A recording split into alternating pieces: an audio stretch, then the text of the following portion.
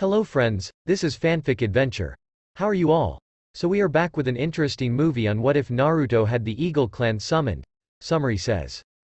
At a young age, Naruto's life has changed forever, making him a more powerful ninja. But before we start, if you want more stuff like this, then be sure to subscribe and like this video. And if possible share this video with your friends. Now let's start the story. It had been the night of the attempted assassination of a member of the Hyuga clan when the most unexpected thing had happened. The wife of the clan head had been absorbed of her power immediately following the attempting to kill her, completely killing her. The entire Hyuga main branch had been devastated, as their powers had only seen through the first assassination, not the second, more lethal one. C. The Akatsuki had been the group that had attacked her, mainly the puppet user, Sasori.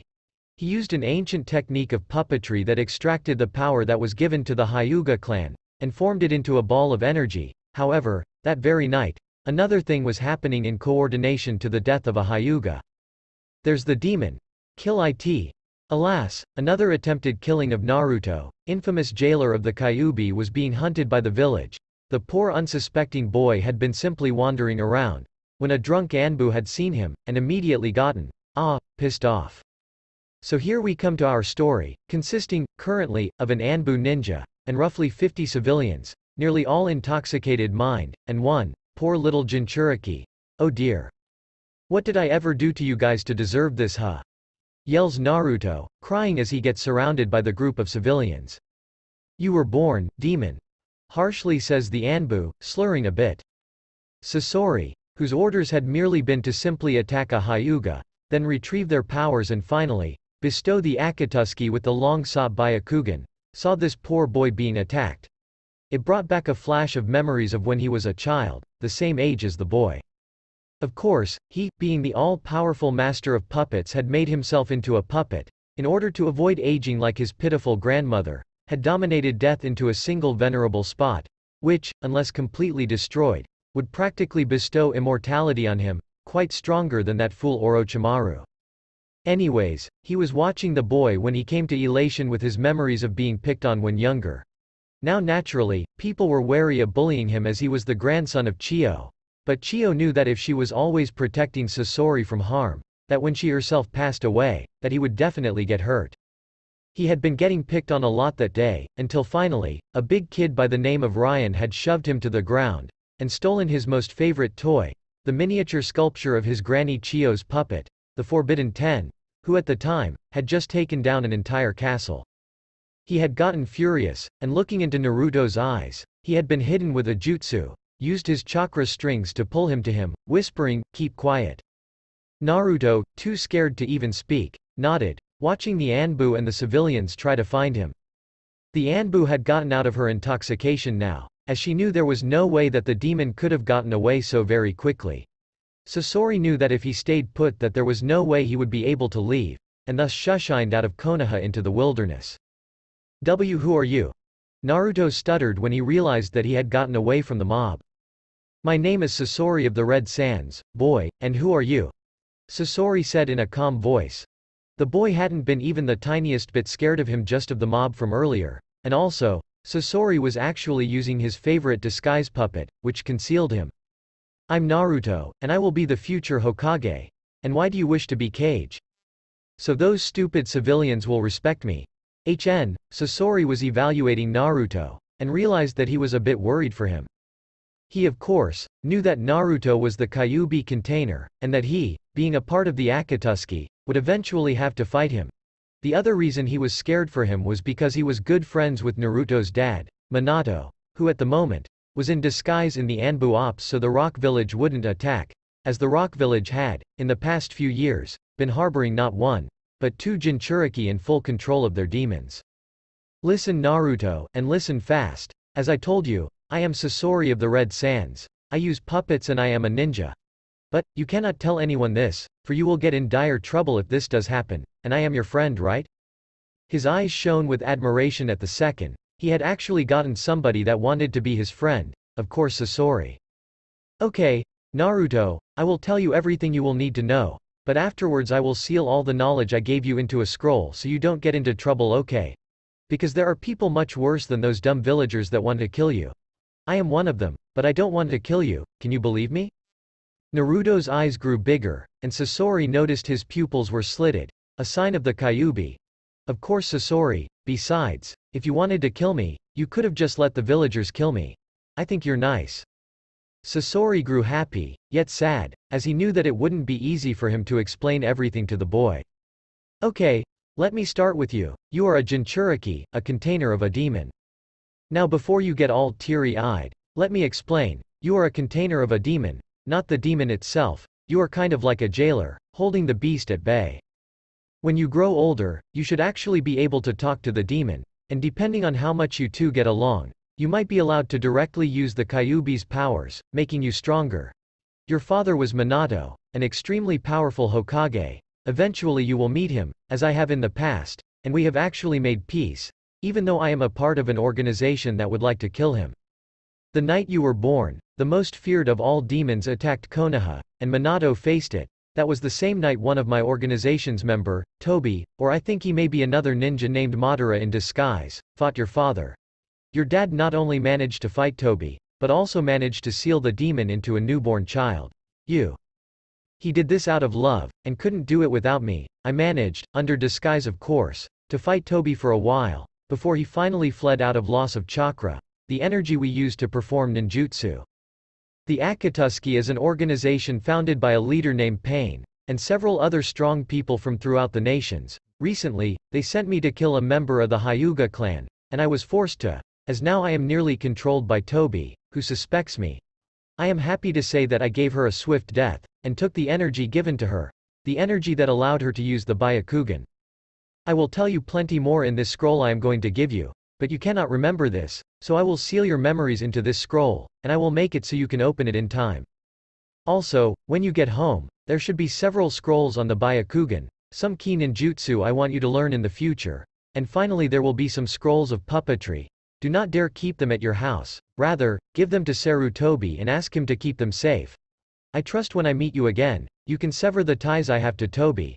I will take away select memories of yours so you don't remember me, but they will return in time and kid. Naruto looks up, his eyes in shock, young mind unable to comprehend what was going on. I once lived your life a long time ago, I never had a kid, although I wish I did. I will always be watching over you, along with your dad.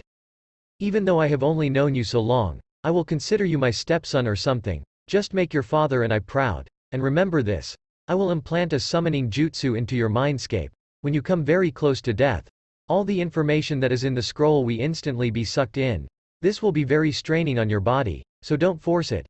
The summoning jutsu will also summon me and your dad to the scene. Good luck kid. I'll talk to you when you become a chunin.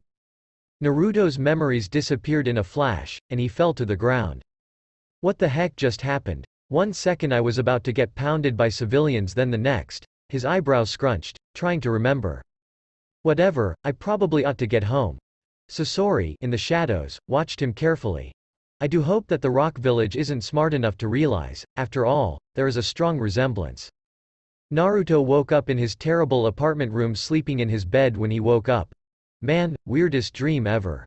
Oh well. Naruto went to sleep, content and happy. Outside his window however. Sasori. What are you doing here? HN? What's up Minato? Nothing, just the fact that you were talking to my son already. Do you have a problem with that? Sasori, he's so young for this. He is starting in the Ninja Academy soon, and don't even try to pretend that you didn't include the Flying Thunder God technique in one of the later scrolls. See, you even included the Rasengan. Fine, but we have to tell Sarutobi about this, otherwise Naruto could be suspicious. Yeah. Any progress on tracking Kushina? Minato knocks Sasori down. I told you, to never, ever talk about her. The woman of my life betrayed me. Minato said, kneeling, putting his head in his hands. Sorry, but I probably should have told Naruto that she betrayed us huh? Yeah. You had better get back to the Akatsuki base, don't want, Toby, to get suspicious. Right. See ya, wait. One moment, Minato-san, Sasori said as an afterthought. Yeah. I have a question. Tell me again, why you won't help your son. Minato sighed, unfortunately, my puppet-using friend, Naruto must create his own path, at his own stakes. And also, believe me when I say that I have been protecting him, No ninja has touched him, and won't be for some time. Besides, running from them is rather good for his stamina. Yeah. Whatever personally, I still feel like gutting all of those foolish villagers and turning them into my human puppets. But whatever I guess. Later, Sasori said, Shun shining away. Minato stands up from his kneeling position and puts his hand above his head.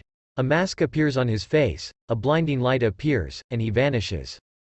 Minato appears again, this time in front of Sarutobi, who already knew he was coming. Minato, long time no see. How have you been? Cut the crap Sarutobi, you know why I am here.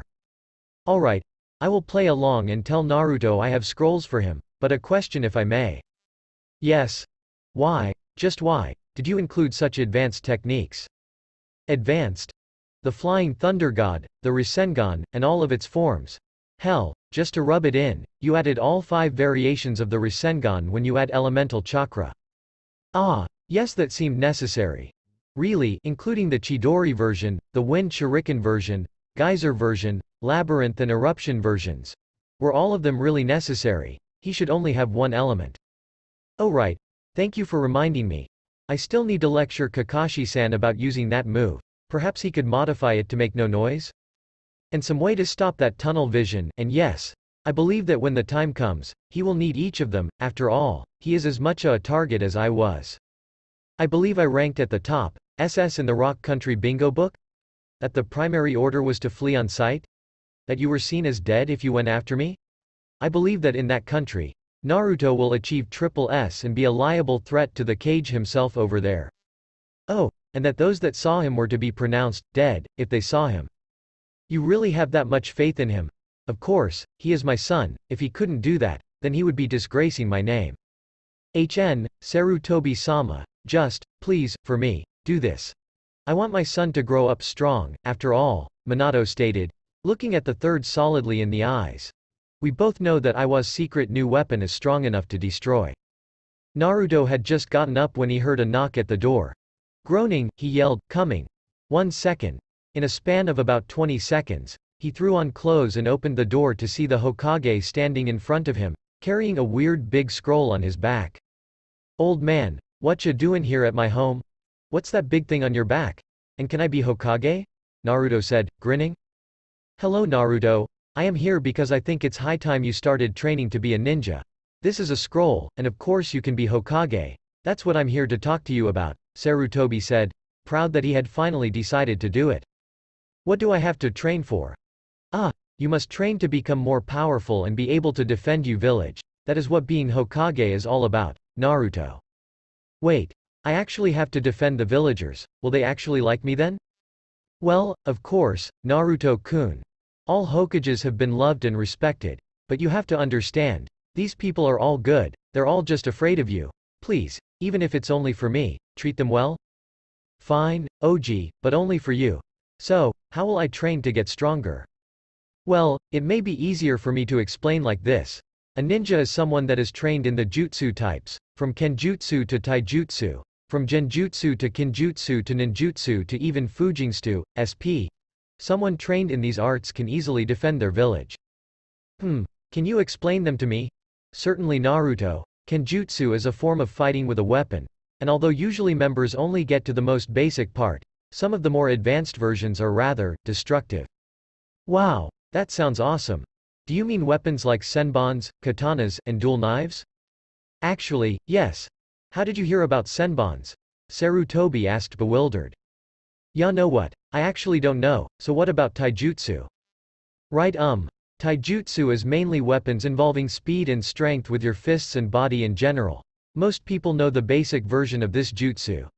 This form of fighting uses more physical energy than chakra, so it's a good backup and support. Some extremely powerful ninja can actually go a step further and open the gates, but you shouldn't worry about that right now. Okay old man. What's chakra? Chakra is a type of energy that develops inside you. You grow bigger reserves over time, and can use chakra for forming jutsus. You really need it for the other three types of jutsu. Okay old man. Also, could you call me Hokage-sama? It would help me concentrate more. Okay I guess. Old ma I mean Hokage-sama. Geez that's gonna take a while to get used to. Right. The next one is genjutsu. This form of jutsu creates illusions on other ninja, and takes excellent control over your chakra to perform. Even if you don't wish to learn genjutsu, you should learn to release yourself from it. Next is kinjutsu. These are restricted jutsu. Don't use them unless you know the consequences, Naruto, because a lot of these have great power, but can kill the user. Naruto shuddered. Right, after all. What's the point of doing a jutsu if it kills you? Nice to know that you won't misuse it. The next one is Fujinsu. It envolves seals and such.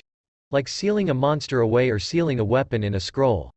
Eventually if you get powerful enough, you can actually create transportation uses with it, although very few people get to that point. Hmm. Sounds like a lame form of fighting, but whatever. I'm going to master them all. What's next? Good. And the last one is ninjutsu. Ninjutsu is the most common one used. It involves bringing your chakra to any point on your body and changing the chakra into some sort of energy and either protecting, creating, or destroying something in the process. What do you mean by protecting, creating and destroying? Ah, I'll let the teacher I assign you to tell you. Ah, when will that be? In a few years, don't worry, you will be plenty busy till then. First, before I even get into all of that, I have a question of you. Naruto-kun, the Hokage said, staring right into Naruto's eyes with a serious look. Why yes Hokage-sama? Do you want to be the best ninja you can? Why yes. Will you do everything you can to be the best ninja you can? H. Hi. Well then, Naruto. I have another question for you. Of the jutsu types that I showed you, which would you like to train right now? Ga. So many choices. What do you recommend? OL I mean Hokage-sama. Well, since your chakra reserves are quite big but you aren't going to be able to use them for a while, I recommend you train your taijutsu and kenjutsu first, then switch to training full on ninjutsu in a year or so. What about kinjutsu, genjutsu and fujinjutsu? Naruto, I already told you, never train with kinjutsu until you have become old enough and know the consequences. Sarutobi said with a solemn voice.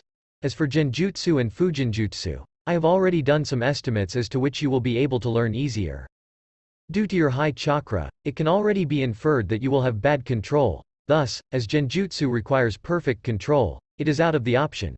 At most, I may teach you, or get a teacher to teach you how to release yourself from it. As to Fujinjutsu, currently, in Konoha, the highest sealer level we have is a level 3, and that person is feudal in most of their creations, although I will of course, still send you to learn from them in the future. Oh okay. So who's going to be my teacher for taijutsu and kenjutsu? Hey. Well for taijutsu you are going to get the best we have. Maito Guy, taijutsu specialist of Konoha. He was once able to take on 300 soldiers by himself when we were once in war, and the other ninja he fought were all very dangerous. Every last one of them, and yet he still came out without a scratch. The reason he can train you is because he got injured on his last mission. So he can only run 500 laps around Konoha in 2 hours, rather than 20 minutes. Thus he will be teaching until his strength fully recovers. Scary. What about Kenjutsu? For that, I am going to have to call in for a favor of the mist. But I trust this ninja. His name is Zabuza Momochi of the Seven Swordsmen of the Mist, a powerful group of swordsmen that reside in the Mist Village. He sounds mysterious. Yes, Currently he is living in exile as he tried to assassinate the Kage. Although he was a good man to do it. He has two disciples known as the Demon Brothers that follow him around. And he also has an adoptive daughter named Haku. I believe you two will get along. Also, I hope you will be okay with them, as they are being hunted for and are in dire need of a village to reside in. Of course Hokage-sama. Right, as to your ninjutsu training. Your teacher will be a man that you will be talking to quite often in the future I imagine. Hu Hu Hu. Hatake Kakashi, the legendary copy cat ninja. He is the only one outside of the Uchiha family that has mastered over 1000 jutsu. AA amazing. Thank you so much Hokage-sama. You're welcome, Naruto. Another thing though. I will be assigning other teachers for you as well, for different subjects, so please, keep up with everybody.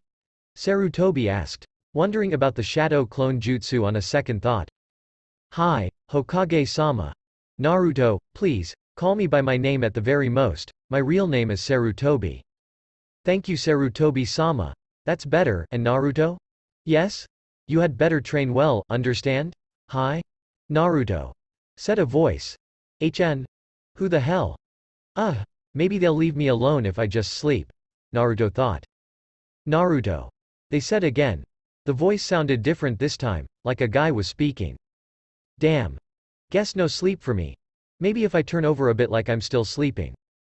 Naruto Uzumaki. Screamed some banshee. Naruto bolted out of bed, practically shot up and head butted the ceiling before falling rather ungratefully to his bed with a sour look on his face. What damn it. WHO the hell wakes someone up like that 6 am in the morning. Why little Doby, me of course, said a Anbu unit with a snake mask. She looked rather murderous, even with the mask hiding most of her features. Ah, you might want to take what you said back, Naruto-san, said the man next to her.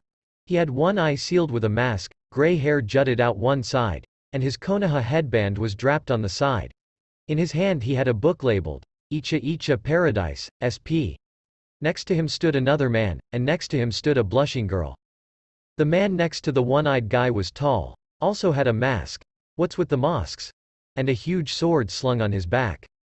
The girl looked rather cute, with sleek black hair and poriclane, sp. skin. She stood a bit shorter than Naruto, and had a blushing face, and was shaking slightly for suppressing her laughter at Naruto. She wore a civilian kimono, but was definitely a starting ninja, by the way she moved, and the fact that she was twiddling with a senbon. No she's not offing herself. A guy with a demon mask peered into the room and shouted, Everything okay in there, Zabuza-sama? Yeah Kepi, it's alright, the guy with the sword said. Alright, said another guy with an identical mask to the first said, popping his head into the doorway from the opposite side of the first guy. Who the what the? Naruto stuttered, in shock by all the people that were in his apartment. The Hokage wants to see you, kid. The Anbu said, starting to pull of her snake mask. Wait. And I mean, snake, you know you aren't supposed to. Cyclops guy started, holding up a hand for emphasis. Ah shut up Cyclops. Kid, my name is Anko Mitarashi of the Jonin. Anko said, completely taking off her mask. She had a, I'm going to either kill you or kiss you, you guess, sadistic smile on her face, and when she opened her eyes from the smile, she had a cold-edged look in her eyes. Well, since this is where we're doing all the formalities, my name is Hatake Kakashi, and I'm going to be your ninjutsu teacher. Kakashi said, never taking his eyes off his book. Ah, what's that book about? Why, this.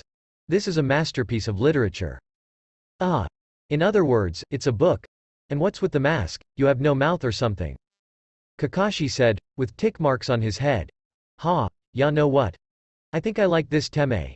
Anko laughed, waving a random kunai that seemed to appear out of nowhere. Who are you, kid? Cyclops said dully. I am Naruto Uzumaki, future Hokage, Naruto shouted. Hmm, as I already said, my name is Hatake Kakashi, I am going to be your ninjutsu teacher. I don't have many things I dislike, since disliking, or even being too emotional as a ninja can lead to death. You don't really need to know my dislikes. The other two that hadn't spoken sweat dropped, and the big guy with the sword started to talk. My name is Zabuza, my last name is Irreverent, and I was from the Mist Village. I am still acknowledged as a swordsman of the Seven Swordsmen of the Mist, but otherwise, I am in exile. The two from outside are my apprentices, Kepi and Arrow. They alone are the survivors of the coup that I started, that is, besides me and Haku here. Zabuza said with a chilly yet patient voice, motioning to Haku after wards. Hello, my name is Haku. I like snow and bunnies. It's too hot here for snow though, but there's a lot more bunnies. Even if they're brown instead of white. Zabuza is my poppy, and I love him so. I will be starting with you as a student in the academy, although my abilities are enough to nearly be chunin. I would appreciate it if you didn't expose my abilities in the class. Haku said, twirling her senbon in the air when she mentioned her abilities, throwing it without looking and hitting a rat that was crawling about 15 feet away. She picked up the senbon and hemmed. I just missed the heart. Too bad. I don't own Hana. Also, I will be staying here and eventually I want to marry someone and have a family and all. I hope there are some cute boys in the village, although I'm sure none will be equivalent to you, she said, winking at the end. Well well, this is all nice and cute, but let's go kiddies, we're off to see the wizard. I mean, Air the Hokage. Anko yelled in a sing-along voice. Air, thanks, just gimme a sec to put on some clothes. Naruto said, looking for his orange jumpsuit. Are you kidding kid? We got you some clothes for the academy, Hokage-sama's orders. Kakashi said, throwing a jacket to Naruto. The jacket was black with the same marking swirl as was on Naruto's jumpsuit. It had a pocket or two on the inside as well, for weapons. He also caught a pair of shorts, and a shirt that had on it in Japanese, property of Konoha. Ah thanks. Can I have five minutes? Naruto said, looking around at all the people. Fifteen minutes later. Gotta admit kid, I'm impressed, Anko said, checking her breath. Yeah well, I was excited to see Sarutobi-san. Naruto replied, also out of breath which wasn't surprising considering the fact that he had been running with a few Jonin who were going at top speed, and making them work to keep up with Naruto. Ah Naruto, you're supposed to call him, Hokage-sama, Kakashi said with a raised eyebrow. Yeah well he told me to call him that. Then the mist ninja finally caught up, all of them out of breath as well. Haku for one looked up in awe at the huge tower. That's where your Kage resides. Yeah, ready to meet him? You bet. Haku said, pulling along Zabuza and the demon brothers into the tower, opening the doors without a thought. In a flash, a kunai was brought to her throat, and the demon brothers both had a blade an inch away from stabbing the two Chunin guards that had tried to surround them. Zabuza had a ninja caught in the hole of his massive blade and another in the half-blade part. His neck caught against the wall. Zabuza also had a kunai around the secretary's neck, who was screaming profanities. Kakashi walked in and sweat dropped. Kakashi-san. There are mist nin intruders. Please help dispose of them. One of the chunin that was about to be stabbed by Kepi gasped out. Air, if you ninjas will all calmly drop your weapons now. Because for Kami's sake, you are all on the same side here, Kakashi said. All the ninja did something like scratching their heads, and simultaneously put down their weapons. Zabuza however, continued to hold up the secretary in the air by her pigtail, and she was still screaming profanities, although now she was blushing furiously for some strange apparent reason. Excuse me, Kakashi-san. May I please stab her? I promise that it will be quick, Zabuza said, pleading. Er, not a good idea Zabuza. Please refrain from killing the secretary. Oh alright. Well hun, since I'm not going to be killing you, I guess I might as well tell you some stuff. Zabuza said, bringing the girl back on her feet. I'm 14 inches. Mist Village has a gene going through the people. Zabuza whispered in the girl's ear, who blushed furiously, then ran back into her chair and sat down. Kakashi and Anko both sweat dropped, although Anko also blushed in lust a bit, and the Chunin all also sweat dropped, leading them into the Hokage's workroom. They all entered the room to find that there were already some people standing there. A man with a questioning look on his face, to his left stood a woman that seemed to be fawning over him, she had purple hair and a mischievous grin. Next to her stood a man in an awful green spandex, with a sparkling grin, a bowl-cut hairdo, and huge eyebrows. Browman was talking to a man younger than the rest there, and he had black eyes that, upon seeing Naruto, turned red with little balls inside momentarily, then they turned back to black. Lastly stood a woman with long curly hair and red eyes. She seemed to look straight through Naruto. At the desk sat the Hokage, and all the other ninja present went quiet, awaiting his order. Hello Naruto, said the Hokage in a calm voice. Hello Sarutobi-san. Who are all these people? Naruto replied, looking around at all the assembled people. Ah, I believe it would be better if they introduced themselves. Go ahead everyone. I hope your times as ninja has not impaired your social skills, Sarutobi said, motioning to the surrounding ninja. My name is Hayate, said the man with no superior features beside his questioning glance. I am a Kenjutsu specialist, and I will be monitoring as a proctor at our Chunin exams in a few years. My name is Yugao Uzuki, little cutie. I specialize in stealth, said the lady with purple hair and the mischievous grin. Yash. My name is Might Guy. I shall be training you and igniting your flames of youth with my huge wind. The spandex one yelled at the top of his lungs giving the sparkly teeth smile and the thumbs up. My name is Uchiha Itachi, said the one on the side, giving no expression whatsoever. My name is Yuhi Kurenai. I am pleased to meet you, said the one with the curly hair and red eyes, flashing a smile at the end of her introduction. My name is Mitarashi Anko, sexy snake mistress of Konoha, Anko yelled. And I am Hatake Kakashi. There's a lot of things I dislike, and my likes are of no interest, Kakashi said while reading his book, turning a page. I am Zabuza, and I am a member of the Seven Swordsmen of the Mist. I am Haku. I like bunnies and snow. I am Kepi, said one of the demon brothers. And I am Arrow, said the other. An. I realize now since I searched it up, the demon brothers actually do have given names, but for the sake of the story, I'm leaving the names as Kepi and Arrow. Alright then, why don't you introduce yourself, Naruto? Sarutobi said. Right. My name is Uzumaki Naruto, and I am 9 years old. Fair enough. Now then, Naruto, these are most of Konoha's top jonin that will teach you are assembled, and these that are with you are the Mist Nin. If I may, Hokage-sama, we prefer the term, former Mist Nin. Of course. Anyways, I have called you all here as I did before with Itachi when he was Naruto's age because they both show great promise. Great promise? Excuse me, Sarutobi-san, but is he really the ah person we want to be trained by our top jonin? said a woman that appeared from the shadows. Yes, now leave, your place is on the council, not here. Sarutobi said in a stern voice to the woman who bowed and left. Anyways, as I was saying, Naruto has showed promise in a different way than Itachi when he was younger, his incredible endurance and energy. This boy ran with Anko all the way from District 14, and managed to make Anko have to catch her breath. I believe that if we teach this child, we will have another aspiring ninja to help the village. All the Konoha nin nodded, and Itachi looked at Naruto as a bull would look at a cow.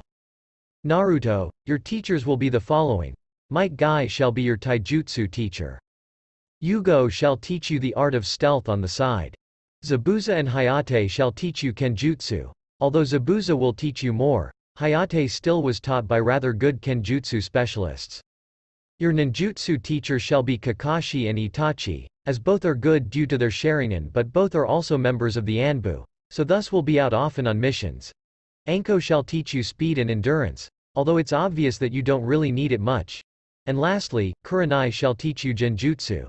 This shall go on for a year and a half, until you start at the academy. Any questions? Yes actually, how in the world is he supposed to keep up with all of us? Kurenai asked skeptically. Well, the first technique I shall teach him is the shadow clone jutsu, so he can train more, Sarutobi said. Wait. But that's a kenjutsu to his non-existent ranking, Kurenai shouted. Don't worry about it, Kurenai-san. I am sure that Sarutobi-san has a plan, Naruto said confidently. Boy. Who said we were so friendly? Aren't you supposed to call me sensei? Kurenai said, eyes flashing. Yes, but Kurenai-san, you haven't taught me anything yet, and yet we have been introduced, thus you have the suffix, san right now. Naruto said with a cheeky smile. Yes, actually, for the next year and a half, Naruto shall be a sub-jonin. He will be able to access any jutsu you all learn. Think of it as an internship of sorts, as you all will be on a side-a-ranked mission for a year and a half, to teach Naruto. Right, said Kurenai blushing a bit that she, the Ice Queen of Konoha, had been so easily surprised by the little kid. Alright, then, as there is no time to waste, I may as well teach you, Naruto, how to use Shadow Clone Jutsu. Everybody else, stay and observe how he learns in order to help how you teach him. Now then, Naruto, the basic concept is, Sarutobi started. Twenty minutes later, Kage Bushin no Jutsu, Naruto shouted. Fifty puffs of smoke appeared, and fifty Narutos appeared.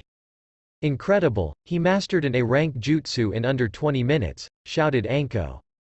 Everyone else yelled something similar, although some of the others including Itachi merely looked on in curiosity. Yash!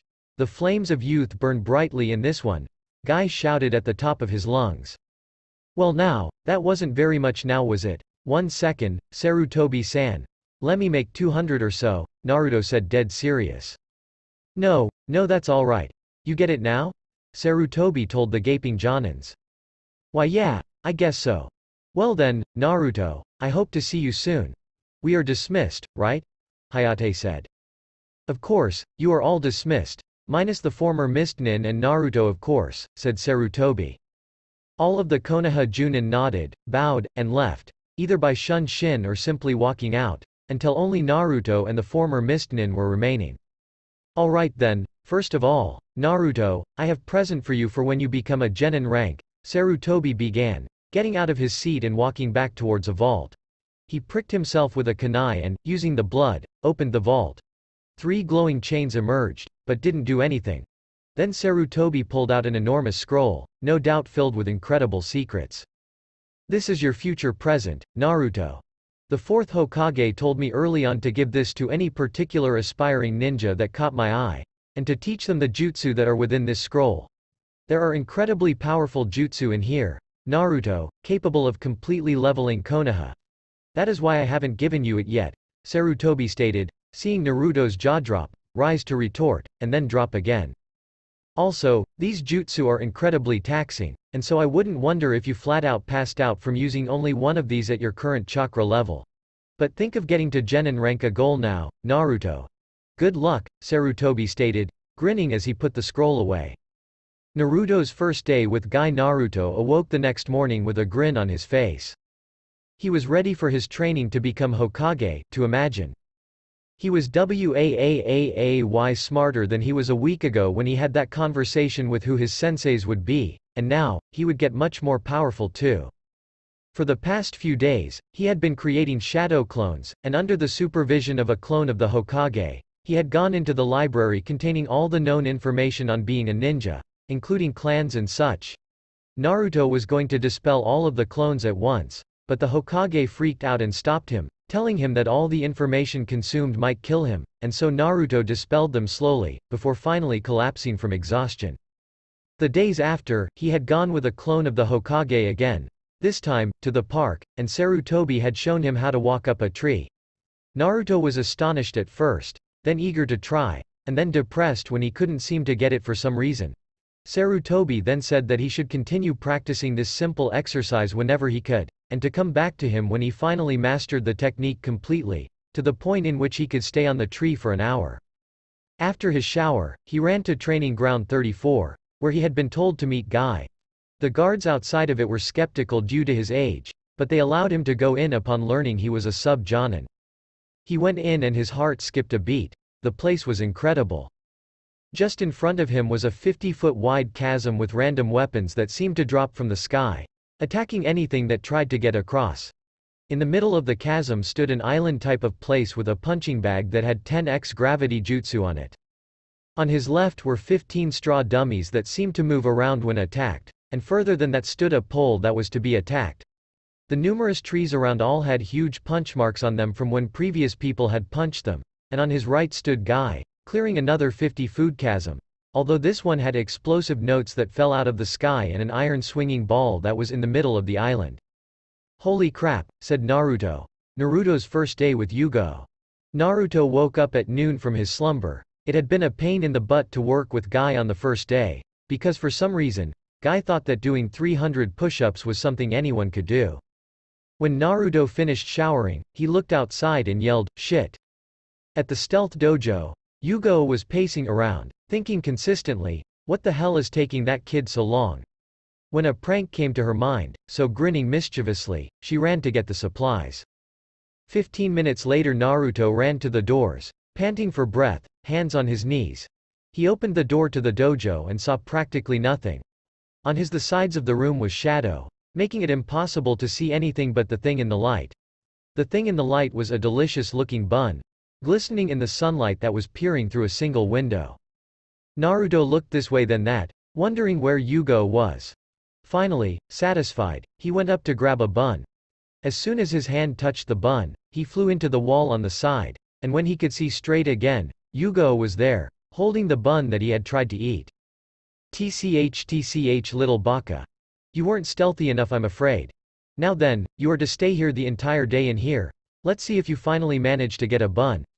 Yugao smirked, making a hand seal making the door shut with a seal on the door.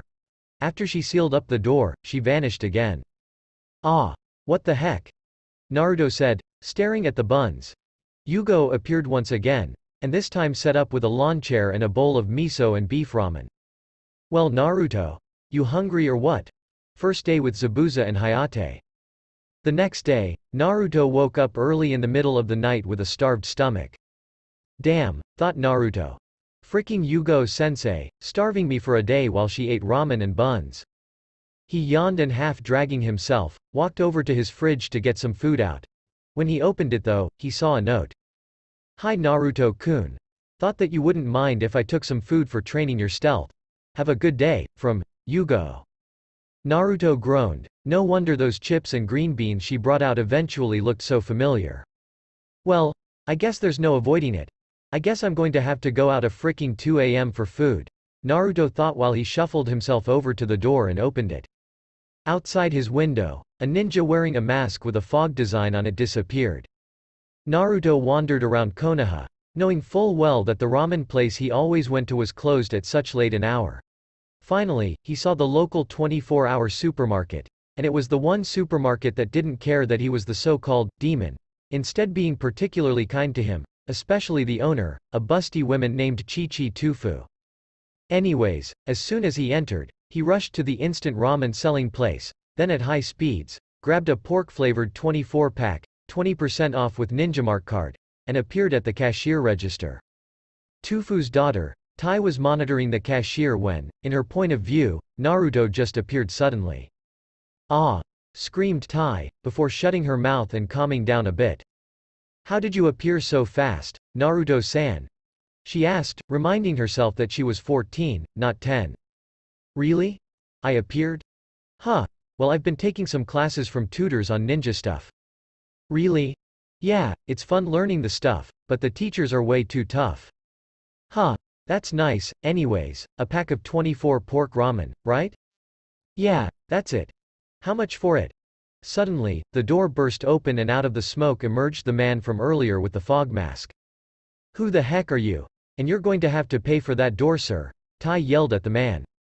Quiet, civilian. I am here looking for a man by the name of Zabuza. If you know who he is, it would be in your best interest to tell me where he is, the ninja said harshly. Zabuza. I know him. What do you want from him? said Naruto in a strangely calm voice. I am here to kill him, as he is in the bingo book for 200,000 Ryu, and I could really use that money, the ninja fibbed. Well sorry, but he is NFS, not, for, sale, Naruto replied, preparing himself in case the man attacked. Well then, do greatly apologize, but in that case, you must die as well, replied the nin, pulling out a katana. In an instant, his chakra surged, and the blade became imbued with a strange energy like vapor that seemed to merge with the blade. The katana changed until the blade part shifted into a heavier, more durable form, and the hilt became larger as well. The nin surged his chakra, bringing his killing intent high, and Naruto stepped in front of Tai to protect her, even though she had already fainted.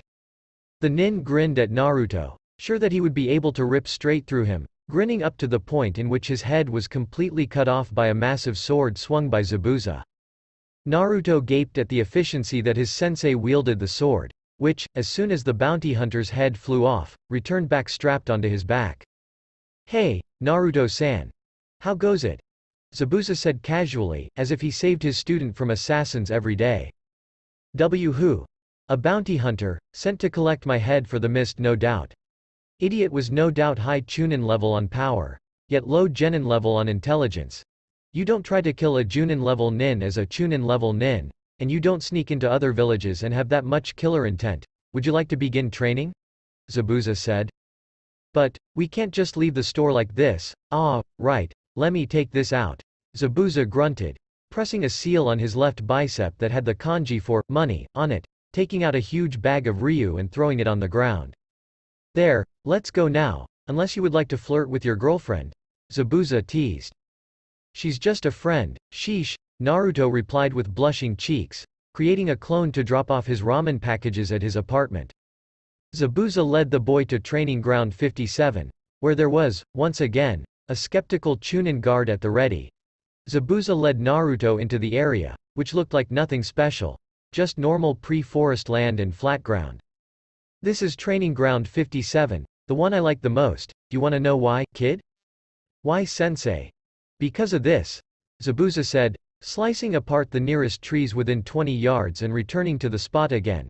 He held up his fingers and counted down.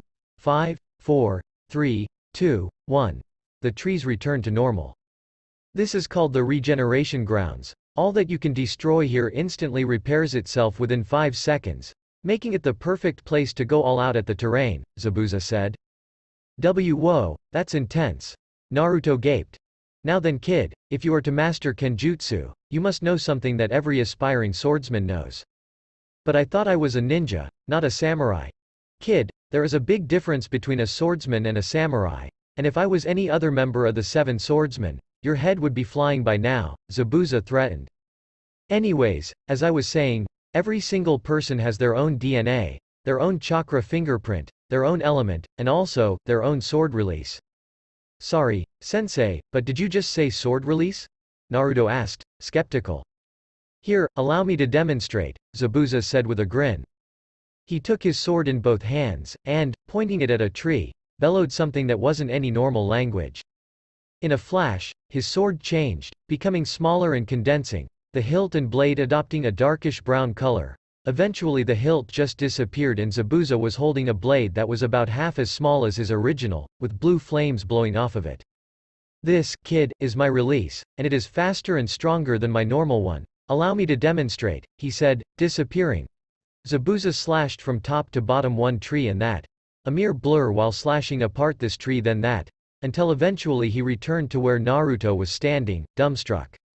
See that is what a sword releases kid, a manifestation of your chakra that changes your blade in any way that suits you. And as I am naturally an assassin, my blade grew smaller, stronger, and faster, although yours will definitely look different. The only real drawback of releasing your sword is that it eats at your chakra, depending how powerful your blade is.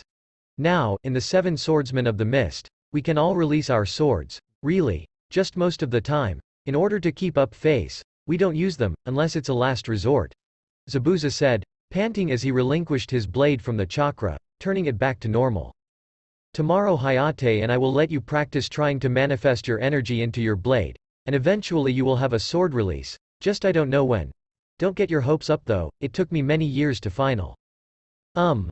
Zabuza sensei, I do not have a katana, really?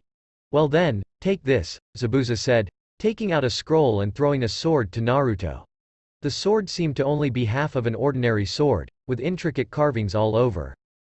That is a rune blade. It helps to channel your energies. If you are able to find the other half to this blade in specific, the dragon blade, well I really don't know what will happen, something good no doubt, Zabuza said. Oh, and so you don't get bored of kenjutsu. Let me show you a move I have learned, Zabuza said, preparing his sword in a quick draw fashion. Kenjutsu. Air bullet. Zabuza bellowed, thrusting his sword straight, firing off ball-like pressurized air shot, which hit the nearest tree and plowed through it and the one behind it before exploding. I left a scroll at your house with a shadow clone.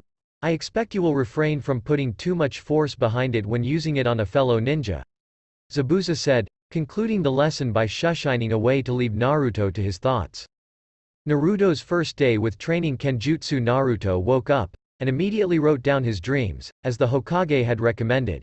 He didn't really know why the Hokage wanted him to write down his dreams, but he did it anyways. Today, he remembered a slight voice in his head, urging him to do something, but he didn't know what he was supposed to do. Today was supposed to be his day with Zabuza and Hayate, but since Zabuza had taught him that move last night. Naruto shuddered a bit, remembering how he had thrown up later at remembering how that bounty hunter's head had just flown off, the first person he'd ever seen die. Anyways, Naruto got up and stretched a bit, before walking up a wall to open his chakra a bit. When he felt satisfied, he got back to normal ground and created 15 shadow clones. Right then, you three on the far right, practice taijutsu against each other, then later, split up and rotate from sparring to punching hard objects, as it will break the tissue in your fists, then rebuild afterwards, stronger than before. When doing all the stuff, don't hit too hard, or you might be dispelled. You three over on the far left. Your orders are to go to the library to search up things regarding ninjutsu. Take my copy of the sub-jonin status with you, so you don't get hassled. You three on the middle left also. Go with them, but search up techniques for taijutsu, and one of you be sure to look up the history of clan dojutsus and such. Also, none of you disperse at the same time, otherwise, my head will implode. Now then, you three on the middle right. Go to the stealth dojo and train each other. Both train your trapping abilities and your stealth abilities, now go. You two on the sides. Go to Sarutobi-san and try to find anything about the dragon sword. But don't bug him too much. If all else fails, search out Zabuza sensei and Hayate sensei. What about me, boss? said the last clone in the middle. You and I shall spar, Naruto said with a slight smile. Right then, let's go to the training ground 57. I have a feeling that we might cause damage if we just sparred in the park. Later, after the day of training, right then, it's 5 p.m. And the clones should disperse themselves with 4 minutes each, being done at 6 p.m. Naruto said to himself, sweating as he grabbed the hilt of his sword. He had finally managed to do the air bullet kenjutsu. But for some reason, it didn't have as much damage as Zabuza's, and so he was currently controlling it and trying to fine-tune his attack. The scroll had said it was simple. By imagining a ball of energy swirling then the ball landing on his blade, the user, Naruto, should put his sword into both hands and hold it toward the intended target with both hands, then thrusting forward, and imagining the ball flying off like a gunshot at the target. So far, he had been able to do it six times, and the tree that he had used had been, at most three inches broken from the drilling impact then the tree would explode from the finishing portion of the attack, but it still couldn't compare to Zabuza's attack. Damn! What am I doing wrong? Naruto shouted, once again thrusting his blade at the tree from 20 feet away. The bullet hit the tree with strong drilling force, but from what Naruto could see, the bullet only left about 2 inches gone from the tree. Suddenly, two kunai flew at his head, and three at his side. Without even looking, Naruto swerved his head back, then did a little hop to avoid the other kunai. Seeing that he was in midair, his clone threw kunai at the air, knowing that he wouldn't be able to maneuver. However, Naruto simply created a shadow clone, and stepped off the clone's back to create a mid-air jump. Sheesh, don't forget that I'm real, not a clone K. Naruto said to the clone that had thrown the kunai. You should be able to avoid the kunai rather easily now, although I can see a slight delay in how fast you created the shadow clone. Hmm, I'll have to fix that later. Alright then, how does my air bullet look? Unsatisfactory, the drilling portion of that move would barely be enough to dispel me. That is troubling. Yes, I believe that you are holding back too much for it to be effective, and besides, it isn't like your chakra control is the best, even with kenjutsu. Right then, one moment please, the clone regarding in kenjutsu styles should be dispelling soon. Right, the clone found that for me, the best type of kenjutsu is the spinning butterfly, sounds kinda girly, but whatever. What Naruto did not notice, however, was that in the nearby trees there were two different people. One of them was Zabuza, who was channeling chakra into the tree to make it harder, and another ninja from Konoha, wearing a mask, but not an Anbu mask. Neither one was aware of the other. Later that night, however, Naruto was sitting in his bed, writing in a notebook that the Hokage had given him earlier. On the notebook, there was a picture of a man doing multiple movements, while holding a sword. Naruto scratched his head and scowled, muttering to himself, this isn't correct though, there shouldn't be a vertical strike at all in this kenjutsu form. I suppose I could always modify the stance so it works better for me. Naruto muttered. Now creating multiple people at different points, using decoys, acting as levers, acting as shields, acting as sword holders. Oh well, I suppose now I should work on modifying that taijutsu guy sensei showed me on the first day, the tiger palm, I wonder, could I modify that? Naruto wondered, turning to a new page and now sketching out a hand, the fingers folded back, the palm in front. Naruto's first day with Itachi and Kakashi Naruto was immediately slapped awake by his clone, and grumbling, stupid training, Woke up to go to the training ground 57. Where the ninjutsu teachers, Itachi and Kakashi would be waiting. Naruto immediately grabbed his pack labeled, Ninjutsu Training, and started towards the training grounds. Before that, however, he created 16 clones. All of you have my memory, correct? Naruto asked, to receive a nod from the clones. Good, now then, all of you do what I did yesterday, with the same orders for where you are. Now then Kage Bushin no Jutsu, Naruto shouted again, this time creating 50 shadow clones. Alright then, you 20 over there, go to Guy Sensei today for training. You 10 over there, train Kenjutsu today. Over there, U10, train with Yugao for today, and U5, train the Kenjutsu stances I learned yesterday. The rest of you, go to the library with the group that has my sub Jonin pass, and research as much as you can on each of the villages. All of you will start dispersing at approximately 454, each per minute in order regarding how important I, or you guys, think the task is. You should all be done dispersing by 6 o'clock. You all have your orders, now go. Naruto sighed as the clones left. He then headed towards the 57th training grounds to wait for his senseis. He would wait there for three hours. While Naruto waited for his two senseis, he trained his new stances and such. At first, he simply tried the stances he remembered his clone searching up, then, a thought occurred to him. Kage Bunshin no Jutsu. Naruto shouted, and his right hand in the tiger seal, created 30 clones, all of which immediately each drew a sword. Alright then, all of you, go full force at me using only Kenjutsu. If you can use the air bullet against me, use it, don't hold back. Naruto said, pulling out his own blade and concentrating on it. He could feel the normal weight going on the very edge of the sword, buckling a bit as he added more energy to the weight.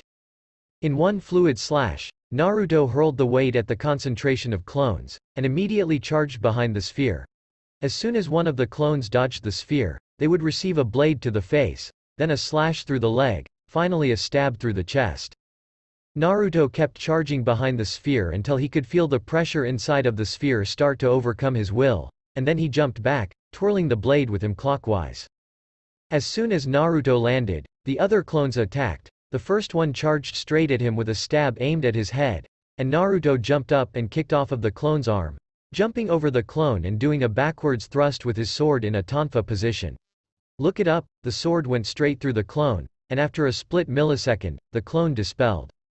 Well then, Naruto stated, looking at all of his clones, who had begun to surround him. Immediately, three swords went at the small of his back, but Naruto sprinted forwards towards a clone, throwing kunai at the three clones that had tried to stab him in the back. He then ducked a horizontal slash and, going underneath the clone's guard, stabbed through the clone. Man, all that crazy training from Guy Sensei, and what he said about all the releasing your youthfulness, really worked. Despite the fact of how much it hurt, Naruto thought, recalling how Guy had given him the thumbs up and said that he knew a way to release Naruto's strength, or in other words, make him stronger. Naruto once again concentrated a ball of energy onto the edge of his rune blade, and then prepared to throw it at the mass of clones again. At the same time, however, he was also slicing through this blade, defending, parrying, Everything he could to make sure his kenjutsu was top-notch. Finally, he kicked off of the chest of a clone, who stumbled into the remaining clones, pulling all of them down, and launched his concentrated air bullet at the clones. Kenjutsu. Air bullet. Naruto shouted, thrusting his sword at the clones. Unless you had a very good vision, or a dojutsu of some sort, you would not have seen the ball of energy flying rapidly towards the group of clones. When the ball hit, it drilled through two of the clones and exploded, dispelling ten more. Naruto did a quick head count. 26. That was how many he had managed to dispel. He then looked down at his watch. It was 4.52, so only a few minutes before his clones would start to dispel, which meant that the clones that he had sent regarding the spinning butterfly would soon dispel, giving him the knowledge he needed about the Kenjutsu form. Itachi and Kakashi watched from the nearby trees of Training Ground 57. While they were silently discussing the ways that they should train this new potential ninja. Both had a Sharingan active, and were watching rather attentively. Naruto was currently in the creeping lotus stance, original idea, that Guy had told him and shown him about. He now knew how to do it as if he had 20 days worth of training, as his clones had all dispelled by now. The creeping lotus stance implied multiple subtle glancing blows, making it seem that the user of the technique was weak, until, as soon as the user had analyzed the target enough, did a five-finger pressure palm to the middle of the belly of the person that the creeping lotus stance user was fighting. The stance stressed that the five-finger pressure palm was used with full force, as the person would get their hand into tiger stance's hand, with their fingers poking out, and then sink the palm into the stomach of the attacked person. The user would then flip their hands while the attacked person was reeling, or shocked in pain, and then rip up, grabbing the attacked person's ribcage and pulling up. The effect of the creeping lotus was incredibly frightening, as the initial stage in which the taijutsu moves were all sloppy and terrible were actual moves from other stances. Meaning that if a person were fighting a user of the creeping lotus, they might assume that they were fighting a newbie to the tiger stance, crane stance, hubby stance, e. t. c., making the creeping lotus a deadly taijutsu. Itachi and Kakashi knew what it was, as they both had fought Guy many times, and thus knew all about his little tricky taijutsus, but didn't expect Naruto to be able to learn it so quickly. You two may as well come out now. The clone studying the effects of dojutsu dispelled, and he found out exactly how a person feels when they are being spied on by a dojutsu. Now get out here!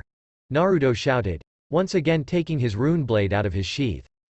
Very impressive, Naruto-san. However you may want to be a bit more subtle. What if we had been assassins? Itachi asked, turning off his Sharingan while Kakashi pulled up his headband. Then you would be dead, or find yourself surrounded by clones, Naruto said, dispelling. The two Jonin looked around surprised. Even the Sharingan hadn't picked out something odd. Suddenly, the area was filled with clones, all of them having a air bullet ready to fire, and Naruto sat on top of a tree branch nearby, chewing one of the senbons that Haku had given him. Hmm. My first impression of Jonin is that, Naruto said thoughtfully, is that they are overrated. Naruto finished, giving the two ninja a huge smile. Immediately, Kakashi replied, Hmm, first impression of you is that, you are very annoying. I get that a lot, you two are my ninjutsu trainers, right? Naruto asked. Yes, we are going to be your instructors for ninjutsu, Itachi said in a monotone voice. Hmm, very well. One quick moment then, Naruto said, preparing his hands into a ram seal. Itachi and Kakashi tensed when Naruto disappeared, and reappeared directly in front of the two ninja. The Shunshin, how do you already know that? Kakashi asked. You would be surprised at what one can learn at the library. Now then, what will we be learning? Kakashi-san and Itachi-san. Well, it's rather customary for you to refer to us as sensei. I will call you such when you teach me something, as I told Kurenai-san. Now then, what will I be learning today? Naruto pressed. Naruto, today we originally planned to teach you such moves as the Shunshin, but it is rather obvious that you don't need such simple moves. Tell me, have you found out what your chakra element is? Itachi asked. Well, now that I think about it, I haven't really thought about that, Naruto said with a smile, scratching his head. Kakashi face vaulted. Damn that kid had mood swings. Well then, that is what we shall cover today, your element and two jutsu. A defensive and offensive jutsu to use. Okay, well, how do we find out what element I have? Naruto asked. Here, one second. I believe I have it in my teaching scroll, Itachi said, pulling out numerous scrolls while Kakashi and Naruto watched. Kakashi sweat dropping at how many scrolls, Naruto looking at the weird labels as he opened his own little pack, putting some of Itachi's scrolls in his pack. Finally, Itachi got one that said on it, teaching, and summoned a piece of paper. He then handed the piece of paper to Naruto. Here, try to channel your chakra into this paper, if it crinkles, you have lightning, if it crumbles, earth, if it gets wet, water, if it splits, wind, and if it catches fire, fire, Itachi said. Of course, I kinda doubt you will be able to simply do something like that, after all, I am a high-ranking ninja, but couldn't get a result until I was, Kakashi started, until the paper Naruto was using first split not once, not twice, but ten times. Creating a total of 20 pieces of paper, which immediately burst into flame, not catch fire, not smoke from the heat. The paper literally burst in flame, creating a blaze that sprang up six feet, yet didn't seem to hurt Naruto at all. Well that was cool. What's next? Naruto asked casually, shocking both Kakashi and Itachi, although Kakashi's lower jaw fell down to the ground. Getting over their shock, Kakashi and Itachi proceeded to teach Naruto several potent defensive and offensive jutsu. However, what all of them, even Naruto did not notice in the paper, was the fact that not all of the paper pieces had burst into flames. Anyways, Itachi got out of his shock of Naruto's chakra element and said, Well, Naruto, I am very surprised. Your elements seem to be wind, obviously, although it is much more potent than any that I have seen before, and fire, which, I have to admit, seems to be even more potent than mine, although that shouldn't be possible. Either way, we promised to teach you a few jutsu for your element, and since you have two, we shall teach you four. Although the fact that your elements are wind and fire, two elements enemy to each other is a mystery to me. Either way, understand that you will be weak to the other element that you aren't at advantage to, lightning. You will be extremely weak to earth. But fighting against a water-type nin will be out of the question, as your Katon attacks will have no affect at all. That's a bummer, Naruto said with a little bit of a sad face. Itachi was glad that he saw his dual elements as a bad thing, after all. Most ninja ended up being overconfident if they started off with two elements. Right then, Kakashi-san, Do you have any futon ninjutsu you might be willing to show off? Itachi asked the Cyclops. Well, there are quite a few after all, but I believe that I should teach you, as Itachi-san said, one offensive and defensive jutsu. However, the great breakthrough jutsu is very useful, and doesn't require too much energy, Kakashi said. Teach him it, it will help a lot, and doesn't really count as much a jutsu as much a supplementary skill, Itachi said.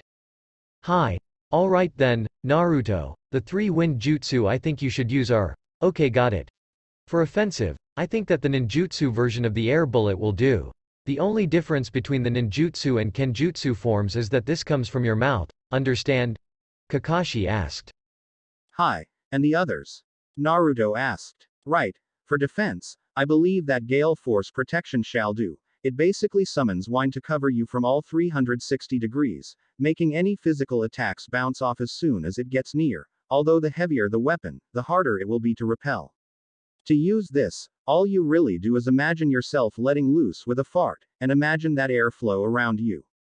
Then command that air to surround you and circle around you. Kakashi said. Really, Kakashi-san, a fart. That is how you imagine it? Itachi said, face palming. Yada yada, can we carry on now? Naruto asked. Okay, the last futon jutsu you need to know is Great Breakthrough, which basically creates a huge wind. The more chakra you pour in it, the faster the air. Imagine wind coming out of nowhere and sweeping the enemy off of their feet. Same concept. Kakashi finished. My turn, Naruto. For your offensive, I think it would be correct to teach you Katon, Fireball Jutsu. After all, it makes sense to have both an air bullet and a fireball arsenal. Imagine you mouth filling with fire. Use chakra to make it a near reality. Then spit it out, basically, at the target. It's best to breathe in while doing this. And for your defensive, use Fire Vortex. It is a move that creates fire that swirls around you, making anything that comes too close get burned. How hot depending on how much chakra you use. Almost the same concept as Gale Force Protection. Just imagine all the fire already in the air. Itachi said, closing his eyes at the end. Sound like hard techniques. What's the point of imagining them though? Because, if you have enough willpower, then your chakra will make that move a reality, it's rather hard to explain, Itachi said. Okay, can you please demonstrate the jutsus to me? Please? Naruto asked, with a pretty please look. Sure. Kakashi said, jumping back several feet from Naruto and Itachi. Futon. Te-tama.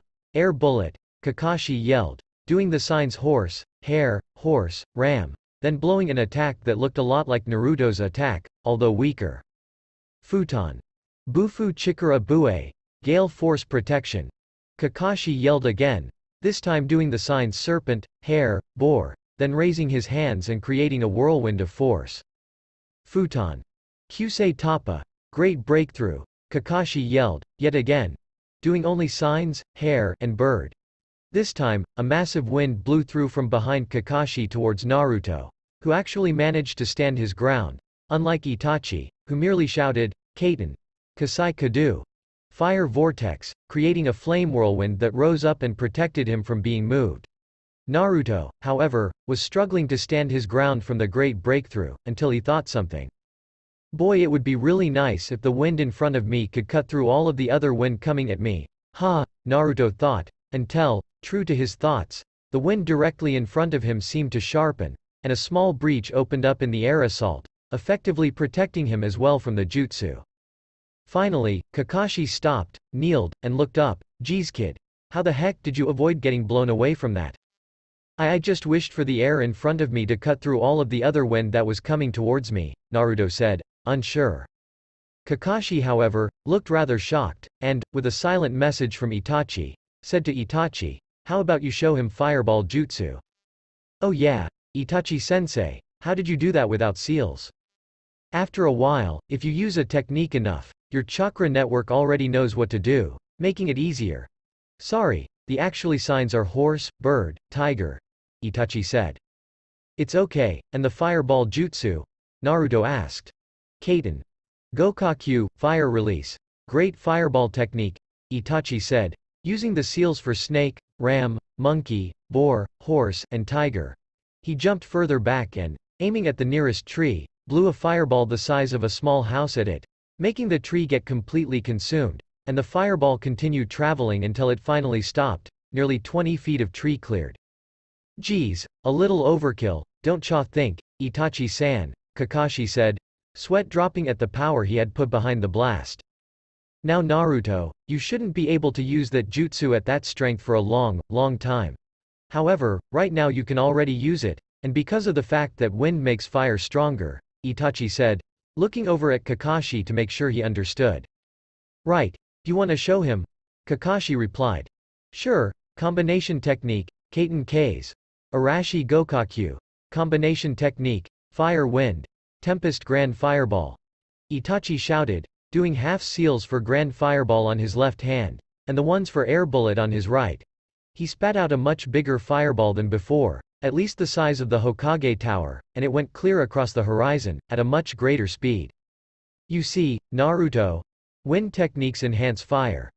Thus, when an air bullet and grand fireball are fused together, Itachi started. The grand fireball gets bigger and stronger. One question though, what was with all the weird half-seals? I am right-handed, and my affinity is fire. Thus, to make sure that I was doing both techniques at the same strength, and yet still doing the jutsu, I did the hand signs for air bullet on my right hand and grand fireball on my left. Right. Oh right, as a little side thought, I think you might want to meet my little brother, Sasuke. I have a feeling you guys will be good friends, besides, you guys are starting in the academy at the same time. I'm still going to the academy. Apparently, I don't really know. Either way, good luck. Thanks, Itachi-sensei. Anyways, now that we have shown you the jutsus, mind giving them a try? Naruto's first day with Anko Naruto was in a sewer. It was the simplest way to put it. He was just standing in a sewer.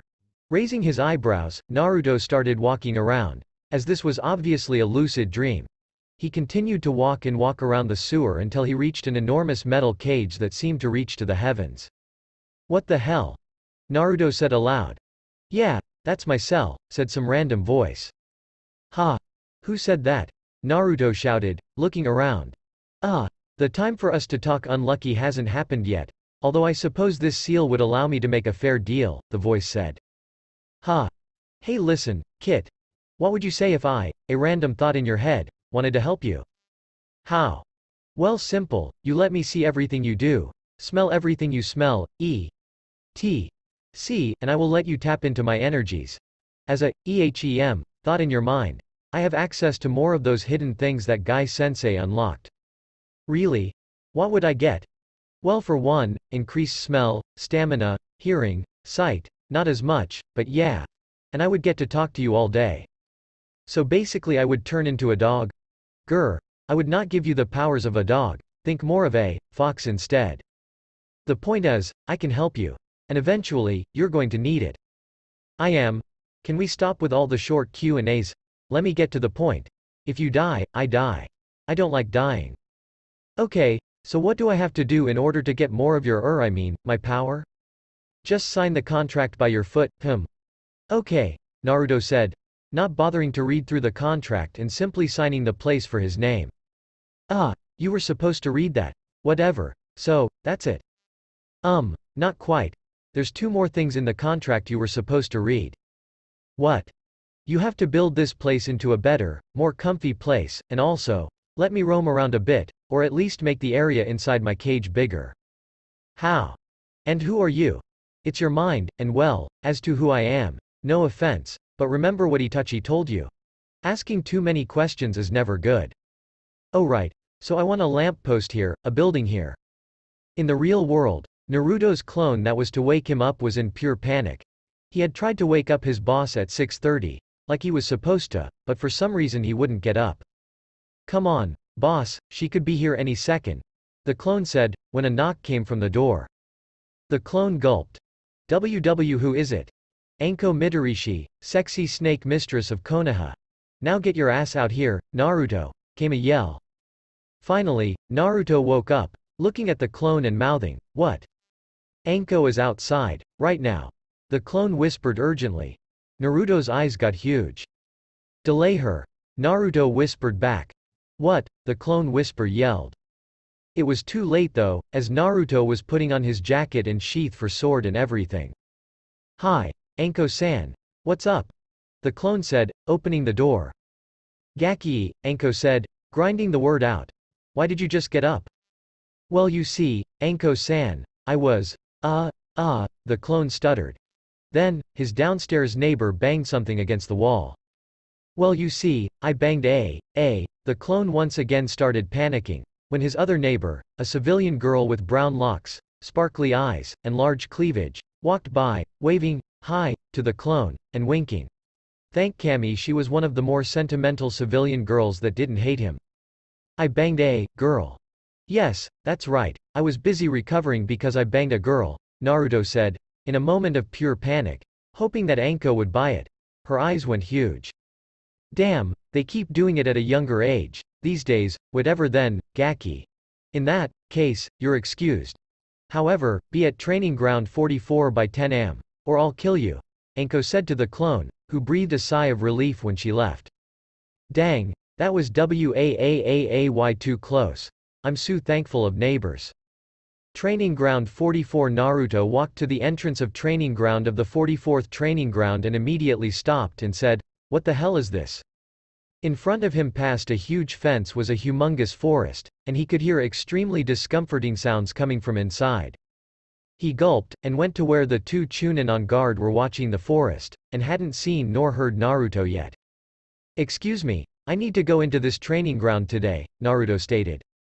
The two Chunin turned around, and Naruto was relieved to see that it was his Kenjutsu mentor, Hayate, and one of the other Chunin he had seen around, Genma. Hey, Naruto-san, what's up? Hayate said easy going. Genma however, said, nice joke kid. But nobody below Chunin rank is going into this forest. Actually, Chunin-san, I am a sub-Jonin rank. I am currently involved in an internship, and for today, my teacher is Anko Mitarashi. I believe that if you were to simply ask your friend here, you would find out that he was also teaching me about kenjutsu. Sub-Jonin? Your funeral, you may pass, Genma said. Naruto gulped, and started towards the forest. Minus eight hours later. Naruto fell onto the ground, gasping. He had just taken a hit directly to the rib Kage by that weird tiger-like animal the size of an elephant. This was definitely not his day. It didn't help that his teacher had, accidentally, led him into the B-sector section. Geez, who was he, a not even genin or a cage. First day with Kurenai Kurenai tapped her foot, annoyed. The kid was supposed to get here three hours ago. Kurenai, HMMPED. And headed towards training ground 44. Where Anko always was. Maybe hanging out with her all day would help. As soon as she arrived, she saw Genma and Hayate. I say he comes out by today, Genma said. Too broad. What hours? Hayate protested. Grr, well, let's judge it by the sun time. So, high noon. Bullshit. Hayate. Genma. What are you two talking about? Kurenai yelled at the two. Hmm. Oh we're just betting on when Naruto-san leaves the S-sector and comes out of the Forest of Death, said Hayate. What? That's where Anko took him. Kurenai screamed, jumping past the two. Forest of Death Naruto was breathing hard. It had taken him a mere 30 minutes to dispatch the tiger. But this was ridiculous. He was now nearly completely surrounded by rats, enormous one, all drooling for his blood. He had sliced apart plenty, but to no avail, for as soon as one died, three more took its place. Anko-sensei. I need help. Naruto yelled out in pain. The tiger had still managed to break some bones, and the venom that came from getting bit by a rat wasn't exactly helping. Sorry, Gaki. But I teach you, and you either kill or be killed, sorry. A voice came from a nearby tree. Naruto gritted his teeth, it went to show that his sensei was a slave driver, no questions needed. He had been going for nearly 12 hours straight, and still he fought on. But even Jinchuriki had their limits. He had to admit to himself. Accepting the gift of the voice in his head had definitely helped. For one, he hadn't gotten ambushed much. For another, he could smell or hear danger, or food. He could still keep going, even without rest. But now he was going to die. He realized it, as he saw the last few rats dive at him, that there would be now, Hokage, for him, no growing up. Anything if he died right here, right now. Naruto closed his eyes at the very last moment, and waited to die. However, before he could do that, he felt something get pulled from him. He also heard someone coming. It didn't matter either way, he had passed out. This is what Anko had seen. Gaki about to die check. Rats charging towards him check weird glow coming from him what the fuck. One moment, Anko was about to dive in and save her student. The next, a man appeared out of nowhere, with a blinding light for an Anbu mask and obvious blonde hair. Also out of nowhere, Kurenai appeared looking like she was mad, as in crazy. She didn't even bother noticing the man with the Anbu mask. She simply jumped to Naruto's side. Anko heard Kurenai saying things she never thought she would, like, please don't die, and, stupid Anko. What the fuck did I do, bitch? To Naruto. Meanwhile, the man with the mask looked around at the rats, and wordlessly threw 20 tri-kunai all around. He also karate chopped the air multiple times, and pushed. Wherever the chop seemed to go, a rat got split in half. Now, the masked man disappeared in 20 blinding flashes. He returned to his former spot, and all of the rats fell dead. Kurenai-san, it would be a good idea to get Naruto to safety, don't you think? The man said to Kurenai, who nodded and ran, carrying the boy in her arms. Anko-san, you may come out now. I would come out quickly, after all.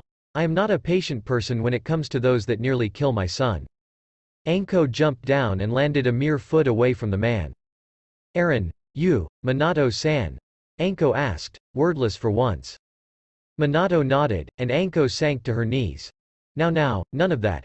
It's not like I was your sensei or anything. Although I suppose that if you were to refer to the whole sensei thing, my dad would have been Jiraiya, Orochimaru, Tsunade. Yeah, in a way, we're related I guess. You you really are. Well of course. But, Listen, Anko-san. We can talk about this again under different circumstances. Don't tell anyone about me, or you will die. Clear. Crystal. Now then, don't you dare put Naruto into that position again, understand me?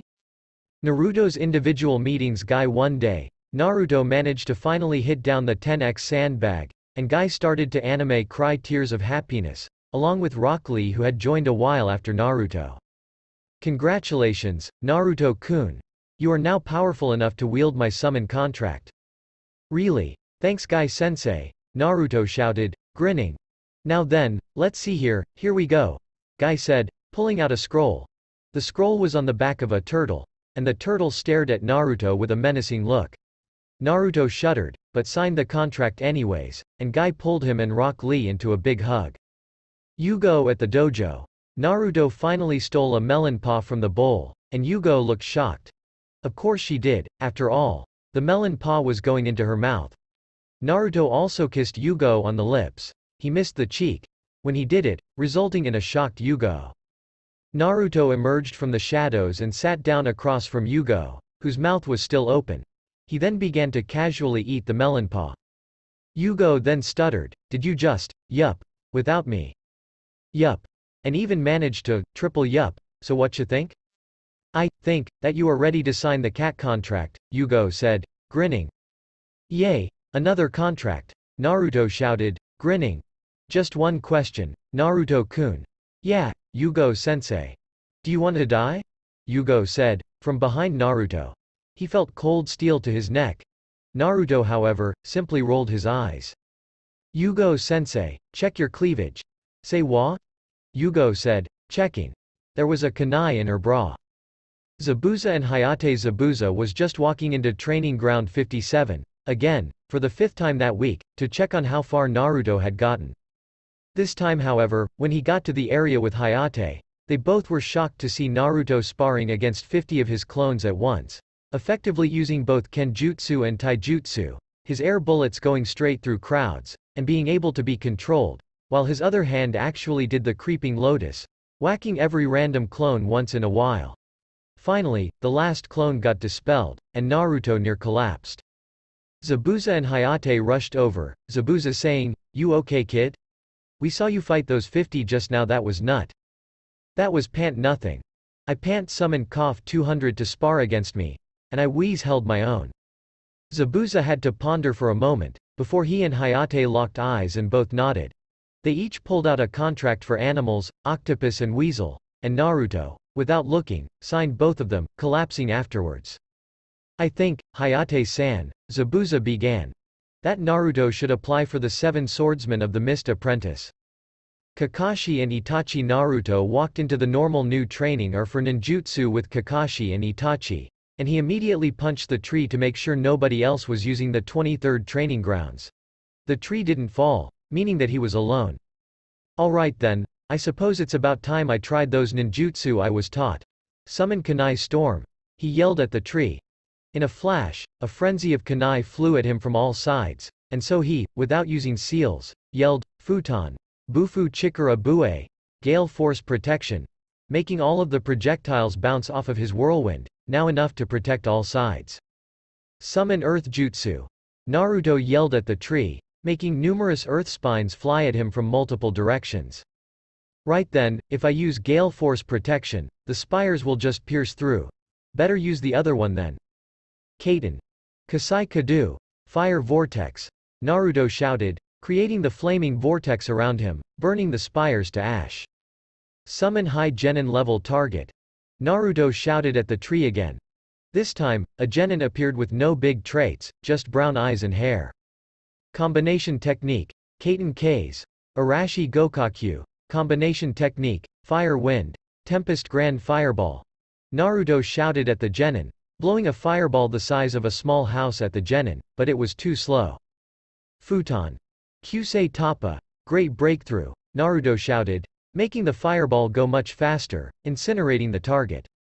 Naruto fell, exhausted, at the strain of using so many jutsu at once, when Kakashi and Itachi appeared, Kakashi reading his usual book.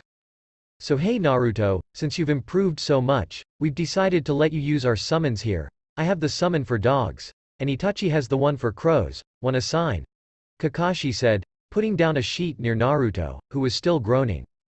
He signed both of the scrolls, and then passed out from exhaustion. Anko As soon as Anko managed to find Naruto again after the Forest of Death incident, she pleaded him for forgiveness. I'm so sorry, Naruto-san. I really didn't know we were inside the B sector, Anko kept saying. Sigh, troublesome, at the Nara compound Shikaku and Shikamaru looked at each other, and simultaneously broke into a hug. Back, look, Anko-sensei, I've already forgive you, so drop it. But, drop it. Well, Anko-san. Drop. It. Oh fine, Anko said, starting to pout. Look, Gaki, I'm sorry. But I really want to pay you back somehow. Hmm, I don't know how you will, I know. How about I let you use snakes as a summon? Really? Are you sure? Of course. Snakes are noble creatures, just don't summon Manda. Why? If you don't have 100 sacrifices, he'll kill you. Good reason. Kurenai As soon as Naruto had regained conscious, Kurenai hugged him into her sizable cleavage, making Naruto blush a considerable amount and nearly faint again. Kurenai immediately asked him how he was and everything. Anyways, Kurenai, after she had gotten over her craziness, talked to Naruto about genjutsu, even putting them on him for him to dispel them, when Kurenai accidentally used a wrong type of genjutsu, making Naruto live something that had happened over and over and over for 24 hours inside of their mind. When he had woken up, he was crying, and Kurenai immediately asked him to forgive her for the genjutsu. But Naruto was okay. So Kurenai simply gave him the clam contract and said that he would need it, since he himself couldn't make genjutsu. Naruto was training, he was doing the insane obstacle course that Guy had set him up on, and for once, he was doing good. He had hit all the targets, he hadn't fallen into any of the pits, and all of the logs had missed him. Next to him was his friend Rock Lee, who was also doing good. They both felt proud that they were doing so well, even though they were wearing 200 pounds of weight throughout their bodies. Suddenly, where there usually was a rope to climb, a gigantic fox's head emerged out of nowhere, and Rock Lee fell in, screaming his head off. What in the? Naruto yelled at the fox. Calm down mortal, you are dreaming right now. A voice said in his mind. Ah, wait, have we met before? Because you sound rather familiar. Yes, you are inside of your head right now, I am the Kyuubi that is forever sealed inside of you, welcome to my dwelling. The training grounds shifted, and Naruto stood in the lobby of a hotel, with a woman that had long sleek red hair and slitted eyes was standing next to him. So you were the voice talking to me before? Ah, hello container. I am the Kyuubi. What? You're Kyuubi. Yup, BBBBB. What, you thought I was a guy? Yes, Naruto muttered. Hump, insolent mortal. I am Kyuubi, a demon, and is the strongest, I am the queen of the Biju. As one would put it in human words, I am the queen bitch. Ah. Yada yada, I called you here to tell you something. Besides the fact that you're a girl? Yeah. I need you to know about the summons you have. What about them? See that? Kyuubi pointed at the elevator. Yeah. In those levels are part of the spirit of the bosses of the summons you have, and since you have too many right now, you're going to have to do some tests that they have. Tests? Yeah.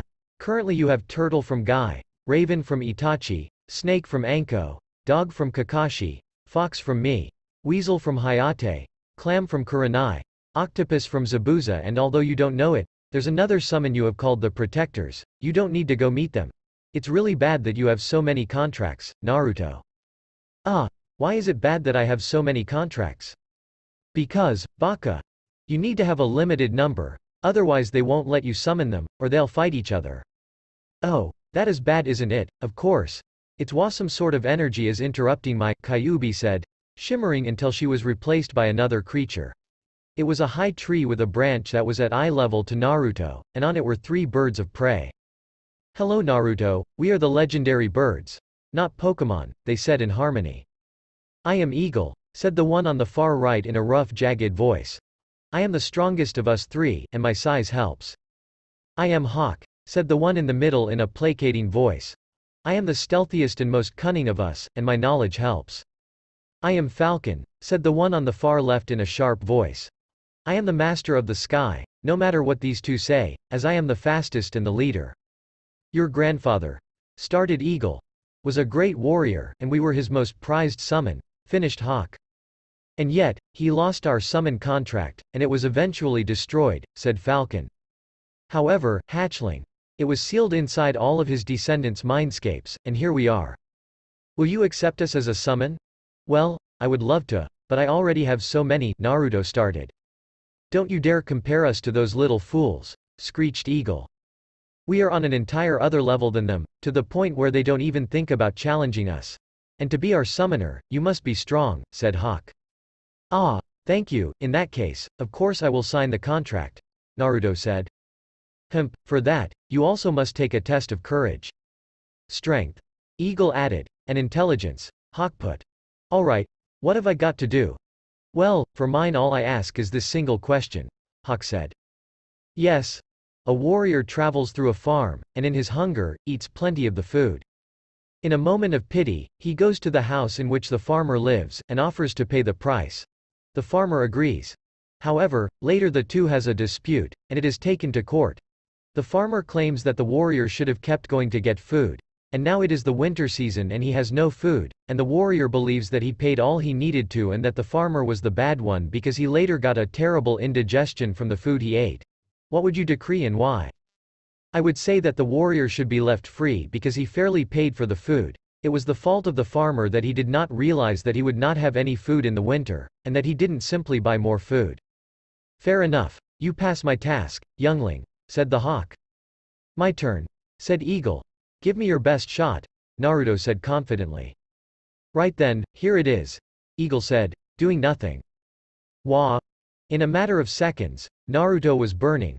It felt like he was bathing in acid, but when he looked around, there was nothing. All he saw was a disorientation of the place he once was at. You aren't strong enough to be a summoner, fool, he heard.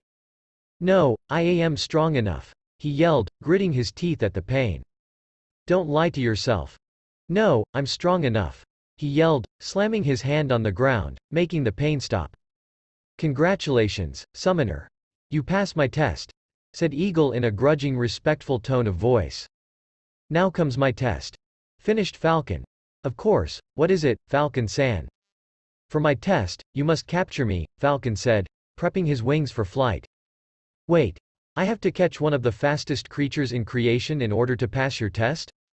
Yes, and I am not one of the fastest. I am the fastest. Great, then when do I start? Now. Falcon said, not even moving from where he was perched. Now? Now. So I can try to catch you now? Yes. Then why aren't you moving? I don't need to.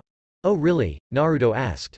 Jumping up onto the tree and trying to grab Falcon, but he wasn't there. What? Naruto started, before in flashes of light, Multiple scars arose from his body in random spots. Falcon reappeared on the branch as Naruto yelled in pain. How do you expect to be powerful, when you can't even hit an enemy?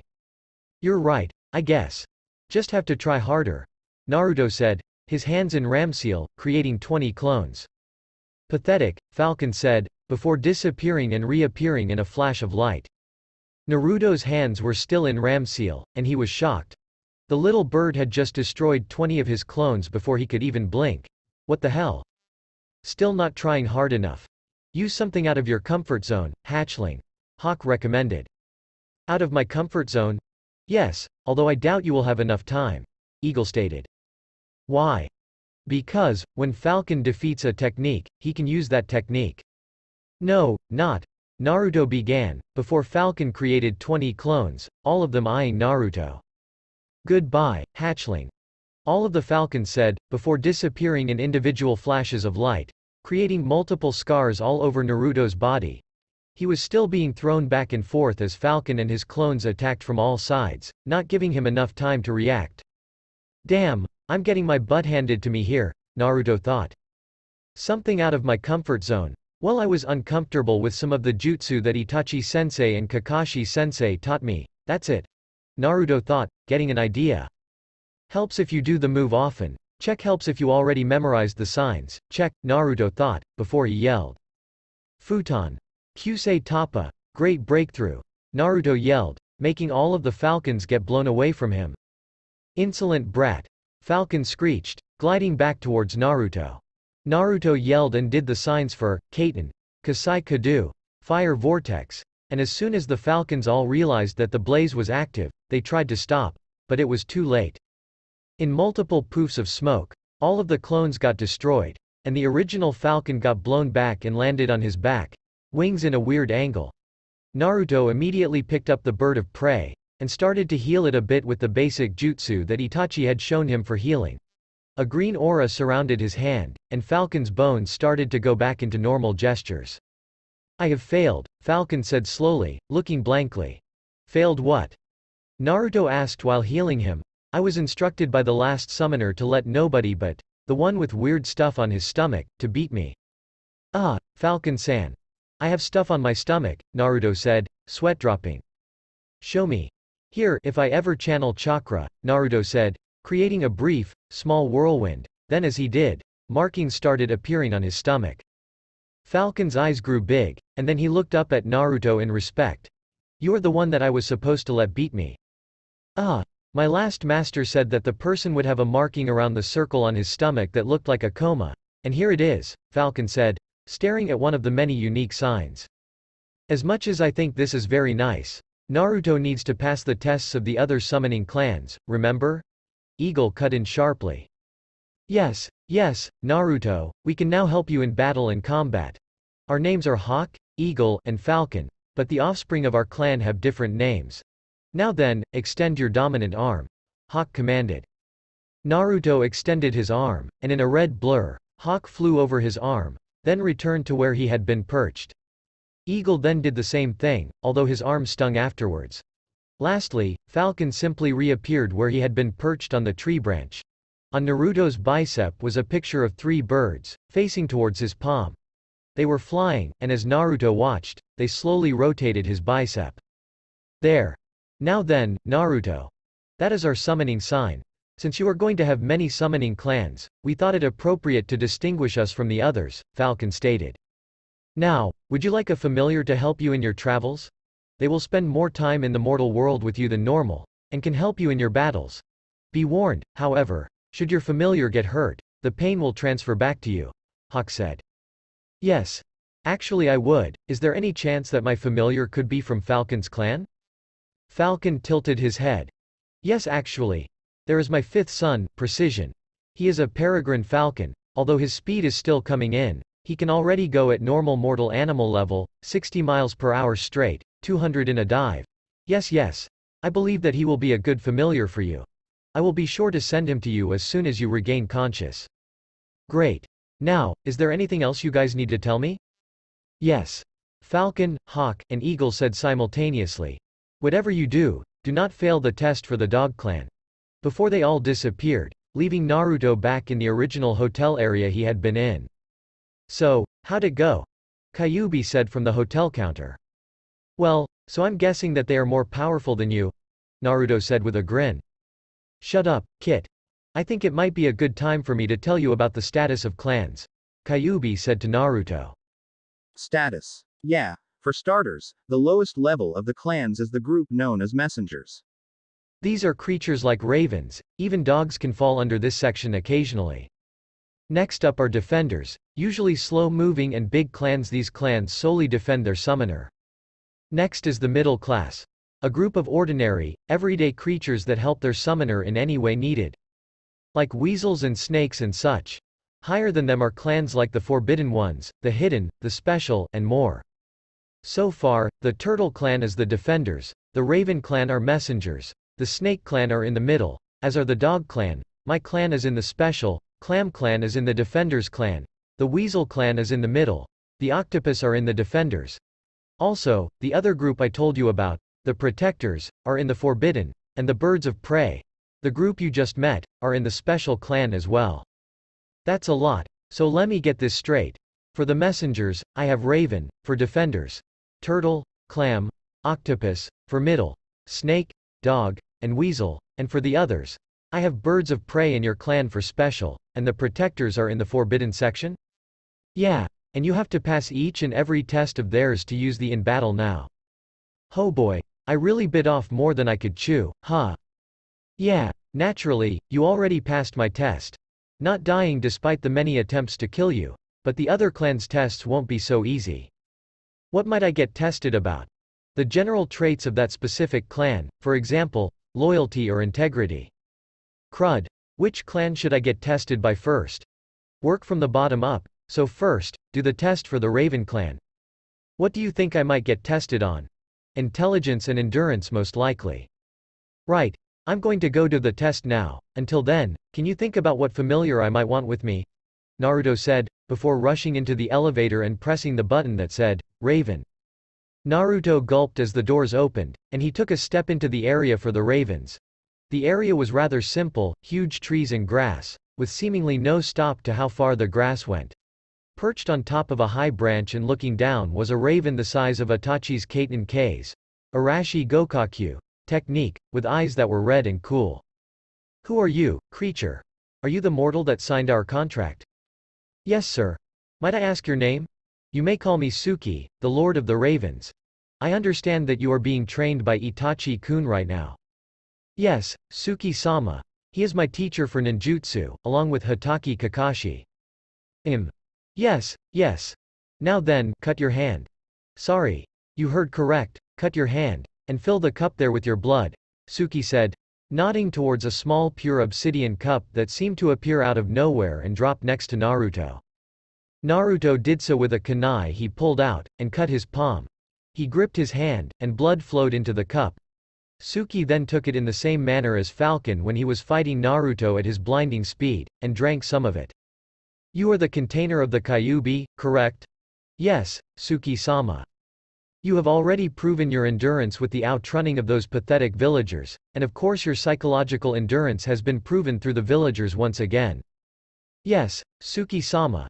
And looking through your memories, I can't help but notice the fact that you always seem to call people san. Until you know them better, or they prove that they are to be called something in particular. But here you are calling me Suki-sama. You also seem to know when to repress your amusing personality in front of me. Yes, you are definitely intelligent. Congratulations, Naruto. You passed my test. Really?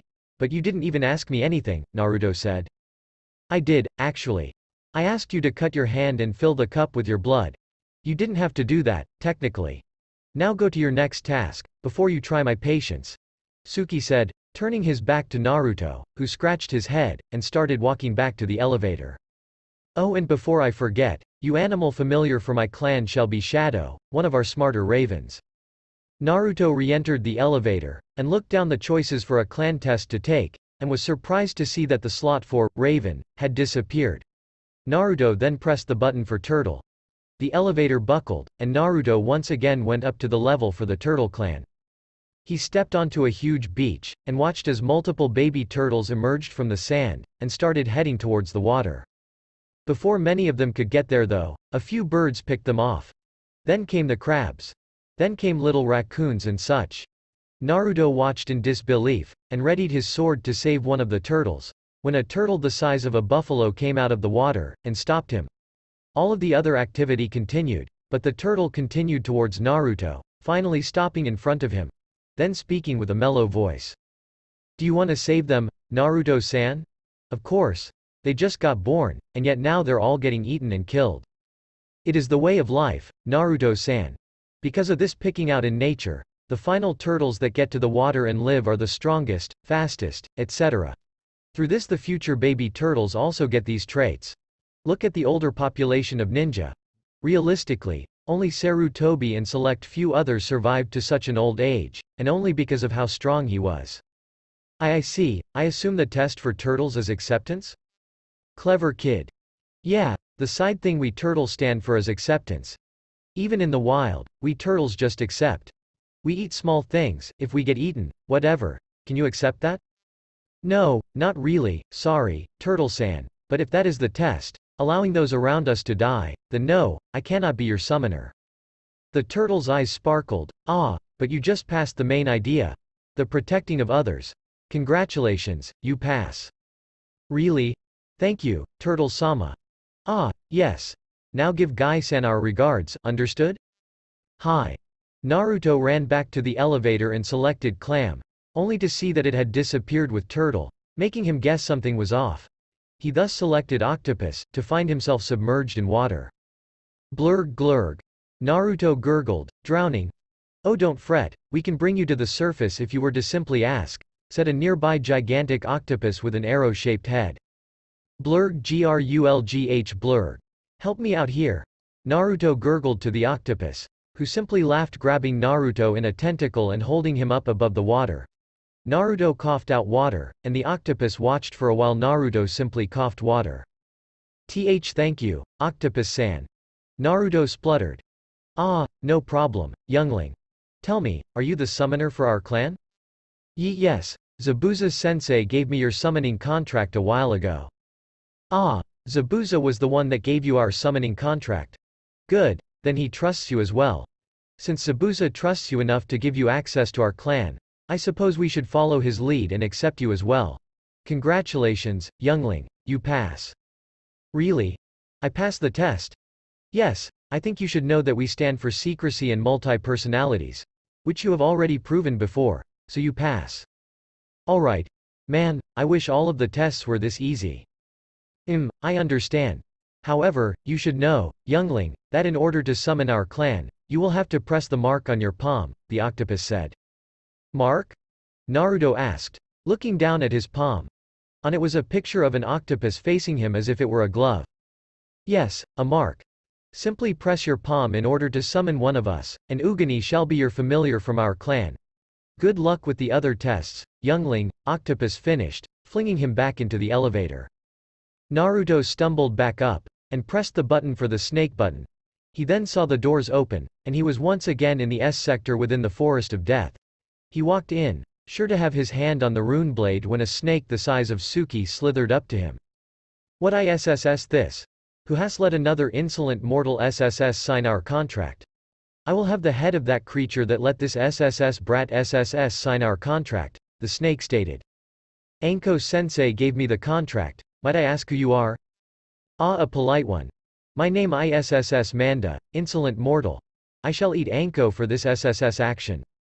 I apologize for the trouble, Manda-sama. But I believe that the Snake clan is a powerful one, that is why I allied myself with you, Naruto stated to the snake. Hmm. You do make SSSSENSSSE. Unlike that irritating Orochimaru that owes me 400 SSSSACRIFCES. Tell you what. If you manage to get USSS a good battle, then I promise that we will fight alongside you. Perhaps a battle with Orochimaru. After all, we cannot attack him if he SS summoned USSS. But if USS summoned USSS. Understood. Manda-sama. If I ever meet Orochimaru, or have a chance to fight him, I promise that your clan will be the only clan I summon. Excellent. Then you have the full SS support of the SS Snake clan.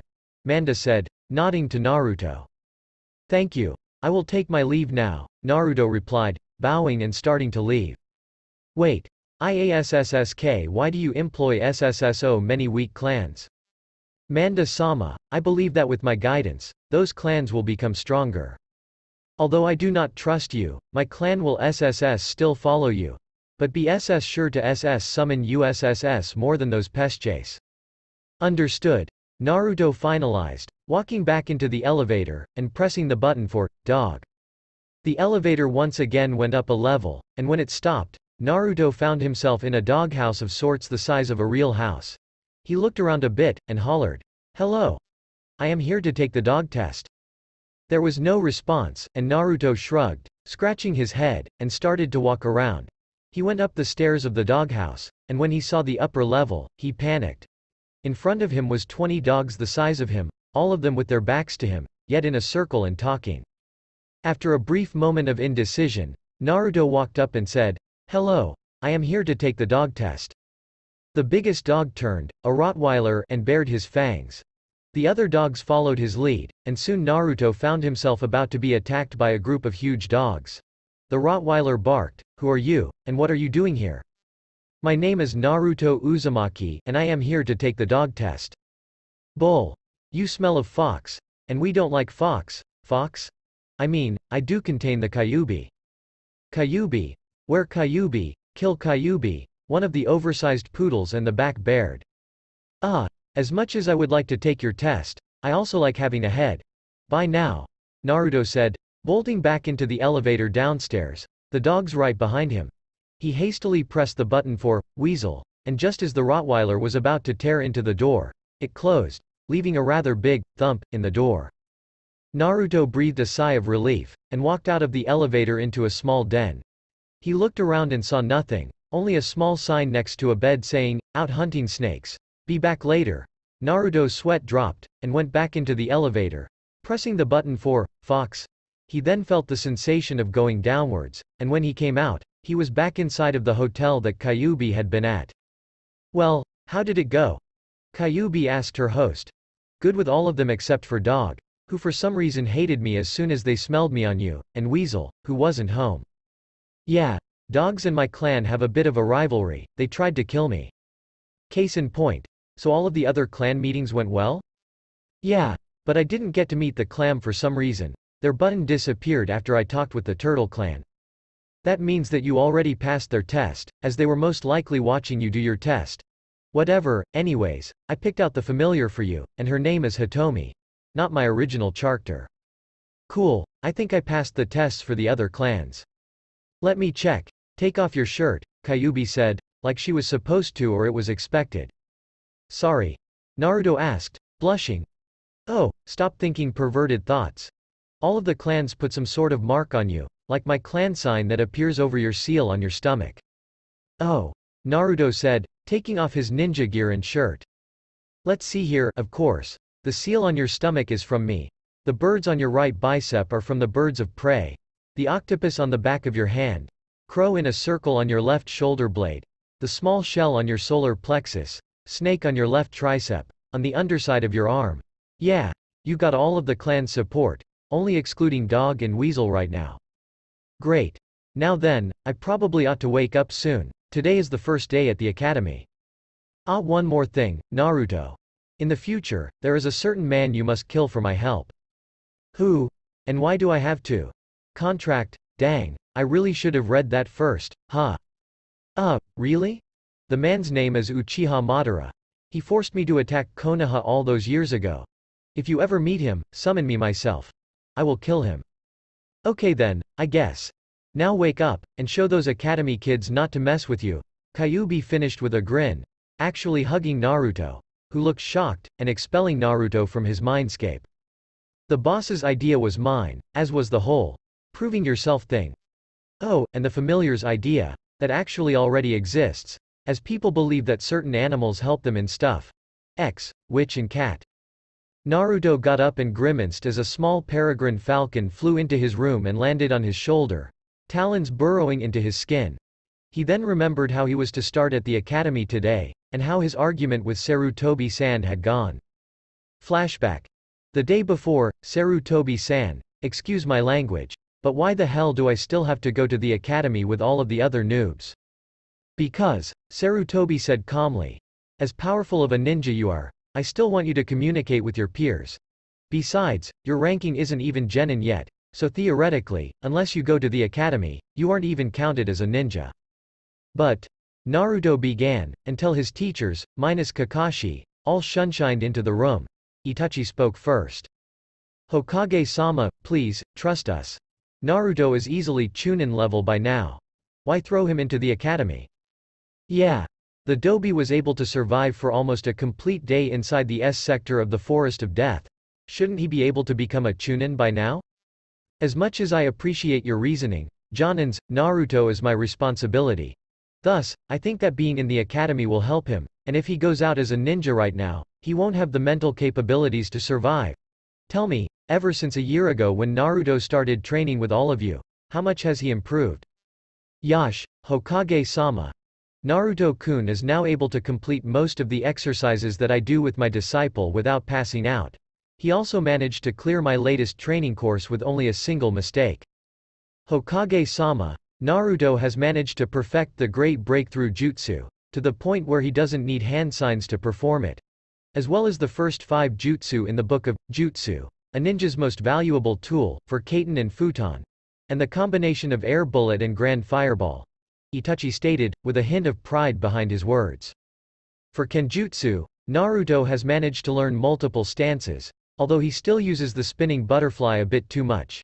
He has managed Air Bullet to its complete perfection, and although I have more stamina for doing the jutsu, Naruto can create an air bullet almost as strong as the one I showed him on the first night of training, and it took me a full year to get it to that level. Zabuza said with visible pride. I second Zabuza, his kenjutsu is top-notch to the point in which, if I weren't to use any of my dances, I would have a very tough time beating him. Hayate added. For stealth, the little kid managed to steal every single thing that I've given him a chance to steal, and as for his training in the stealth dojo, at the beginning, outside you would hear a big, bang. Every few seconds. Now, passers think we don't train there anymore, Yugao said with a pout at Naruto.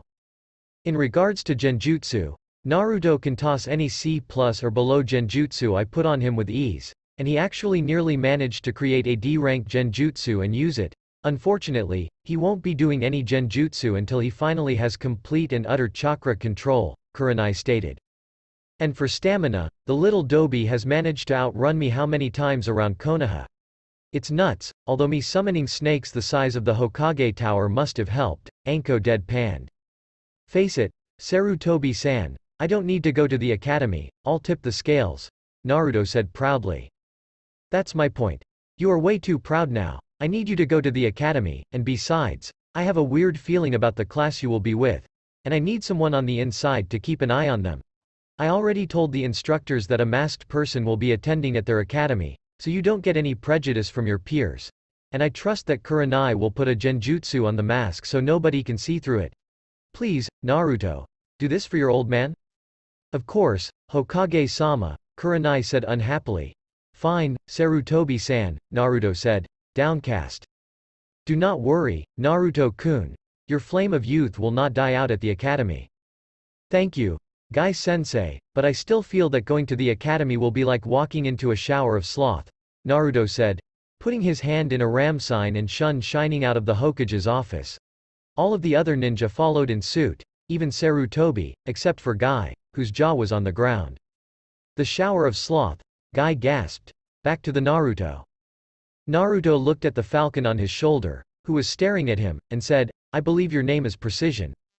Hi, Naruto-sama. The bird said, bowing his head. Please, don't use formalities. Call me Naruto-san at most. Okay, Naruto-sama.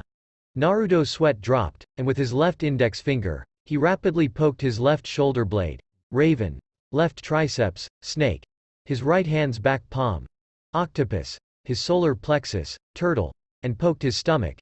In four puffs of smoke, a pitch-black raven appeared on his other shoulder. A red ear slider turtle appeared on his bed. A cobra appeared on the ground, and a pinkish-red octopus appeared in a watersphere the size of a basketball. Hello Naruto-sama, all of the animals said simultaneously. Hello everyone, will you introduce yourself? Naruto said to the gathering of animals. Hi, my name is Shadow, and I am the grand-nephew of Suki, the raven said in a monotone voice. My name is Jammer, the turtle said from the bed. And if you could, Naruto-sama, could you create a water sphere? I am about to dehydrate. Right, Suishin. Watersphere. Naruto said, using snake, ram, bull to create a soccer-sized water ball for the turtle to go into.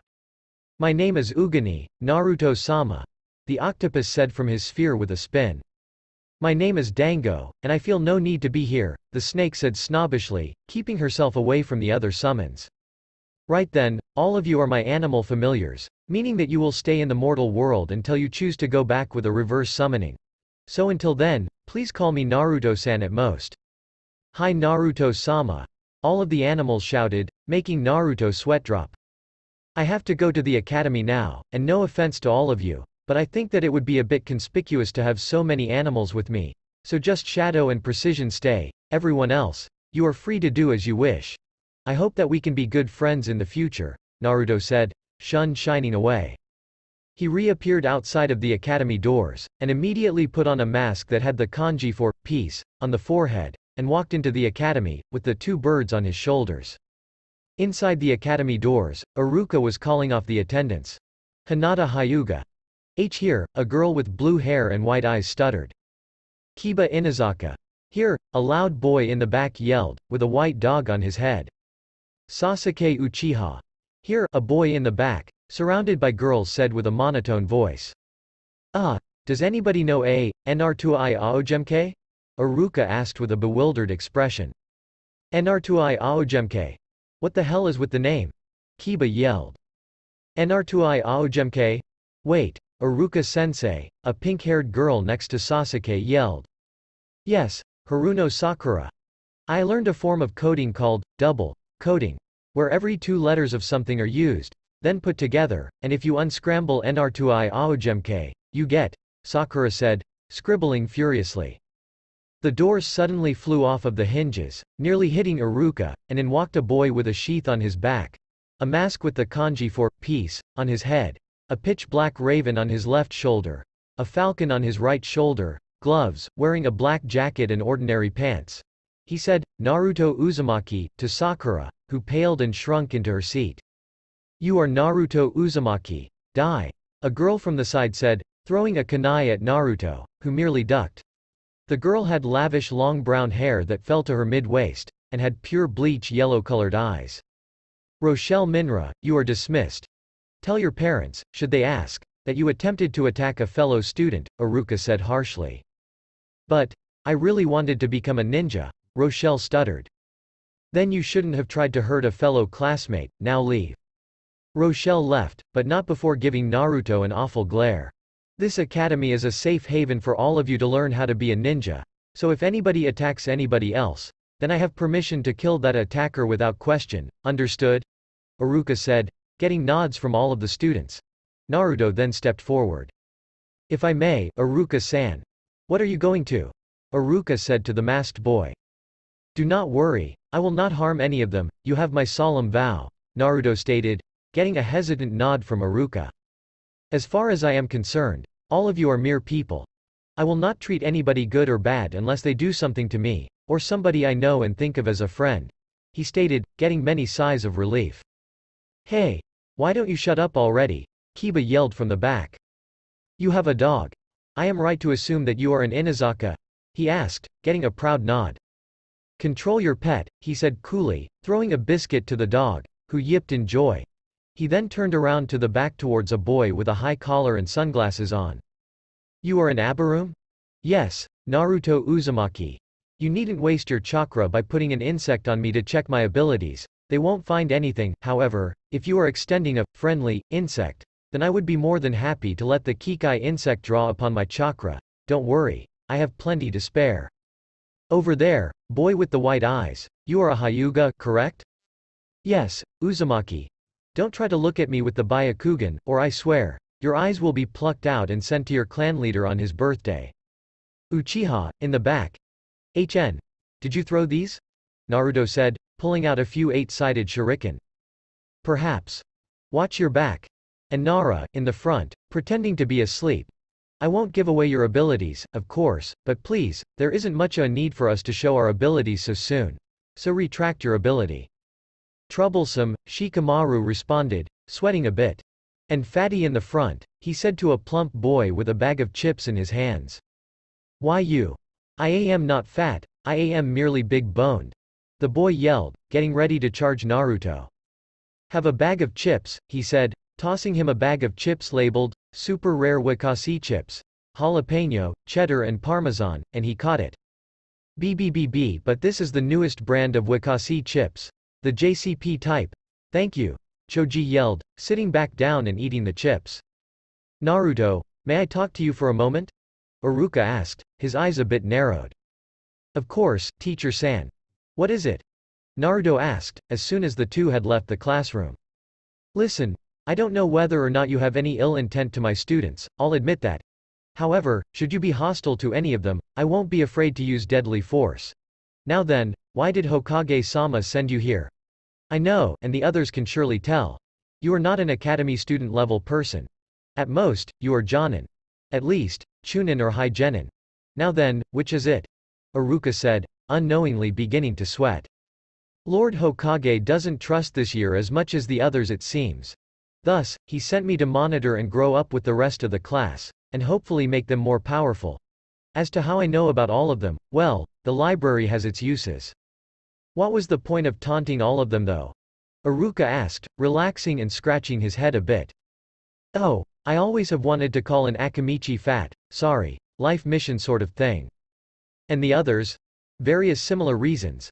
I've wanted to call the Uchiha Tards Banshees for a while now, as soon as I read about them. They have a section in the library, Aruka asked. Of course, since the time you were in the academy, there have been Uchiha Tards. Do you not remember? Whatever. I believe this discussion is over, and as a warning to you yourself, two things. First, you are one of the only teachers here that I have not seen corruption, good job. Secondly, do not put me up against anybody in sparring. If someone is idiotic enough to challenge me themselves on the other hand, Naruto said, with a sadistic grin on his face behind the mask, before walking back into his room to his seat. Naruto then sat down next to Shino and Hinata, who hadn't spoken the entire time. Hinata blushed, and turned on her Byakugan. Naruto saw this, and said to her, I already learned to feel when and where a Hyuga is looking at someone using the Byakugan. Look at my chakra points and you can kiss your chance at being an ally of mine goodbye, understand? Naruto said to Hinata, who blushed, but continued looking at Naruto, being careful to only look past the genjutsu on his mask at his face. Well Naruto. What is the answer? One of the instructors said, grinning. He knew that Naruto had been distracted, and immediately had told the entire class about the pact between the Shika Ino Cho. He knew there was no way that Naruto knew what it was. Or at least, that was what he thought. Sorry, Teacher San? Will you please repeat the question? What was the pact formed between the Shika Ino Cho, and how was it formed? The pact was that the three clans of which there is one from each in this room, Shikamaru, Ino, and Choji. The pact was that whenever there was a round of all three at the same time, they would be formed into a team, when it came time to form genin teams. The combination team was then given special earrings when they all became genin, given by the Sarutobi clan as a mark of their vow. They all gave back their earrings when they became chunin, symbolizing that they were regarded as adult by their respective clans. The pact was formed when the original members of each clan used their unique abilities together to capture and defeat multiple enemies of Konoha during the time of the First Great Ninja War. Ever since then, the three clans have lived closely to each other, and before you ask, Teacher San, their abilities were good at capturing an opponent, and I will not openly diverge their secrets, as that is their ability to share with the class. Any more questions? Naruto said to the teacher, whose jaw dropped to the ground, and Aruka said, Beaming, yes, Naruto. Good guess. It wasn't a guess, Aruka-san, Precision said to the instructor. A talking bird. It should be mine. Give me the bird now, Sasuke said, emerging right in front of Naruto and trying to grab Precision. Precision disappeared in a flash, and Sasuke fell back, with a gash in his arm. What the? Instructor. Naruto attacked me, all eyes turned to Naruto, and he finally stopped staring at blank space and said, Sorry. Did you say something important? To Sasuke and the class. How do you know Kakashi, Naruto? Aruka asked out of curiosity. Hmm. Who's Kakashi? Later that day, alright everyone. It is time for some friendly sparring. Now then, everybody, use taijutsu only, and don't hurt anybody too bad. Five clean hits wins. Aruka said, hurting the class outside, until only Naruto was left. Iruka-san, if Sasuke challenges me and uses ninjutsu, which I suppose he will, may I retaliate? Itachi-sensei wants me to see how well he reacts. Very well, Naruto. But do not use a ninjutsu that will hit him too hard, Iruka replied. Very well. Naruto said, following Iruka outside. Now then, first match, Choji vs Ino. Iruka said, getting Choji and a blonde-haired girl to come to the arena. Choji didn't move, and Ino blew a kiss at him, and Choji passed out, making everyone sweat drop. Next match, Sasuke vs. Aruka started. Put me up against Naruto, Sasuke shouted. I'll prove who's the stronger one. Naruto slowly walked to the drawn arena, and pulled out the rune sword, then put it back in the sheath. Aren't you going to use your blade? Aruka asked. No, sorry. But if I were to use it, I would get too tempted to use kenjutsu. Naruto replied, instead pulling out a senbon from his pouch, next to two blades.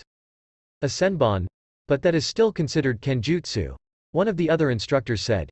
Most of the students looked bewildered. Although one of the older students with hair buns watched intently, and of course, Sakura looked in awe at Naruto.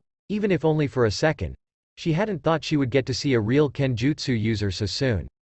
Well, I originally was going to simply hide behind the mask, but since Sarutobi-san chose such an obvious name for me, I don't need to hide myself anymore. Naruto said, taking off his mask all the way. On his face were his normal whisker marks, but what was new was a scar on his right eye that went through, not much unlike that of Kakashi's. What happened to your eye? Shino asked. Oh nothing, just a kenjutsu move gone wrong.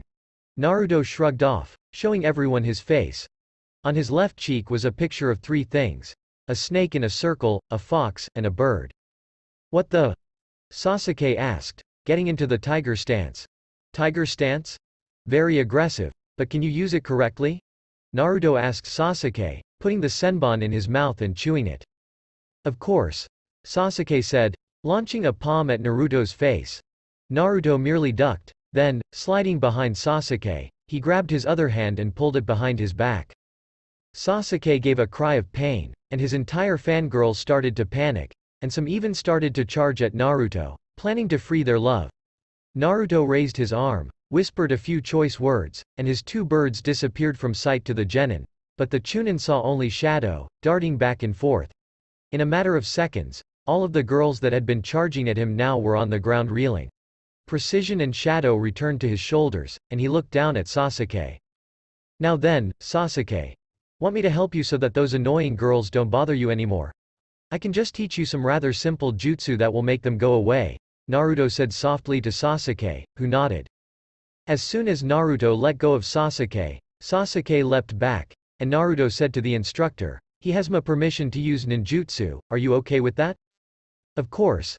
After all, a few scars are what every ninja has, the instructor proclaimed, seeing the chance of a dead, demon. Okay then, Sasuke-san. Hit me with everything you've got. Precision, Shadow, go over to Shino-san and Hinata-san, will you? Of course, Naruto-sama. They both said, disappearing and reappearing on the shoulder of Hinata and Shino. Naruto, are you ready? Sasuke yelled, doing the hand seals for Grand Fireball. Then come on. Let's see if you live up to your older brother, Uchiha. Naruto shouted back. Sasuke let loose with the fireball, and it was about the size of a basketball. It hit the target, and for a second, he was scared that he might have hit his new friend on accident. Within a second, Naruto caught flame, however, in Naruto flashed Hinata and Shino a wink. Before, with a shout, Naruto yelled, Futon. Kyusei Toppa. Great breakthrough. Blowing off all of the fire, and knocking everyone flat on their butts. What the hell was that? One of the instructors yelled, still on the ground looking up. Naruto walked over to above him, and the sun was on his back. Precision and shadow returned to their spots, and Naruto said, that is my ability. Before walking back to Sasuke, and tapping him five times. I believe that is five clean hits, Aruka-san. He asked Aruka. Why yes, it is, Naruto. Good job, thank you. Now then, Aruka-san, please excuse me, but I think that I should now take my leave. After all, I believe that the Hokage is about to ask for me. Excuse me, Naruto said, Shun shining away, surprising everyone. He appeared just as Sarutobi was about to send out an Anbu unit to go and retrieve him. Sarutobi waved off the Anbu unit, and beckoned for Naruto to come closer. Naruto, with all due respect, what the hell were you thinking today? Sarutobi shouted. Sarutobi-san, the name you used to try to hide my presence was able to hide me for about five minutes before one of the academy students was able to decipher it. What did you expect me to do? Ignore them. And what was with you deciding to use ninjutsu? If you didn't notice, Sarutobi-san, Sasuke used it first. And besides, I already got permission from Aruka-san to use ninjutsu. It was either I didn't do anything, and when they got home, their parents fed them the crap that I was a demon, and everything, and they thought I was weak, or I kicked everyone's butts and when they got home their parents realized that I wasn't a person to be messed with. Two different options, Sarutobi. Naruto shouted back, startling Sarutobi.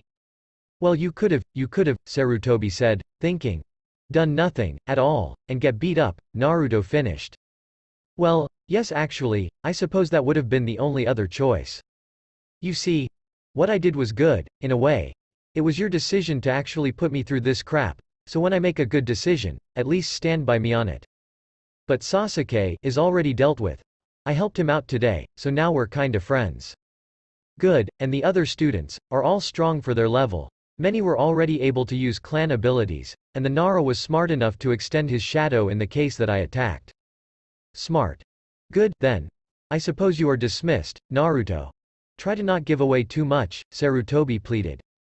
There was a girl, Rochelle Minra that threw a kunai at me, however, I believe that her parents taught her to be angry at me, she really is harmless. Can you re-enroll her into the academy? Naruto asked, remembering the girl that had thrown a kunai at him. I suppose so, Minra, a merchant family, I swear. The civilians are making their children become ninja more and more lately, Sarutobi said, sighing. Lastly, Sarutobi-san. One of the Chunin today went out of your orders on purpose. You may be losing power, Naruto said, before Shun shining back to the academy.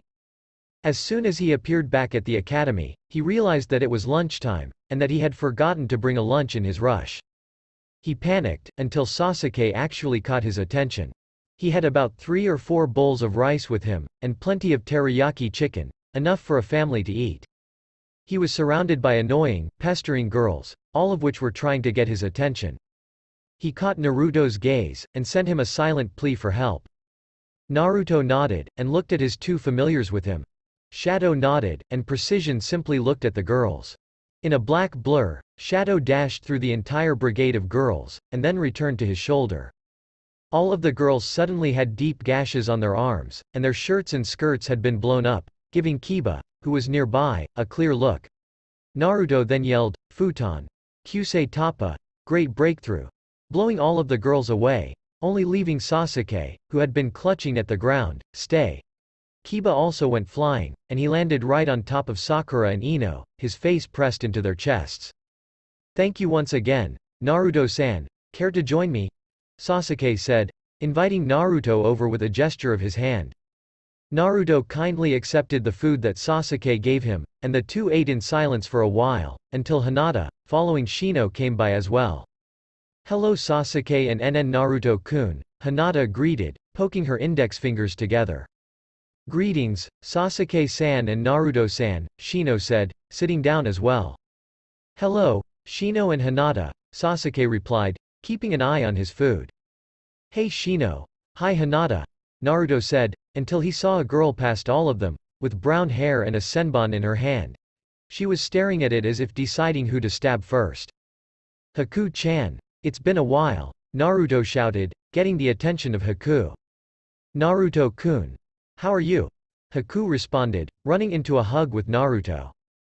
I didn't know you were attending the academy as well. How have you been? Naruto said while hugging Haku. Shino, Sasuke, and Hinata kept staring at the bizarre sight curiously, jealously, and a bit scared all at the same time. Oh, I'm being rude. Haku-chan. This is Sasuke, Hinata, and Shino. Naruto introduced. Hello everyone. Haku said merrily. HN. H hello. Salutations. Haku-chan is an old friend that I met last year. She wanted to be a ninja, but I forgot about it oi Kiba. Naruto shouted when Kiba tried to tackle Haku. He brought out the senbon that he had been chewing, and shouted with his hands in ram seal, multi-senbon no jutsu, making numerous senbon all fly at Kiba, making him resemble a porcupine. Now that that is cleared up, how have you been, Haku-chan? Naruto said to the bewildered girl, taking out another senbon and starting to chew it. Well, I have been rather busy with Zab I mean, my father at his erm job, of course, and he has been teaching me about stuff pertaining to his line of work. How have you been? Learn any new jutsu? Jutsu? How far have you gone in jutsu, Dobe?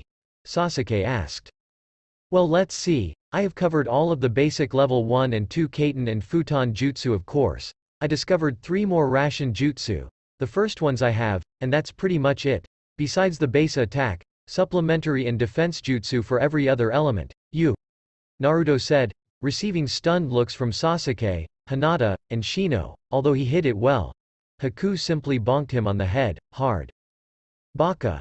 You said you would have the Hayaten down also. What happened? Why are you always so lazy? Haku shouted. Sasuke watched the two start randomly yelling and bonking, and thoughts came to his head. Why am I so weak? I've been training so long to become better than them. So why am I still so weak? Maybe, the answer isn't resentment for Itachi Ni-san. Maybe, the answer is, Sasuke thought, getting troubled looks from Hinata and Shino. Kiba got up again from his feudal position and yelled at Naruto, hey dumbass. I saw her and tried to claim her first, so back off of my mate. All of the present kids at lunch turned and looked, to see a deadly calm Naruto facing a red-faced Kiba. Your mate? Naruto asked no expression on his face. Precision and Shadow looked at each other, and then turned to the other kids. You might want to start to leave, Shadow stated, while Precision started to warm up his wings. Why? What is the Dobe going to do to Kiba? Sasuke asked, getting a sharp look from Precision. We will try to stop him, but I have a feeling that he might castrate Kiba. Precision said in a solemn voice. Ha! As if an idiot, Dead last person like Naruto could ever possibly defeat, Kiba said. Throwing a kunai at, Ha. Before being cut off by Naruto appearing in front of him and doing a weird tiger claw-like attack. Then ripping up until Kiba started gasping for air. Say one more thing. Do anything that offends me, Kiba-san, and I promise you, that I will castrate you. No need for your mother to neuter you. If you don't swear right now, I will pull up more, imploding your lungs and crushing your heart. Naruto said coldly, before getting a weak, okay, from Kiba. Akamaru popped out of his jacket, and barked at Naruto, who simply looked down at him, tilting his head. Naruto then dropped Kiba, hard, who promptly turned running off to class. What did you do to him? Hinata asked in a hushed voice. Threatened to kill him. It was rather simple, and now I imagine he's going to go home. Tail between his legs, Naruto joked, getting relieved sighs from his classmates. Naruto then took out a senbon and started chewing it again. Boy, it was going to be a long day. Teachers POV several of the demon hater teachers were inside watching the spectacle. They believed that if the demon could get Tsume Inuzuka angry, then their work would be cut out for them. So one can imagine their shock when Naruto did a move that only Gekko, a high-class jonin usually did. Spitting out a senbon at the kunai to prevent it from hitting those standing behind Naruto, and appearing in front of Kiba. Several of the teachers were actually starting to wonder about the boy. And who it was in control, the demon, or the boy. Hidden location, kukakukuku. Yes, yes, this is perfect. Next week I shall send for a Chunin level Uchiha. I shall obtain the Sharingan, and I shall rule. A crazy voice said to a bowing Mizuki. The instructor that had tried to trip up Naruto multiple times during the day. This is a dragon contract, Mizuki. I obtained it when I was dissecting the gigantic behemoths of the north. I believe signing this will give you an advantage. Mizuki nodded, dutifully signing the contract, inserting his name and blood where required. Now then, we wait, for one week, Mizuki. I hope you are up for the challenge. He was running at top speed, at least he thought he was. Rushing and weaving through the trees, occasionally jumping over a trap, or setting a trap for his pursuer. However, due to the fact that the traps kept activating, he could only guess that his pursuer hadn't stopped. Finally, he reached a clearing. Yes, he thought. This would be the place where he made his final battle. He had just gotten vital information, and if he didn't deliver it, there simply wasn't a chance for him to lose, and he thought he knew it. Or at least, he thought he knew it. Two clad ninja appeared behind him, about 30 feet away. One had nice, short light blue hair and a large scroll on her back. The other had long sleek red hair, and a katana strapped to her back. The redhead immediately drew her sword, and whispered some words, while at the same time, the blue-haired girl also took out her scroll, and wordlessly created two wings on her back, made of solid stone, which immediately flapped, lifting her into the sky. Finally, the man turned around, facing his pursuers. He had orange hair that was slightly scuffled, and he pulled out a sword with intricate patterns on it, that said in kanji letters, dragon. Luster's plight. He yelled, stabbing his sword at the two kunoichi, then running behind the beam of light that appeared from his sword. He immediately battled the red head in a kenjutsu battle, first jumping back and kicking off the branch straight at her, before she jumped up and kicked off of the man's shoulder, slicing him for good measure. Undaunted, he swung his sword horizontally, expecting to cut her in half, but the red head merely leapt back, and pointing her sword at him, yelled, Head Hunter Jutsu. Disappearing into the earth. The man jumped around, looking for any sign of her, but only found a spear through his stomach. The blue-haired Kunoichi twisted the spear, then pulled it out, making the man gasp, but still tried to behead the lady that had pierced him with a spear. The blue-haired lady jumped back and while he tried to stagger towards her to stab her, he felt a sharp pain come from his legs. He felt like a complete idiot. While he had tried to fight the other Kunoichi, the redhead that had initially gone into the ground had actually gone behind him, and sliced his Achilles tendon. The man fell, dying, and the last thought in his mind was, Forgive me, Jiraiya-sama. Naruto woke up, and immediately created 30 shadow clones. Okay guys. You all know the drill, he said to all of the clones, all of which immediately nodded and went off to do their exercises. Naruto did a whistle that started with a low, low whistle, then immediately hopped up to a near screech at, trill, level. He blinked, and perched on his window with shadow and precision, and both of them nodded, greetings, Naruto-sama. Geez guys. Didn't I already tell you that you didn't have to call me that? Yes, Naruto-sama. Naruto's sweat dropped, put on his shoulder guards, and one of his clones jumped into the room via window. The clone dumped a dead rabbit onto the ground, and popped out of existence. The two birds immediately started eating at the food, every once in a while commenting on how it tasted and what should be added. As soon as the two finished their meal, they took their places on his shoulders where there was actually an impression of where they had sunk their talons in everyday. Naruto next watched as one of his clones climbed up the outside of the apartment, and around his arms was a long greenish cobra, lashing out at the hands. The clone and snake landed inside, and another clone brought in another rabbit, before poofing out of existence. The cobra slid out of the reach of the clone, which poofed, a moment later, and began to swallow the rabbit. Naruto, gaining the memories of the clone, was rather impressed with the progress that Dango had made, despite her rather annoying attitude, and was starting to wonder if Dango was Anko's snake daughter or something. Naruto then went over to the tank that he now kept, full of water, and looked inside to see his two familiars, Ugani, and Jammers were hanging out, swishing around. Another Naruto appeared, seemingly coming from the port, and deposited two rather large fish into the water, and the two sea familiars bit into the food, every once in a while spilling out some food. Yuck, anyways, Jammers and Ugani, how have your studies of your jutsus gone? Jammers wasn't studying yesterday, he was trying to get me to summon Pii again. Really Jammers? Well, Ugani wasn't either, he was sleeping all day yesterday. Stop it you two, doesn't matter. Anyways, just keep doing it today, okay.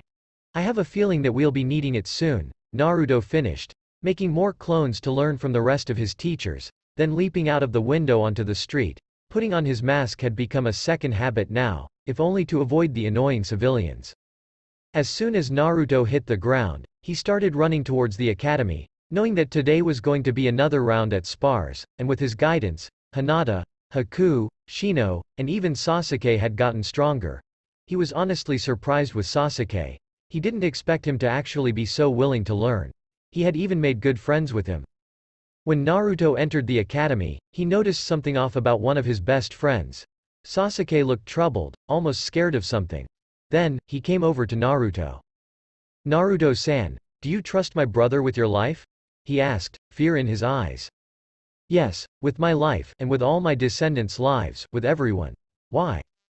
Because, you have to know something, Naruto, Sasuke said, leaning closer. Yes. My dad, is thinking of a coup de treat, to return us Uchiha to our former glory. But I don't think so, not after what I've learned from you and the others. How many people? Nearly everyone with a Sharingan. I'm just lucky that they didn't include me since I haven't awakened it yet. My brother can't talk to you himself about it without raising suspicion, but he's planning on killing everyone with it tonight, and he wants you to fake to be the reason that he had to run. I understand, are you sure? Because I'm not entirely sure I do. He wants me to fight him, in other words, stall him tonight, so he doesn't have to kill everyone in Yu clan.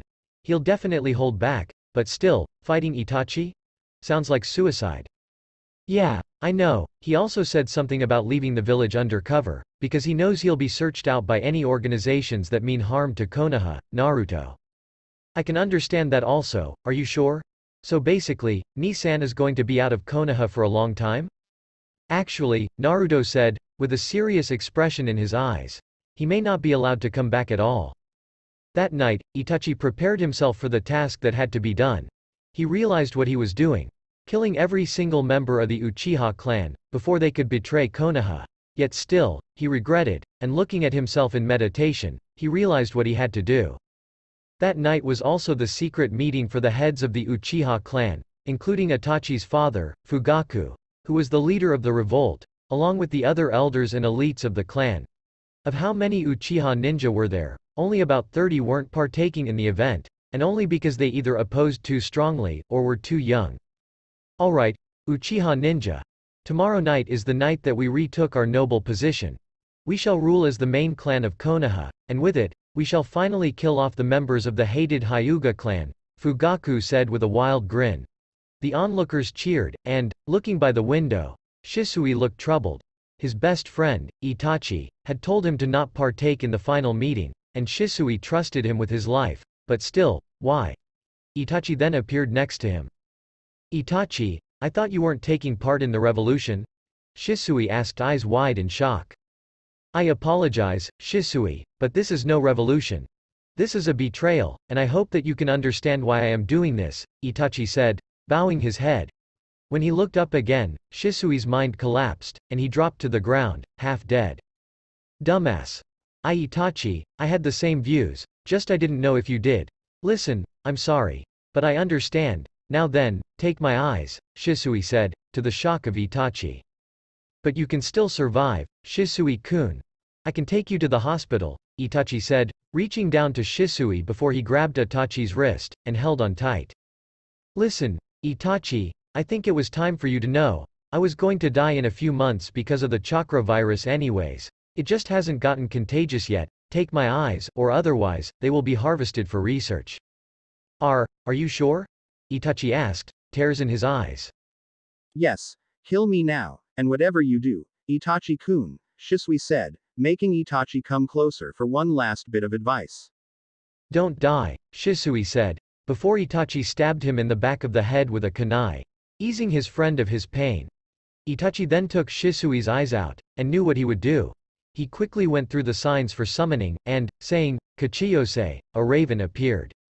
What is it, Itachi-sama? The bird asked. Listen, Kyo, I need you to take this eye and implant it into your own eye. Then head off and hide. I need you to look over a disciple of mine, but do not show yourself, or this eye. Just remain in hiding until I come back for you, understand? Hi, it shall be done, Itachi-sama, Kyo said, taking the eye into his talon gently, then disappearing. Itachi then took out a scroll, and sealed the other eye into it. Finally, he looked at Shisui's body and lit the eye sockets on fire with a small fireball. Immediately after, he did a Suiton technique and put out the fire, making it look his friend's eyes had caught on fire or something. Itachi felt a sharp pain in his eyes, but thought to himself, it will go away, beginning the Uchiha massacre, starting with the elders that were still inside the complex that they were holding the meeting at. In a puff of smoke, he preformed the shunshin, and immediately cut off the heads of the elders, all at once. They all dropped to the floor without a single noise, besides a slight thud. The first traitors killed. Who is next?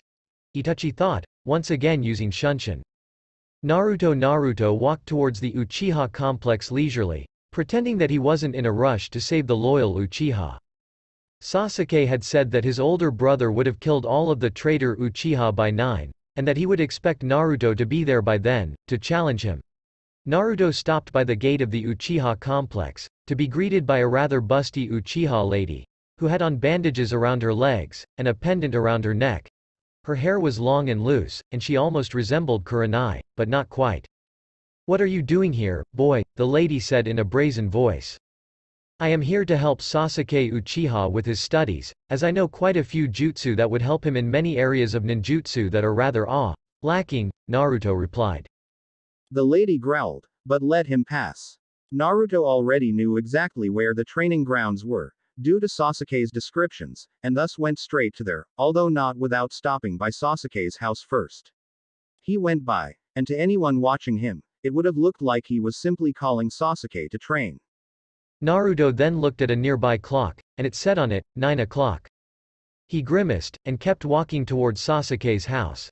He came outside of it to see bloodstains on the door, and as any observer would expect, he immediately drew his sword, and started to stealthily go inside. Inside, Itachi was explaining to his mother about his father's plans after becoming Hokage. Killing the Hyuga off, replacing the Anbu corps with corps made especially from Uchiha. Everything and with a sword around his neck, Fugaku really couldn't do much to stop his son.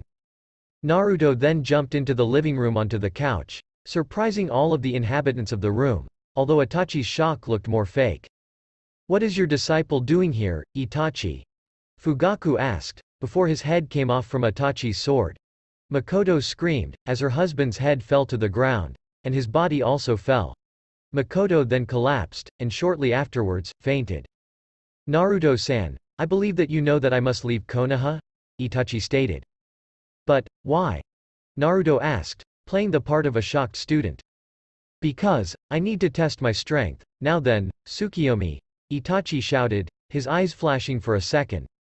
Naruto felt his conscience slipping away slowly, and when he opened his eyes, he was in darkness, and there was nothing but himself. Standing next to him was Kyubi in her human form, and the two looked at each other before shrugging. Itachi appeared out of nowhere, startling the two, and Kyubi got into a fighting position, but Naruto held up his hand and stopped her, before bowing to Itachi. Itachi-sensei, where are we? he asked, scratching his head a bit. We are in a genjutsu I discovered with the Sharingan a while back. There's a tablet in the compound that tells of this power, in this genjutsu, I control time and space, it simply bends to my will. There's some other powers I haven't figured out also, but those won't come for a while. Cool. So, what is our plan, sensei? Naruto asked. We have 72 hours before the genjutsu wears off. During that time, I will tell you everything else that I haven't thus far.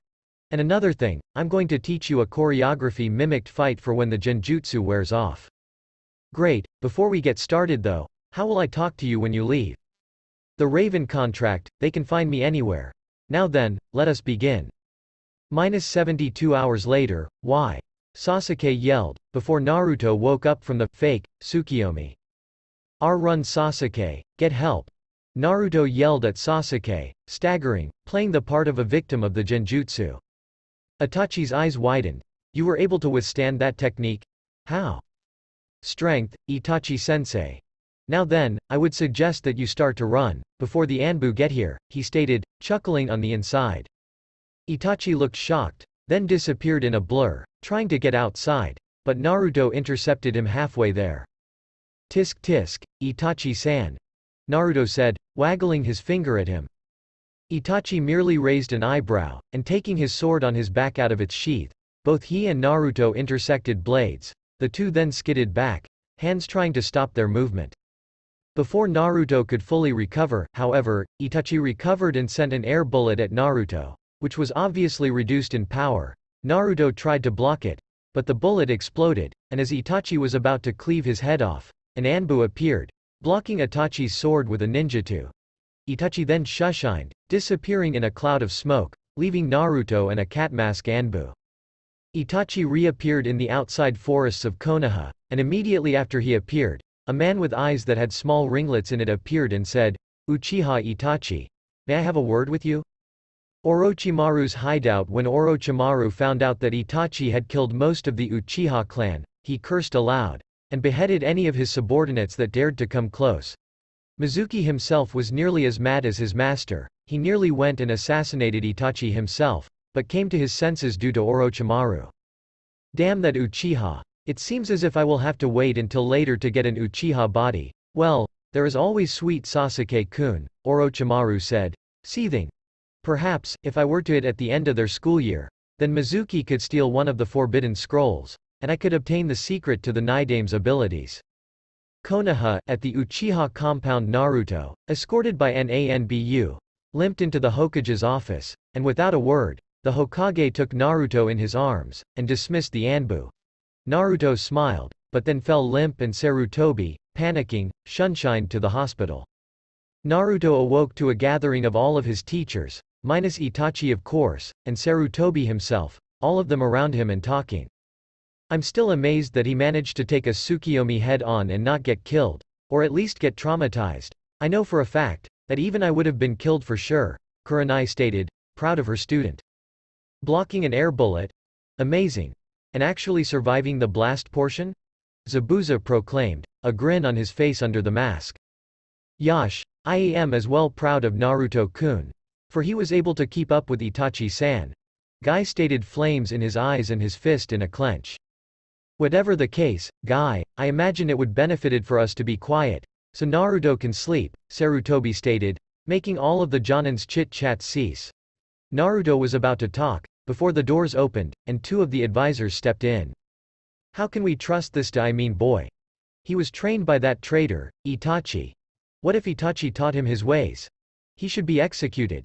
Besides, he actually encouraged Uchiha Itachi to flee.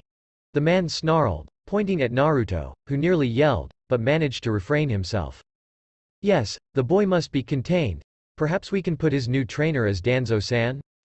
He will be able to make him into a good ninja of Konoha, the woman said after the man. The two then stopped from the amount of killer intent being emitted from not only Naruto's teachers, but from Hiruzen himself, his fists were clenched, and even Guy was in a serious mood, his eyes glared at the two. Anko actually took out a kunai and licked it, while Hayate took out another senbon, and started chewing it. Kurenai scowled, and got her hands into position for a genjutsu. Kakashi gave an eye smile, but moved up his headband, revealing his Sharingan eye, the thing that Naruto had only seen one time, in training. Zabuza actually released his sword already, Hiruzen took off his ceremonial Hokage robes, and lastly, Yugao, in her Anbu uniform, unsheathed her ninjutsu and flipped it backward, getting into a stance, ready to kill. And how, exactly, half growled the Hokage. How do you know that is what he said? Well, we, I, Homura stuttered defiantly, Tell Danzo that if he makes any move, that every single Junin will be after him, and that even my son will want and wish for his death. Homura and Koharu paled, and quickly exited the room, making all of the ninjas relax. Naruto then made his waking up known. So, Itachi-sensei left the village, huh? Naruto asked, startling all of the ninja. Why yes, your sensei left, I'm rather surprised that he didn't kill you actually. Hiruzen stated, shocked that Naruto was already awake.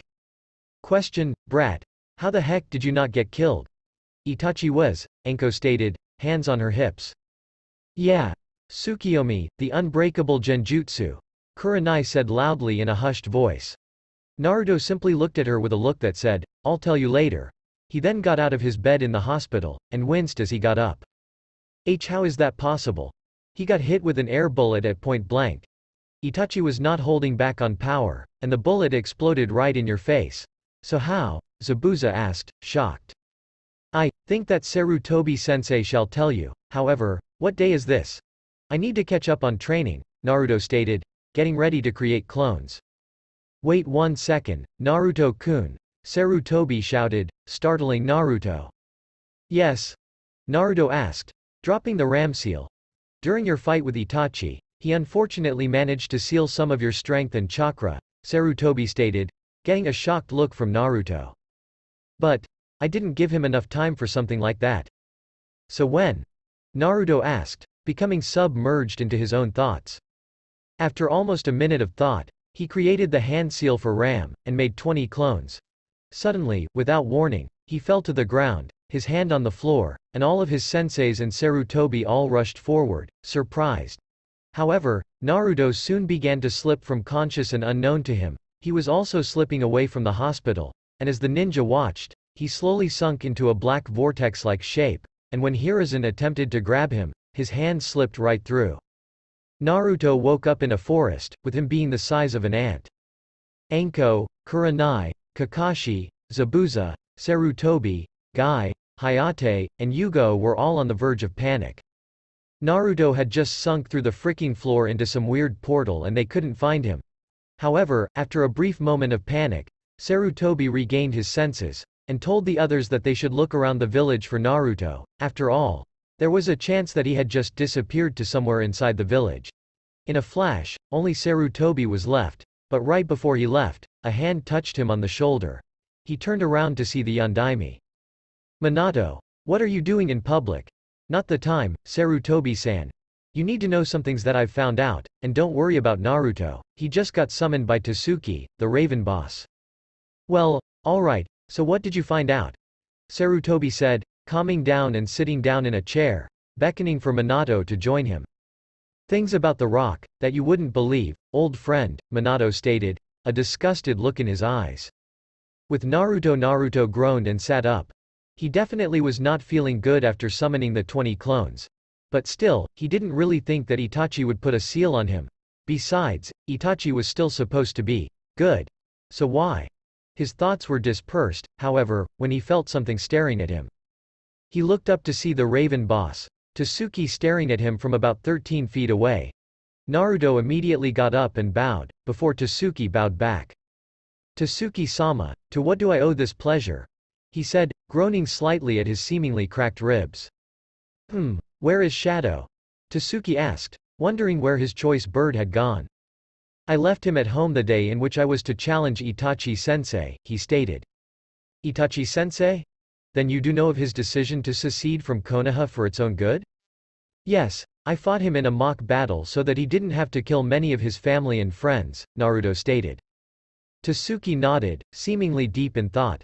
Then, a black spiral appeared in a tree next to the two, and out of it stepped Itachi, already wearing a black cloak with red clouds. Itachi-sensei, What's with the cloak? Naruto yelled, relieved to see his sensei alright. Itachi looked at Tasuki, who nodded, signaling that it was safe, and Itachi went up and gave Naruto a brother hug, who was shocked by the exchange. Are you okay, Naruto-san? Itachi asked, sure to not hurt him too hard.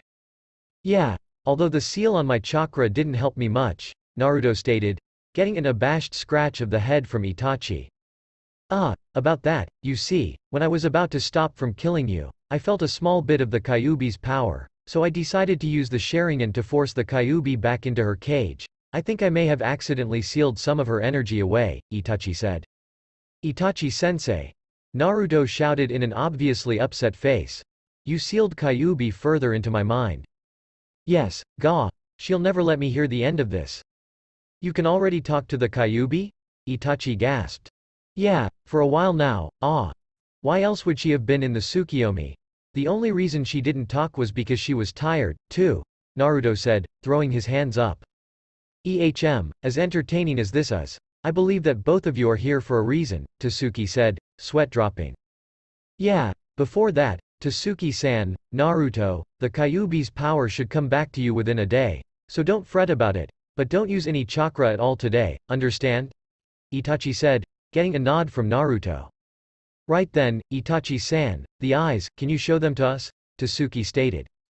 Of course, Itachi said, taking Shisui's left eye from a scroll, and Naruto near puked, but resisted.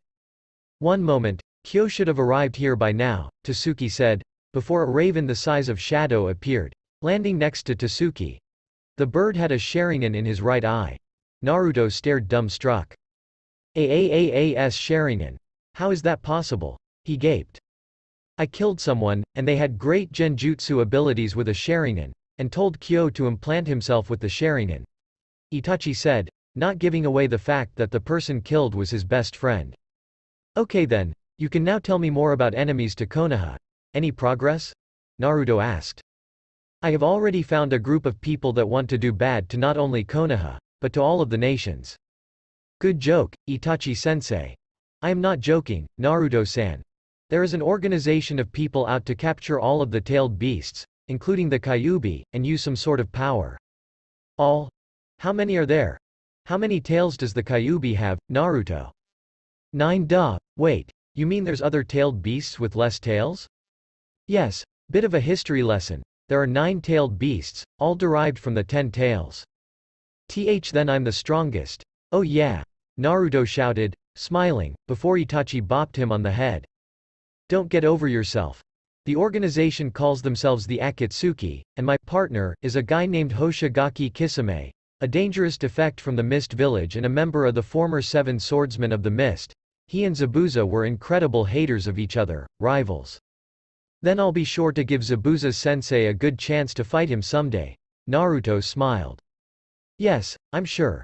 But before that, I trust that you already know how to summon one member of a summoning clan in particular? Yeah, I think so, Naruto stated, scratching his head. All you have to do is to remember the name of that particular summon when you summon him or her, and they will come. When you get into too much trouble, summon Kyo, and tell him to help you with the situation. Hi, Itachi-sensei. Anything else you want me to do? Naruto asked. Yes, first, if you ever, ever meet anybody with the same cloak as me, flee, and create 200 shadow clones to run away and disperse. Then run as far as you can. Even tap into the Kyuubi's power if you have to, until you get back to Konoha. Then tell Sarutobi-sama that you met one of the Akatsuki. Don't try to fight, you'll get slaughtered, as, although I am one of the stronger members, the others are still too much for you. H. Hi. Next. Visit the rest of my family in the next few days. Make sure my mother is alright, and that my little brother can cope with the situation. Okay, although, Itachi-sensei, Sasuke-san is still holding up rather well, he stated. Good, I am relieved to hear that. Still, be sure to visit. And also, if a man named Danzo ever, ever tries to sway you to his side, kill him, Itachi stated, his eyes cold. Why? Because, Danzo is the entire reason that the Uchiha clan decided to revolt. He actually went to my father one night, and swayed him into believing that their former power was gone. Then he later told me to kill my clan. I hope you never have to kill, but, as you are a ninja, killing is inevitable, Itachi stated, before waving goodbye to Naruto, and stepping back into the black swirl and disappearing. So, how do I get back to Konoha? Naruto asked Tasuki. Well, normally you could simply shunshin, and appear in the Forest of Death, but since you aren't allowed to use chakra, I believe it is appropriate for me to reverse summon you back to your apartment, yes? Tasuki asked, prepping his wings. Ah, Sure, but how does that? Naruto asked, before Tasuki blew his wings at him, launching him in a whirlwind. Naruto saw black for a minute, before he woke up at his bedside, scaring the mask off of the Anbu that was at his apartment, revealing Yugao, who promptly hugged Naruto. Are you okay, Naru-kun? she asked, near strangling him in her hug. Can't breathe. Naruto choked, his face turning as purple as Yugao's hair. Oh, sorry, Yugao said, before dropping Naruto promptly on his bed, where he laid face down, his legs still on the floor.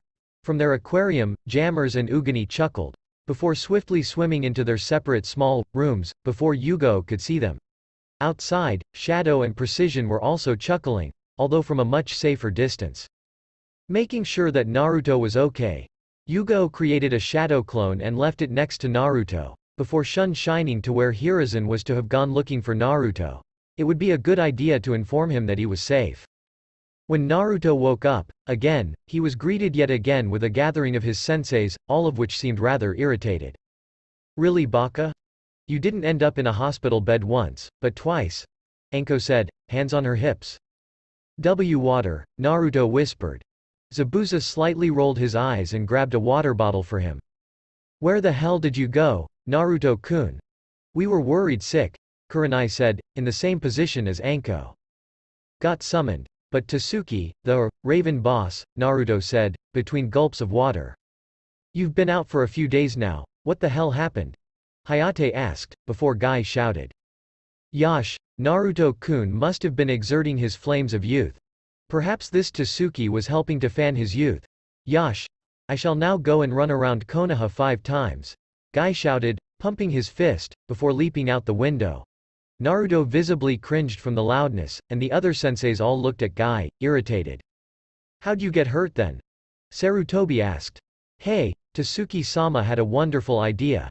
To blow me back to my apartment in a whirlwind, Naruto stated, making all of the ninjas present face vault. On a more, important note, how many days exactly have I been out? Naruto said, starting to get up. Only a day, so you haven't missed much, Kakashi replied, his Icha Icha book not out for once. A whole day? Aw, crap, Naruto said, before attempting to whistle. What are you doing, Baka? Don't stress yourself, Anko said. Don't worry, my body is getting back to where it should be, Naruto said, before in a yell of primal strength, his chest bumped up, and his arms returned to their healthy look. He jumped out of his bed, and bowed to all of his senseis, who were looking dumb-struck. Although Hiruzen wasn't as surprised, after all, the Kyuubi wouldn't allow her container to be hurt too long. B but you were just, and now, Anko said, still dumbstruck. Ya, get over it, Anko-sensei. Thanks everyone, for being so concerned. But I have training to catch up on. Kage Bunshin no Jutsu. Naruto shouted, making 50 clones appear. Hey wait a minute, Naruto-kun. Sarutobi shouted, before Naruto frowned. Only 50? That's not right. Here we go again. Kage Bunshin no Jutsu. Naruto shouted again, making another 50. There, that's better. Alright then, split up into your normal groups, but pair up to more than usual. Add 5 clones to each group, and the rest, come with me. Naruto shouted, and all of the clones saluted, shouting, Hi. W wait. But Naruto, Hiruzen said, watching all of the clones run around, doing random things. Two actually brought out an octopus and turtle out of the water tank in the corner, and one whistled loudly, making two birds land on his shoulder. About 40 dragged individual teachers out, asking for some training, and soon, it was just the Hokage, alone, in Naruto's room. Wait. What just happened? Sarutobi asked, scratching his head. Naruto Naruto, the real one, was falling down from his apartment room, when he realized that he was still dressed in what he had been sleeping in for the past day. The shorts that said, property of Konoha, a, ninja, jacket, and an ordinary plain white tee. Groaning, Naruto ran to one of the only clothing stores that would let him in, the iron kimono. As soon as he stepped in, he regretted his choice. Inside the store browsing, were Ino and Sakura, chatting it up like old-time friends. Naruto edged by, hoping that he could get to the ninja men section before the girls noticed him. Unfortunately, the shop owner, Hitomi, I don't own Hitomi, immediately shouted, Hello, Naruto-san. How may I help you today? Naruto froze where he stood and both Ino and Sakura, who had been peacefully chatting a mere few seconds ago, turned their heads toward him, and there was an audible snap, as they turned to face him. You.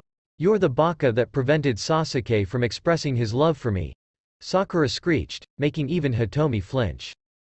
Ehm. This baka has a name you know. Sakura Haruno. Daughter of the council member, hopeful future Kunoichi, and one of the many, many fangirls of Sasuke Uchiha. A terrible future ninja, it seems. One of the many potential ninja that current Kunoichi despise. Weak little fangirls that seem to enter the academy only to impress another person, and yet, you actually do have real potential, it only goes to waste when the Uchiha arrives. Also, you were one of the only students able to decipher the, every two, code, Naruto said, taking out a book and reading it. The title said, The Essence of Pressure Points. How to Render Unconscious, with a picture of a person, with multiple little dots where a hit was lethal. It was lucky that Sarutobi had insisted that, since he was to be an insider on the future generation, that he were to read the all-knowing profiles on each and every one of the students, including the teachers. You might as well take off the mask now, Naruto, Ino said, pointing at Naruto's face. Why should I? There isn't much of a point, Ino-san. Unless of course, you wish to see my face again. Although there isn't much special about it, Naruto replied cleverly, while browsing the multiple racks and shelves of clothing, picking out one occasionally. Naruto Baka. You heard Ino-chan, Take off the mask, Sakura screeched again. Well, if you wanted me to undress, Naruto started, then you could have just followed me to when I was about to try on the new clothes. Naruto held up the clothes he had picked out. Naruto baka. Ino-chan and I would never, ever do something like that. Sakura screeched yet again, jumping at Naruto, intending to punch a hole straight through his mask and face. In a flash, Sakura was face down on the ground of the clothes shop, and Naruto was standing on her back, still reading his book. Sakura didn't realize what had happened, and was about to screech again, when Naruto kneeled down and, taking out a toothpick, jammed it into a spot on Sakura's neck. Sakura fell limp, and Naruto picked her up. He looked at Ino, who had been watching the entire scene, and tossed her friend to her. Ino caught Sakura, although buckling a bit from her friend's weight. Ino-san, it would be wise of you to leave me alone. So unless you want what happened to Sakura to happen to you, Naruto said, casually flipping up his toothpick. Ino nodded, and left with Sakura on her shoulder. Naruto then turned to the shop owner and swiftly apologized. Hitomi however, waved off the apology, and rang up his order. Sasuke Sasuke was part relieved to leave the Uchiha house, where he had been comforting his mother, he walked alone, from his house to the outside of his clan's designated area. And while he walked, people that Itachi had spared eventually came around, fearing him. He was relieved when he walked out. Sasuke immediately walked towards the training ground that he always went to, the normal training ground 26, where he would practice his Katon ninjutsu, when he passed the 25th training ground, and was surprised to see Naruto there, with 20 other Narutos, all of them sparring with swords. Hey, Naruto, Sasuke yelled, waving his arm. All of the clones stopped sparring, and stared at Naruto. One of them stepped forward, and the rest continued to spar with blades. Hello, Sasuke-san.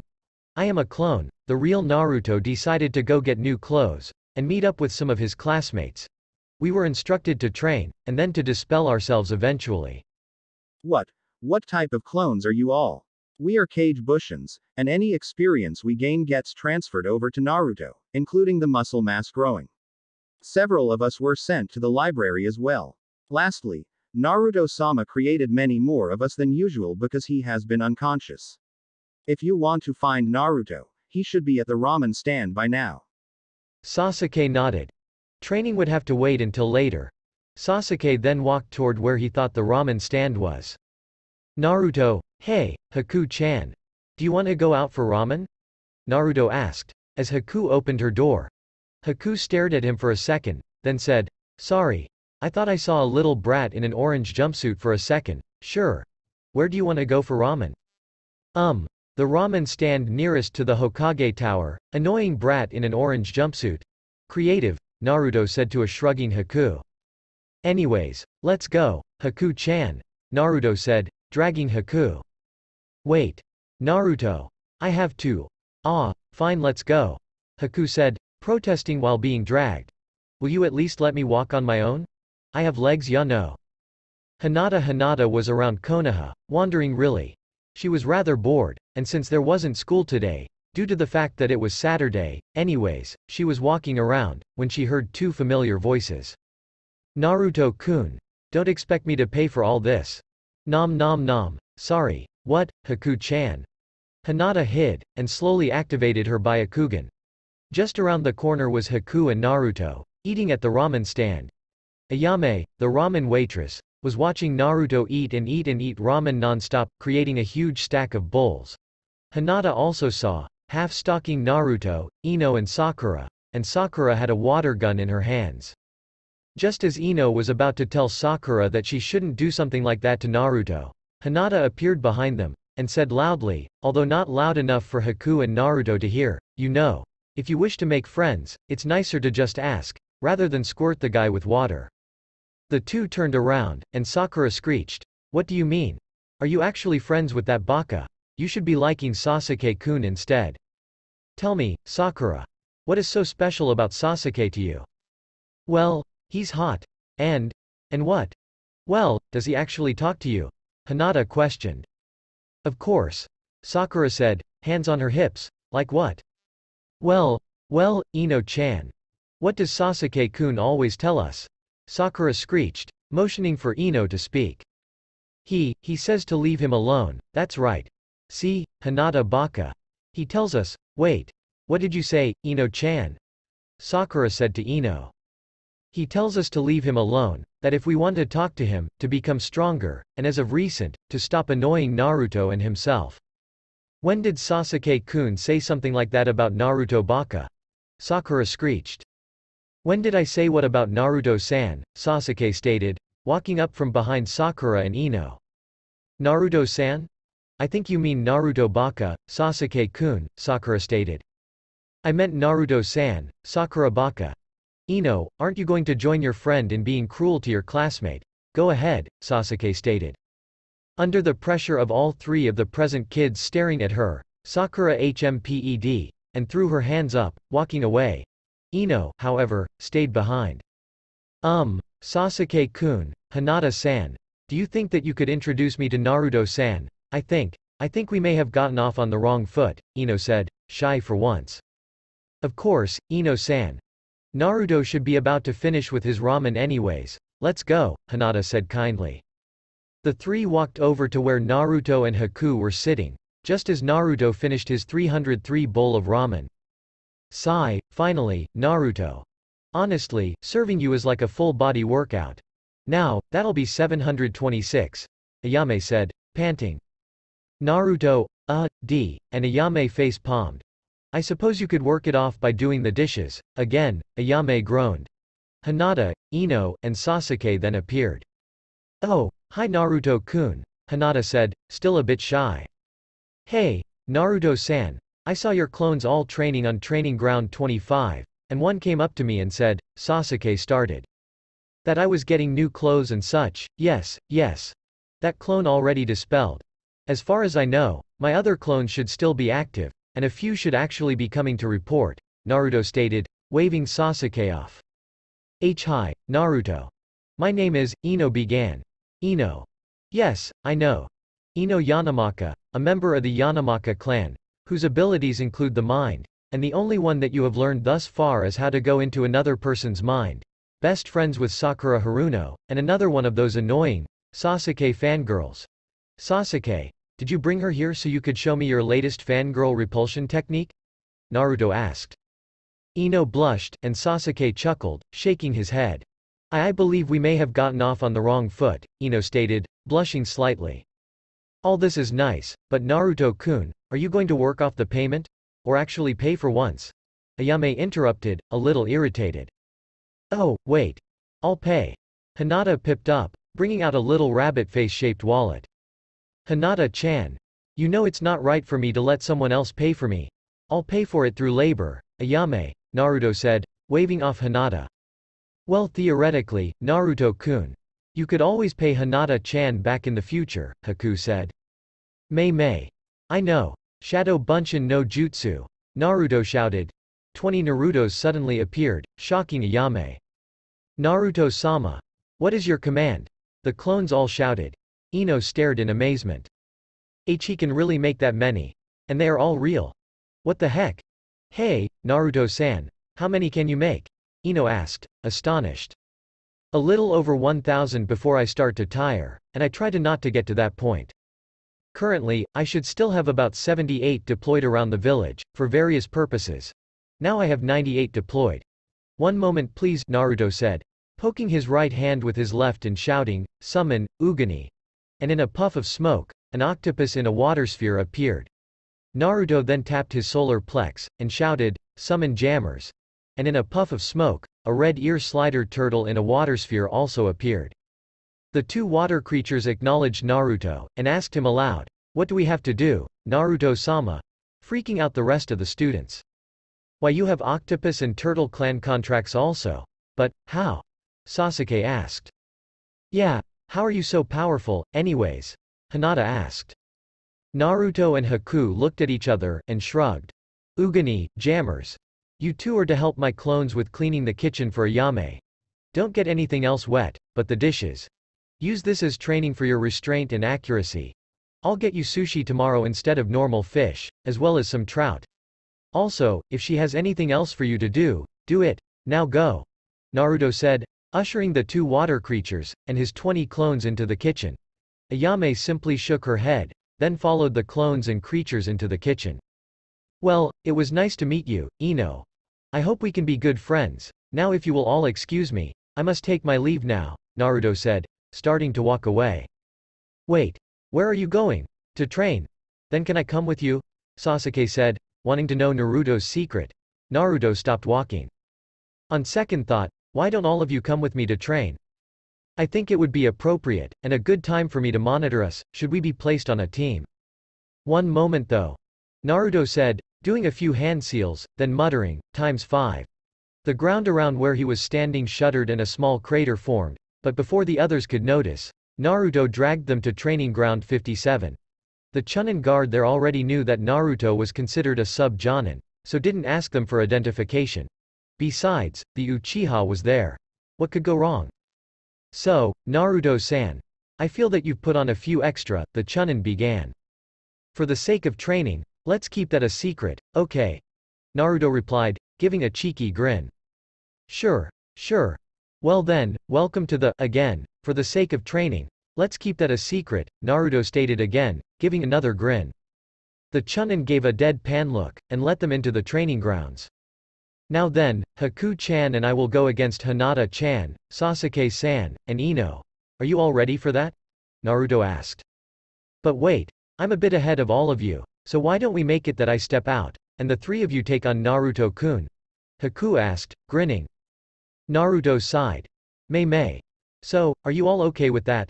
Good. Now then, rules are that you all win if you manage to corner me, and if you attack, I die.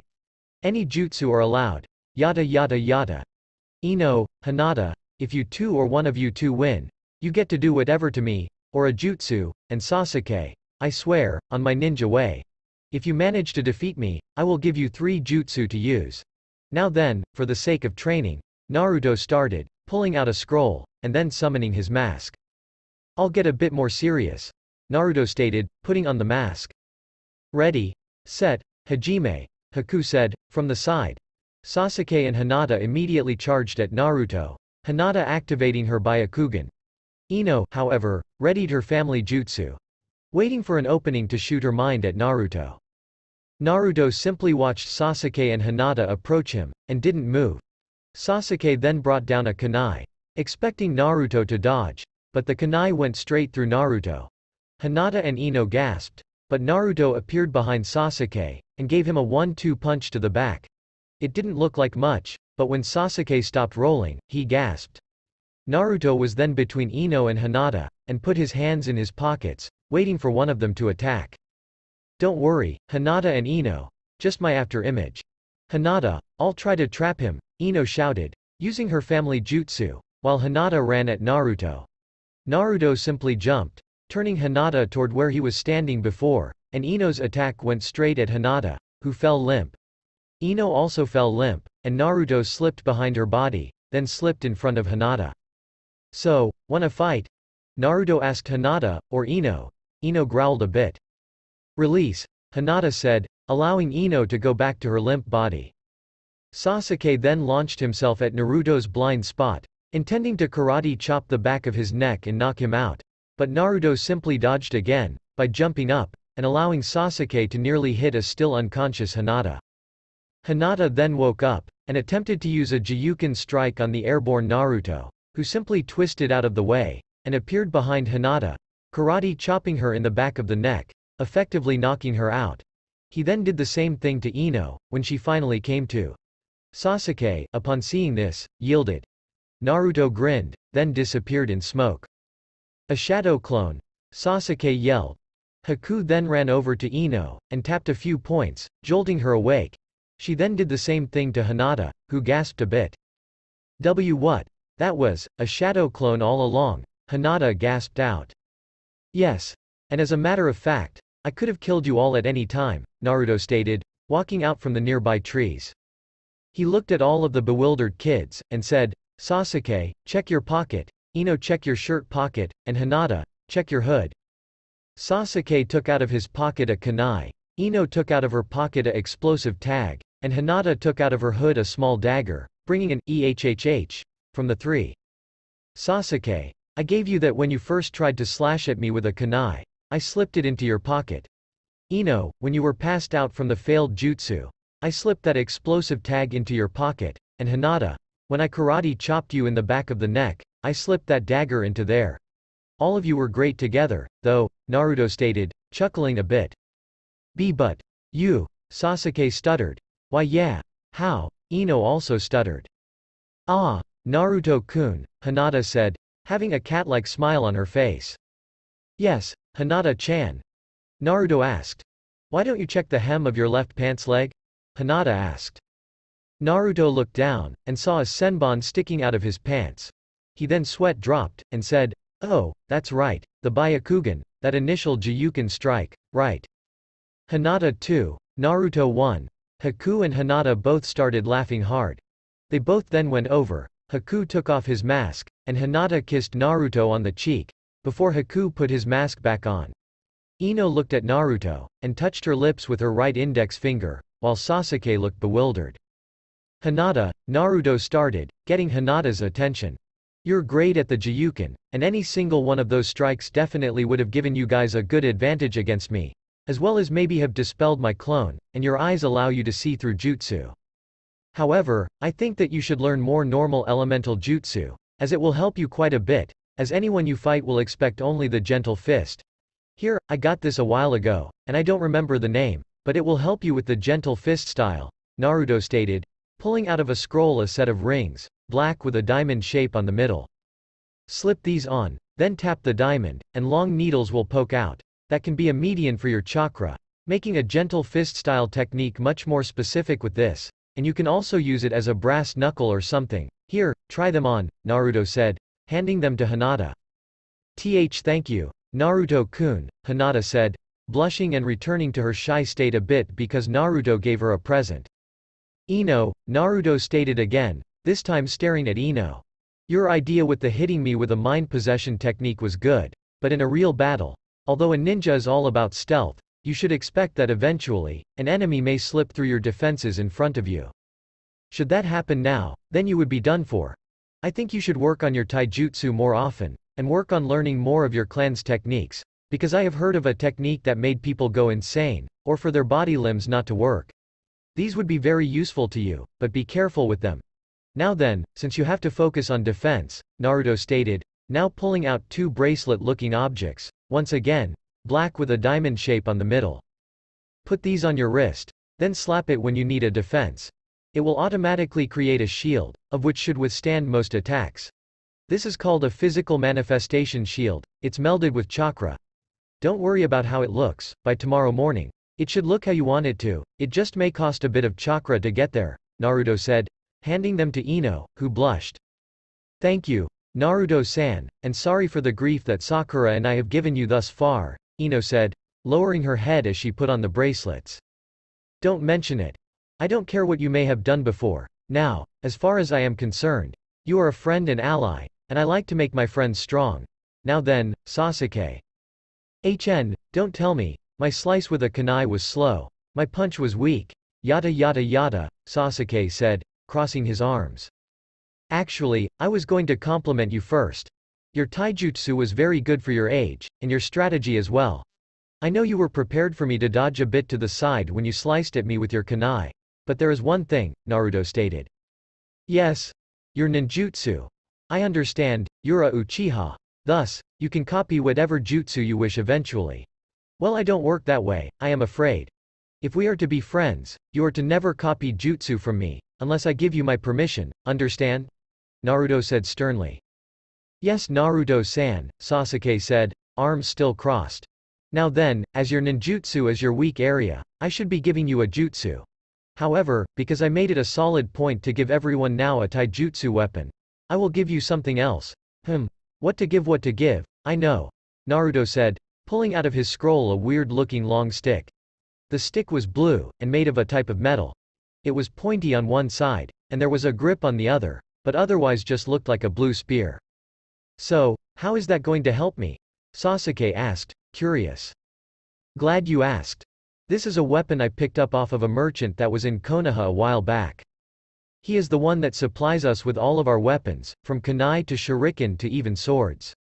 He is a master blacksmith, and was a bit short on cash, since he actually makes brilliant weapons, and yet doesn't sponsor them for some reason. Anyways, I helped him with something for a while, as well as tried out some of his wares for him, so he could know their strengths and weaknesses, and he gave me this. It's a spear alright, but it's a fully extendable spear. This spear can go forward 50 feet and back in about 3 seconds. This will help you against a long-distance fighter. W what? F5 50 feet. Sasuke said, losing his posture. Hinata and Ino, who had been on the side trying out their new weapons, looked over. Yes, and I give it to you, as a token of friendship, Sasuke-san, Naruto said, holding it in both hands as he showed it to Sasuke. T thank you, Sasuke said, respecting his friend for his trust. No problem Sasuke, now why don't you join Hinata and Ino, and try out the spear? Naruto said, making a gesture of, after you, with his hand.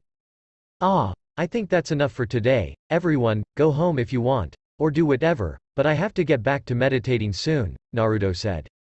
Well, mom's gotta have dinner on the table by now, see ya, Ino shouted, running off.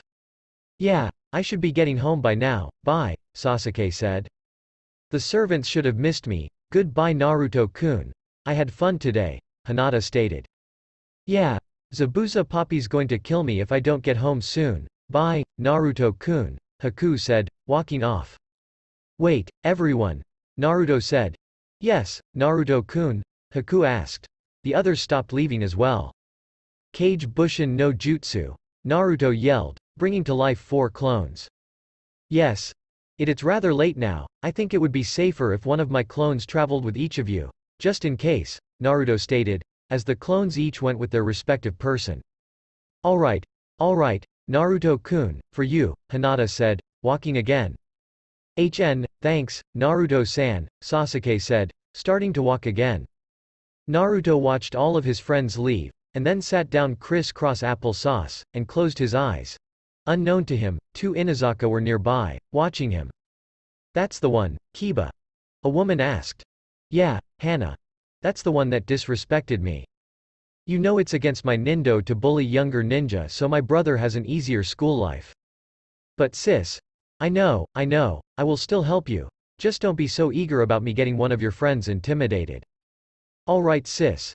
And he's not my friend. Naruto was meditating. Yet he could hear the two talking.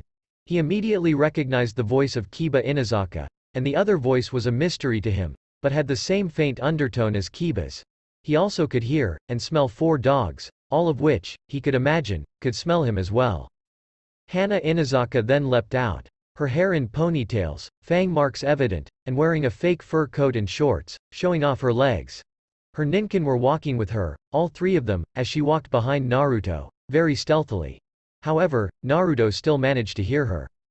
So I imagine you are Kiba's older sister. Naruto said, his back to Hana, and eyes still closed.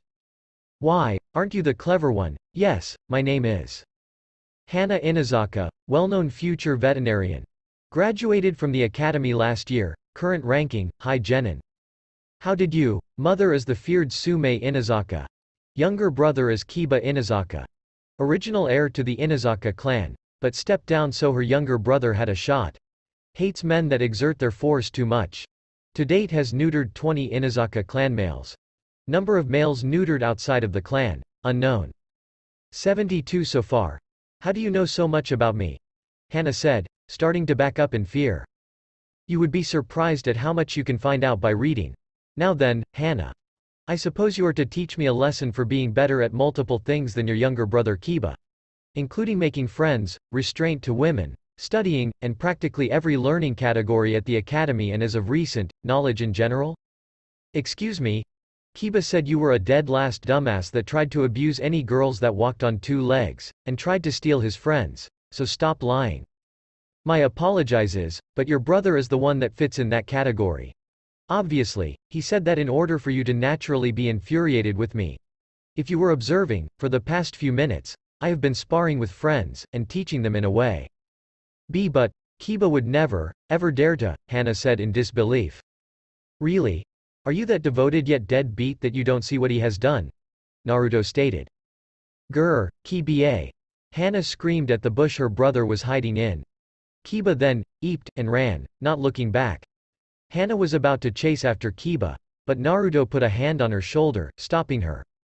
What's your problem? I'm going to kill my little brother. Hana yelled, trying to get out of Naruto's grip. She was surprised, however, that despite her efforts, Naruto still managed to hold onto her shoulder tight. Hana-san. I believe that if you were to kill your brother without reason that your mother might react negatively. However, if she were to see his disgusting behaviors herself. Alright. Sorry for getting out of control, Hana said, shuddering down a bit. It's alright. But try to refrain from doing something like that in a battle type of situation, as it will prove to be your downfall. Naruto said, before Shun shining away. Hana watched where he had disappeared, and started home. She would make sure that Kiba paid. Naruto Naruto reappeared outside of his apartment, and as he was about to walk up the stairs, a sight bewildered him. Shino Aburame, the bug user, was nearby, and it looked like he was in trouble. He was surrounded by five big burly kids, all of them were huge and one was rather fat. It was obvious, from the headband that they wore, that they were genin rank, and that they were bullying Shino. Shino himself was merely standing, alone. But on the inside, he was quivering slightly. The big guy had decided that bugs were gross or something, and thus had, attacked, Shino. However, if any of them attacked, the carnivore's bugs that Shino had with him would react. It wouldn't be his fault if a bunch of kids got eaten by random bugs. However, one of the many genin was obviously a relative of Choji, as he was huge and fat. So, a little bug freak, eh? The big Akimichi said. Yes. Although I am not little, nor am I a freak, I can communicate with insects. And as insects can live with me, I suppose you can easily call me an insect myself. Shino said calmly. Eh, shut up with all the dumb words. We are ninja. We talk with our fists. The guy said, pulling his fist back for a punch. Shino closed his eyes behind his glasses, and tried to will for his bugs to get the guy, but froze up. He waited for the punch, but it never came. Hey, so where does a big dumbass like yourself get around to bullying Aburame? Especially Shino, my friend? a voice said. Shino opened his eyes, and saw Naruto holding the fist of the Akimichi. The fist was enlarged, with a mere pinky, and otherwise simply watching the group of bullies behind his mask. Nani? The Akimichi cried out. Now then, word of advice, kid, Naruto said, pulling the kid close. Why yes? Don't be a bully, or I will destroy you, Naruto stated, letting him see his eyes flash blue for a moment, before kicking the Akimichi in the stomach. His friends all yelled out and charged at Naruto, who merely said, first movement, dance of the lily. In a blur, Naruto span in a circle, surprising all of the genin, and in a flash, he knocked one after the other of the genin in the stomach, sending them flying away, until all of them but one were reeling on the ground, clutching at their stomach. The last one was bigger than the Akimichi, and visibly upset. Hmm. Dance of the Pond Lily. Naruto said, jumping forward and digging his fist into the genin's stomach until Shino couldn't see his arm. The big boy stumbled back, then fell on his back. Don't just stand there and stare, Shino-san. Hurry home, Naruto said to a watching Shino, who nodded and hurriedly ran home.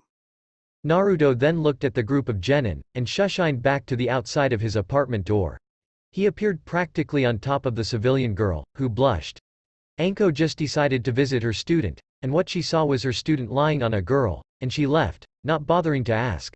The girl blushed, and said, Why, I didn't know you were that kind of person, neighbor San. Naruto groaned, got off the girl, helped her up, then hurriedly said, Sorry, and went into his room, to his meditation mat. After all of his clones had dispelled, he made his alarm clock clone and went to bed, after brushing his teeth and taking a shower. Naruto was in the hotel again, he looked around, wondering where the Kyuubi was, but after failing, he stopped searching. He then walked to where the elevator was, and went inside it. On the bottom right, next to his hand, were three buttons, all brightly lit up. The lowest one said, cat, then, dog, finally, weasel. Naruto hesitantly pressed the one that had, cat, on it. When Naruto stepped out of the elevator, he was back in the stealth dojo, and nearby was Yugao, camped out with Melon Paw in the middle, occasionally pointing out where she thought Naruto was. It was a regular training day, but as Naruto watched, Yugao grew a tail. Then cat ears. Her eyes changed and grew slit, her nose became more pressed into her face, and eventually, she fell on all fours, and grew black and white fur. And after image moved back, and Yugao was once again sitting on the seat, pointing out where Naruto was. However, there was now a cat the height of Naruto walking towards him. Naruto felt a huge instinct to flee, but fought it off, and stood his ground. This gave him a strange bemused look from the cat. There is no reason to be afraid, the cat said, in a low-pitched Russian-like voice. Of course. I presume that you are the tester for the cat contract? Naruto asked, going into a deep bow. Ah, yes. And I presume that you are Z male Zat Yugao decided was worthy of signing our ah, contract. The cat replied, sitting on all fours, shoulders and head up. His tail was tucked under him, yet appeared flickering towards Naruto from beside his four feet. Yes, I am that person. Ah. Zen, I believe Zat Z's, is yours, the cat said, licking his paw, then slamming his paw on the ground. Naruto jumped, but the cat took out of midair, a scroll, labeled strangely. Sign Z's, and yous all have, Z full support of Z Cat Clan. That's it. That is it. Okay then, sign here, initial here, right, I believe that's it? Naruto asked. Yes. Now Zen, leave, and do not ever fail us. You are free to summon us to your world whenever, as it is Razor ear. Okay, thanks, and you're gone, Naruto said, trying to bow to the cat, only to see that the cat had already left. Naruto bent down, and picked up a note left by the cat. As a helpful reminder, the mark for our clan on you is the whisker marks. You may find that your current marks, given by the Kyuubi no doubt, are now deeper, as a sign of our clan. Do not disappoint. Naruto's hands immediately went to his face, and he realized that what the note said was accurate. Next to the circle with the three symbols, the ridges on his face for whiskers were deeper, perhaps another half as much as before. Naruto shrugged, and then walked back to the elevator.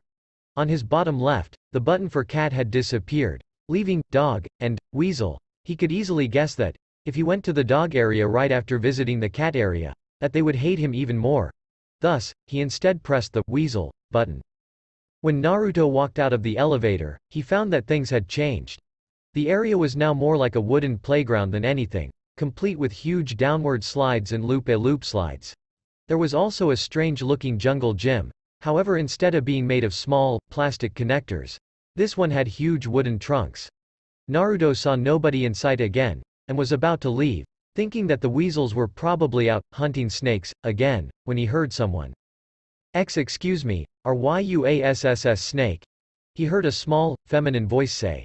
He turned around, and saw a small, short little girl, with small furry white ears and a tail almost as long as herself. She stood at about three feet tall, and was slightly chibi. Head is one-third of body size, smaller arms. Her arms were covering her face, and she seemed rather scared. Air, no, I'm not a snake. I presume that you are one of the members of the Weasel clan? Naruto asked. The girl took her arms off of her face, and stared at Naruto. Her irises were a light blue, but seemed to vary between light blue to dark purple. Eh ah, my parents aren't home right this moment as they are actually on a an expedition to hunt, so I'm afraid that our contract cannot be signed at this moment. Oh, that's too bad. What is your name? And my name? The weasel girl asked, her tail nervously wagging.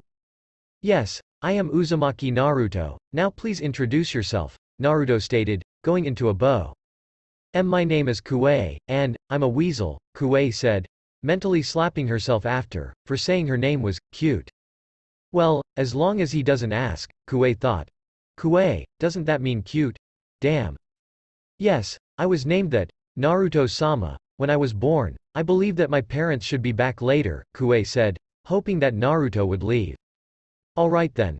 I suppose I have time to wait for your parents, Naruto replied. Awkward silence. Kuei was about to say something about getting a seat, when the two heard a strange bell noise, and cheerful chatting. Into the room walked a couple of furry creatures, much like Kuei, just larger. Almost as tall as Naruto when they were standing up. They walked with a combination of a walk, pad, and a stride. As soon as they entered the living room however, they stopped, as if they smelled something. Kuei. Were you cooking snake scale again while we were gone? You know how very unhealthy that is for you, the masculine voice said. Yes, Kuei dear, listen to your father. Snake scales aren't very healthy, it's called junk food for a reason, after all. Oh who is this? Is this where the snake smell is coming from? The feminine voice said. Ah, my name is Naruto Uzumaki, I am pleased to meet your acquaintance, Weasel-sama, Naruto said, going into a deep bow, even though the weasel was shorter. Oh please, call me Mrs. Kukurai, everybody does. This is my husband, Mr. Kukurai. Now then, why do you smell a bit like snakes? She asked, putting her hands on her hips. Well, that is most likely because I signed the snake contract, Naruto said, feeling a bit uncomfortable. Ah, so that's why. Don't worry about our rivalry, child, we don't hate you. However, we cannot allow you to be our summoner if you have the snake contract. Unless, you passed my test. Wait. You are the weasel boss? Naruto asked. Why yes, now then, will you take my test? Mrs. Kukurai asked. Yes, I will. I will do anything I can to get as much power as I can to protect my village. Ah, good. Then, I shall initiate my test upon you. Right then, come on, and follow me. Kuei, honey dear, will you two put away the snake meats? I have to give this human the third test version. Mommy. Can't you give him the first instead? Kuei said, suddenly looking scared for Naruto. Sorry honey, the last tester took the second test, thus, I haven't got much of a choice but to give him the third, Mrs. Kukurai said, frowning a bit. Right then, what is this test? Naruto asked, in anticipation. Well, let's walk and talk, shall we? Mrs. Kukurai said, giving a gesture for the two of them to walk one way down a stone hall. The two started walking. The third test is a battle against a monster that we only know as the Codex, Mrs. Kukurai stated, and was it Naruto's imagination, or did the room suddenly get colder? Who is this, Codex? Naruto asked. It is a monster, a terrible monster, one of which we captured long ago, at the cost of the lives of most of the Weasel clan, she said, continuing to walk. In front of them was whiteness at the end of the stone tunnel, like an opening to a coliseum. I'm guessing I have to fight it, Naruto asked. No, pray you never have to see it, face to face. For even the entire clan as a whole fled on sight from the monster, she stated grimly. The white exit was getting closer. Then what do I have to do? Force it back into its cage. We always use a technique known as air manipulation. It is a technique that controls the very air around us, and the taker of the test uses this technique to force that creature back into its cage. Be warned, for this is a S plus rank jutsu. SS plus rank jutsu. Naruto yelled in shock. Yes, but because you will be taking the test, we have a pendant for you to wear. It is extremely powerful, and thus, will be loads of help for you in the future. It practically halves the amount of chakra needed for a technique, she said. H have. Yes. I'll alright then, I am ready for this test. What are the signs for this technique? Naruto asked, pumped as Mrs. Kukurai pulled out a pendant and slipped it around Naruto's neck. How do you feel? I feel, great, Naruto said, smiling. Good. Now then, the signs for the jutsu are, Mrs. Kukurai said, showing him. Naruto stepped out of the tunnel and into the Colosseum grounds. In front of him he saw an enormous gate the height of the Hokage Tower, and the length of the Hokage Monument. He gulped, but swallowed his fear, walking towards where he was supposed to for his push. Let the third test form begin. One of the weasels on a catwalk said, hitting a gong. The doors to the cage were eased open, and Naruto began the first 20 out of 100 signs. A loud metallic sound scrapped out of the gates, and Naruto almost hesitated, yet didn't stop. 40 out of 100 now. The metallic sound echoed again, and he saw a little shine deep within the cage. 60 out of 100 now. Suddenly, a large paw swooped out of the open cage, and nearly flattened Naruto. Missing only because he had jumped back. 80 out of 100. Another paw now came down, and this one was even bigger. Naruto felt the air of the strike this time, but it still missed. Last hand sign. A snout emerged, and just as the creature's eyes were about to be exposed to the Colosseum, Naruto yelled, wind style, air manipulation, and made the air form into hands, which pushed the creature far back into the cage, before closing them shut himself. And then he collapsed, panting heavily, and about to pass out. It took a few moments for him to register that the weasel crowd was cheering loudly, and Mrs. Kukurai was waiting for him by the Colosseum entrance. Good job, kid. I guess you get to summon our clan after all. Naruto nodded numbly, before passing out in his dreams. Naruto awoke as usual to the slap of the face, courtesy of the alarm clone he had set up earlier, Grumbling, he cancelled the clone, and rubbed his eyes, feeling a weight on his chest, and looked up. Directly on his chest was a fox with two tails, it was white, yet had a bit of a red outline, and two well-kept tails. She had red eyes, and was staring very intently at Naruto from about an inch away from his face, her snout nearly touching his nose. Yes, it's that Pokemon from the show, and no, I don't own Pokemon. Naruto gave the natural reaction. Ah what the hell, he yelled, shun shining to the door. He grabbed a scroll on the ground, and took out a huge Fuma shuriken, and prepared to throw it. Who are you and why the hell were you wait? Naruto stopped yelling, remembering what Kyuubi had said. Are you the fox she sent, Hitomi? Hi, Naruto-sama. You should really be more of a light sleeper, after all. I have been sitting on your chest for about three hours. It is very warm there, Hitomi said giving a fox grin. Grr. Nice to meet you, Hitomi, my name is Naruto Uzumaki, please don't call me Sama, it's rather annoying. Have you met my other familiars yet? Naruto said, shaking the dark spots out of his eyes. Yes, I believe that my acquaintances are Jammers the turtle, Ugani the octopus, Precision the falcon, Shadow the hawk, and Dango the snake, correct? Spot on, so, why did it take you so long to get here? Naruto asked. I apologize, but the Fox clan has not been summoned since the times of the first Hokage, and thus, the way out of the summon realm was hard to follow. Forgive me, please, Hitomi said, bowing her head. Now now, don't worry about that, but can you please excuse me for a moment? My clone should be arriving soon, Naruto said. The two waited for a moment, and a clone came in through the window, carrying a dead rabbit, then dispelled. Same thing happened again, just with a fish instead of a rabbit. Finally, another rabbit was deposited. Naruto first whistled loudly, doing a low-pitched whistle, then raising it up. Then he went over to the aquarium and knocked on the glass, getting Jammers and Ugani to wake up. Finally, a clone carried Dango up through the window. Good morning, Naruto-sama, the animals all chorused. Hello everyone, I'd like to introduce to you all Hitomi, she is of the Fox clan. She is the newest familiar, so I expect you to treat each other with respect. Of course, Naruto-sama, Precision and Shadow said, each bowing their head. Dango HMPED, and the aquatic creatures didn't respond much. Right then, everyone.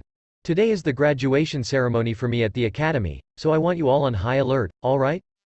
Also, I have realized that I haven't been paying attention to all of you enough. Although it is hard, I should have tried harder. Please, forgive me. For the next few days, there will be a schedule you guys can all organize if you want, and for the day that falls to you, you will be the only summoned animal. Sorry guys, for not paying attention to you all more, Naruto said, before putting on his mask. All of the animals seemed a bit taken aback, but Precision and Shadow still flew onto Naruto's shoulder, following him as he leapt down from his window. When he landed, he landed right next to the civilian girl that kept popping up, startling her. He waved to her gently, before running off towards the academy, his mask on his face. Today was the last day of the academy. When he arrived outside the academy, he was greeted with a sight he tried to avoid. It was some kids from his year, picking on a girl that looked familiar. Her hair was long, and went down to her waist, and her eyes were bleach yellow. Naruto landed right behind the bullies, a couple of oversized kids, who were surrounding the girl, so couldn't see her, without a noise, but the girl saw her, and her eyes widened a bit in shock. You know, bullies. It isn't a good idea to pick on a poor girl. If you want to pick on someone, shouldn't you pick on someone your own age and size? Naruto said, perched on the tall brick wall that surrounded the academy. What the? The biggest one said, turning around. Hey, who the heck are you? Ugly number 2 shouted. Naruto sighed. You know, you are being quite annoying. Why don't you all just stop bothering the girl and let her go? Why should we? Ugly number 3 said. Because of this, Naruto said, vanishing from their sight. A second later, all three guys had a kunai at their throat. The biggest guy had one from the kunai Naruto was holding in his mouth, and the other two, from the ones Naruto was holding in his hands. His mask was gone, so the biggest guy had a very clear look at his face, as well as Scar. W what in the? The biggest one said. Leave now or there won't be enough of you to send back to your parents, Naruto said, his voice muffled from the kunai. The big guy didn't look convinced, so Naruto made some chakra flash in his eyes, and intimidated. The biggest one ran, the other two following his lead and they tripped over each other before picking themselves back up. Are you okay? Naruto asked the girl, not looking at her. I didn't need your help, the girl mumbled, looking away, rubbing her arm. Alright then, should I call them back over here and tell them they can annoy you then? And no, please, don't do that, the girl said, her voice breaking as if fragile. Alright then, in that case, I will just walk to class now, do not worry. I will not tell anyone about you being saved by a demon, Naruto said, walking out of the little courtyard. Wait, please, what is your name? The girl asked. Naruto Uzumaki, don't you know that already, Rochelle Minra? Naruto said, to let her know that she remembered her. S sorry about what I did on the first day of school. It's alright, I understand the peer pressure of things, to try to kill the one that attacked Konoha. Even though you aren't from here, Naruto stated, still not facing him. H. How? I have my resources, and do not worry. I will not give away either of your secrets. I believe that the final day of class is about to start, so I am going to go now. I would advise you to come as well, Rochelle, otherwise, you might be late. See can you G give me a, a piggyback R ride? Rochelle asked, startling Naruto. One of those genin hit me in the leg on accident, Rochelle said, answering Naruto's unasked question and showing her bruise. Of course, I don't let my classmates lag behind, now please, get on my back, Naruto said, holding his two hands back in a climb on gesture. Rochelle blushed, yet still went on Naruto's back, hugging him around the chest for a grip. She knew that she barely knew the student, besides all the rumors told about him, but he seemed so polite now, even before, when she had thrown a kunai at him, he was still polite. Unknowingly, she had been feeling his abs that had resulted from all the working out, and with her being on Naruto's back she could easily feel all of his muscles on his back, holding her up, and they were extremely hard. She wondered what it would have felt like if he hadn't been wearing a shirt and she had been feeling his muscles. Rochelle blushed, knowing that she had been thinking perverted thoughts, but who would have known that the blonde mystery had hidden so much muscle under his outfits? Rochelle continued to think about Naruto's figure, until she finally got out of her stupor by Naruto lightly tapping her back. Ha! WH what? Rochelle said, before realizing with a red face that they were in class now, and that she was still on Naruto's back. The entire class was staring at them, and how at peace Rochelle seemed to be. Everyone was quiet, minus an occasional person, a girl, saying in a jealous voice something like, Dang, he's a lot hotter than I thought. Rochelle kept looking confused, before she realized that in her stupor, she had ripped off the sleeves of Naruto outfit. Now leaving him in a armless black t-shirt with his mask on, normal ninja-style jeans, and a small jacket carrying stuff over his now muscle shirt, even though the sleeves had been torn off those as well. The result of all of the girls seeing Naruto's muscles was that all of the Sasuke fangirls now turned into Naruto fangirls. All except for Sakura of course, who still stuck by Sasuke. Of course, there was still Hinata, Sasuke, Ino, Shino, Kiba, who was now a friend after his disciplining, Choji and Shikamaru, all of which were staring at Rochelle's blissful look and Naruto's build. That girl had better get off my Naruto-kun within five seconds, or I'm gonna, Hinata thought, imagining her in Rochelle's place. Dang, I knew he had quite a bit of strength behind those punches, but those biceps and triceps are the size of my head. Sasuke thought, a bit of envy returning. Oh, my, effin', god. I might just jump him to get a feel of those muscles. Wait, better idea. Ino thought, wiping a bit of drool that came from her mouth, then putting her hands into a unique position. This is illogical on the class's part. They should have realized that all of that strength had to have come from somewhere. However, it is still quite impressive that his biceps have gotten so large. He must have been holding back on us more than I thought. Shino thought, pushing up his glasses. Holy shit, I wouldn't want to be the old perv I was before now. Naruto would slaughter me. Kiba thought, shuddering.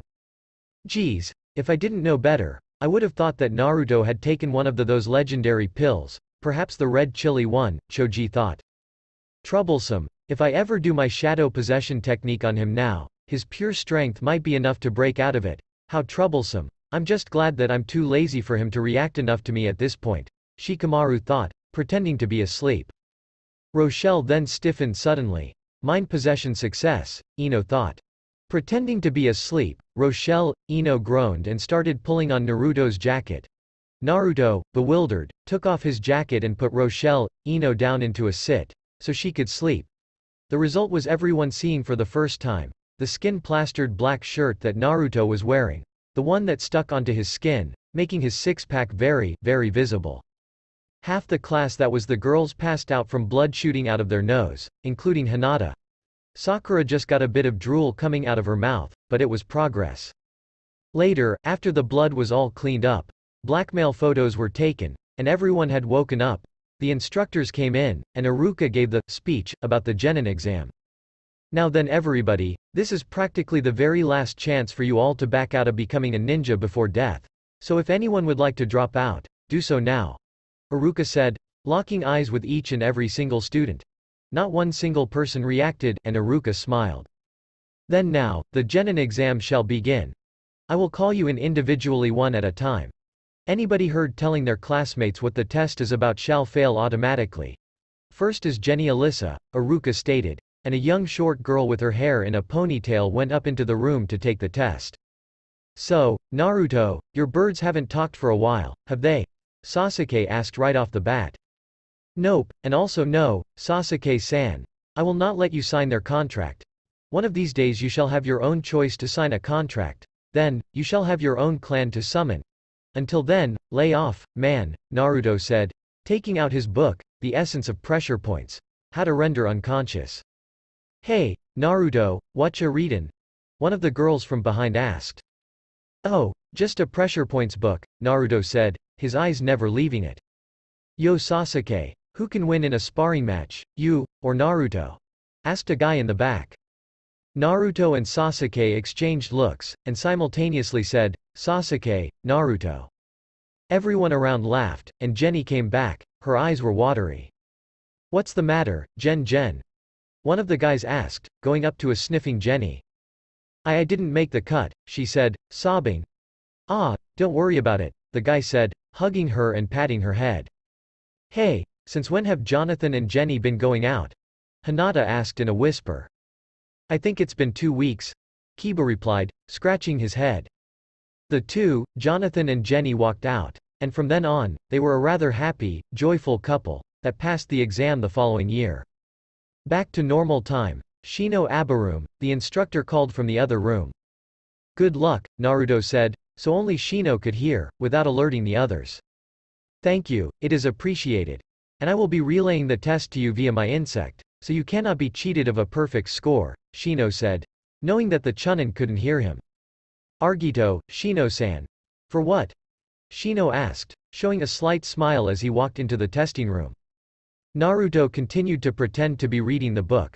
But what he was really looking at was how the friendly insect that Shino had given him was acting. Currently, it was spelling out TJ, meaning to Naruto and his friends, taijutsu. Then, it traced into, henge, then, replacement, then, clone, then finally KJ, for kenjutsu. Naruto sighed in relief. It meant that he wouldn't be tested on genjutsu and such, which was a relief. Naruto read and watched as the test went through everyone except for him and Sasuke, until finally, Sasuke's name was called. Don't fail, Sasuke-chan, Naruto said jokingly, getting the middle finger from Sasuke. Sasuke went inside to the testing area, and the instructors, Mizuki and Iruka, smiled, Mizuki more than Iruka. Mizuki then went through the taijutsu test with the simplest moves, the first step of the tiger, lotus, crane, etc. stances, never the more advanced, which troubled Sasuke. Next was the henge, which Sasuke excelled in by turning into Iruka. Then he replaced himself with Iruka. Finally, he created three clones, of which walked around a bit before being dispelled. For Kenjutsu, he threw his shuriken and kunai all at once, and each and every single throw hit true, bullseye. Congratulations, Sasuke. You got a perfect score. Now then, for an extra credit question, Mizuki said, ignoring a protesting Iruka. Can you do any elemental jutsu? Mizuki asked. Sasuke grinned, and shot a basketball-sized fireball into the air, before eliminating it. Nice, Sasuke. Now then, for this, you've got the highest score. No way anything can change that. So good job. Mizuki said, ushering Sasuke back into the classroom. You realize that was unfair, Mizuki, Iruka said, upset. Ah but Iruka-san, it was the council's idea to make an extra credit question for him, Mizuki said, grinning when Iruka wasn't looking. Well fine, in that case, I'll have to do the same for the next student, Iruka said. Very well. I don't care at this point, choose whoever you. Mizuki began. Naruto Uzumaki. Iruka shouted. Naruto scored the exact same amount of points as Sasuke, despite Mizuki trying so hard to prevent him from doing well. He also did the shadow clone instead of a normal clone, and Mizuki wasn't able to tell much of a difference. After everyone was finished, there was a final sparring round between the year's elites. Naruto vs Sasuke. Rochelle had passed the test with flying colors, but was now nervous. Who would win? And was Naruto angry with her? And so, the final match was set up. Alright, you two, and everyone else. This is the tiebreaker, to decide who gets the title, Rookie of the Year. So now, let's get on with it. Must be knockout to win, ready? Iruka said. Sasuke got into a tiger stance, while Naruto got into his newest stance, the creeping serpent stance, surprising all of the watchers, since he had created the taijutsu himself. Hajime. Immediately, as if driven by some unknown force, Sasuke, whose hands were in tiger claw form, and his legs squarely apart, and Naruto, whose hands were in loose form, hanging down, and his right hand was up, like a snake ready to strike, Naruto and Sasuke started to rotate around the circle drawn into the ground. The tension was so thick that one could cut it with a knife. Finally, Sasuke, impatient, flung himself at Naruto, with his hands outstretched, Naruto, however, saw through the ordinary clone, and so simply blew past the illusion, and started to circle Sasuke. Quite soon, Naruto was going so fast that it looked like there were 20 Narutos, all of them simply circling Sasuke, who was ready for an attack. Naruto suddenly appeared out of nowhere and did three punches to the stomach of Sasuke, who passed out when he hit the wall. To everyone else but the Chunin however, it looked like a single, solid punch. Hey, Iruka-sensei, who gets the title then? Naruto asked.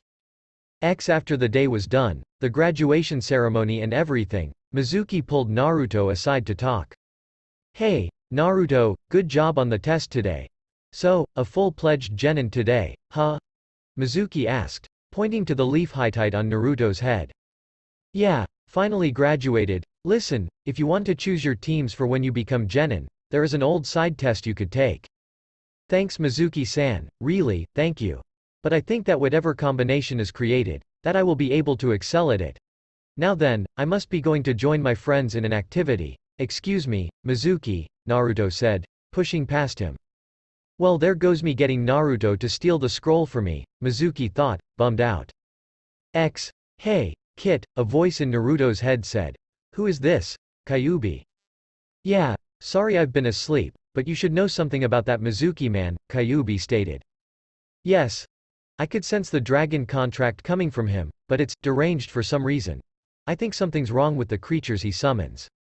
That's strange, but I can't afford to dawdle over it, sorry Kyuubi. It's alright, just keep your eyes open, Kit, good night. Then, Naruto got out of his stupor. All of the families of his friends were there, and most of them had already met him. He chuckled a bit when he saw Hanabi, Hinata's little sister, behind a tree staring at him. Mikoto, Sasuke's mother was there as well, and although she still looked a bit worse for wear, she was still smiling at her son's graduation. Ino's father and mother were next to her, all three looking like triplets while Shino's father wore a higher coat than even Shino, although he actually talked to Naruto. Kiba's older sister had made it with her mom, and both of them were respectful to Naruto. Even though Hana flirted only a little bit, naturally, since Naruto was still only wearing his muscle shirt. Standing near Ino's family was Shikamaru and his dad, as well as Choji and his father, and all of them looked close. Naruto felt a bit sad because of how only he didn't have someone with him.